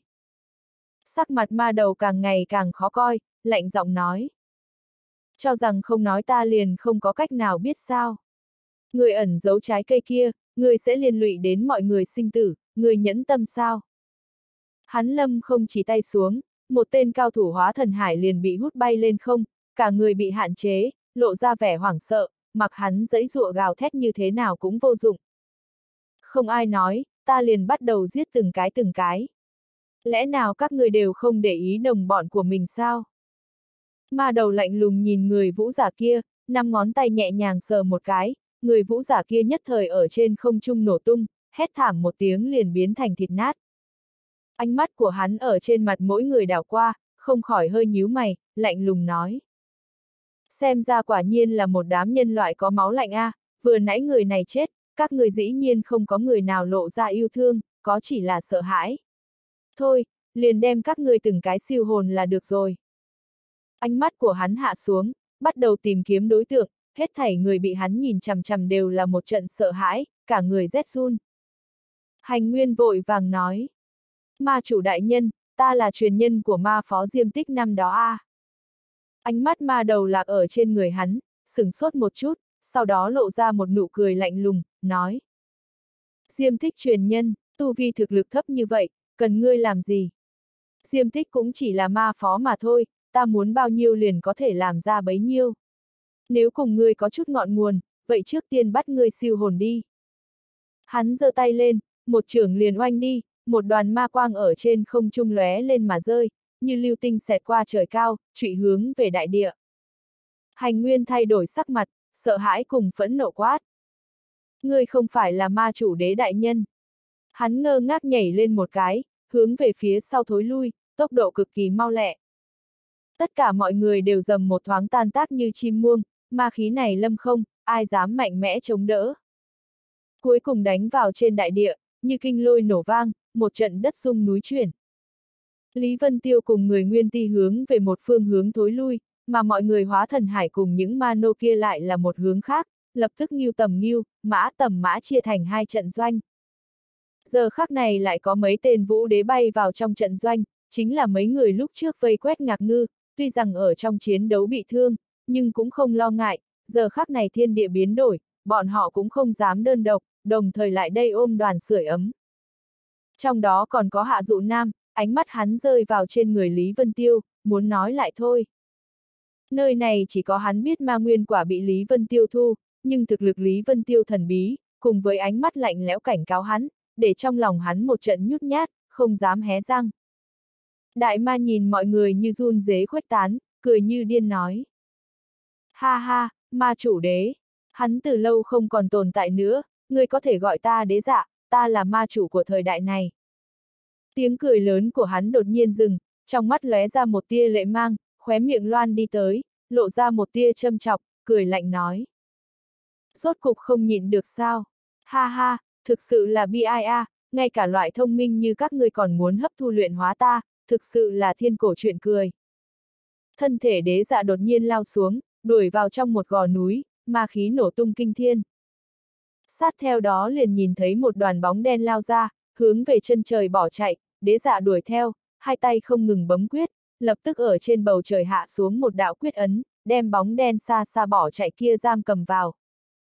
Xúc sinh, thả ta đi ra.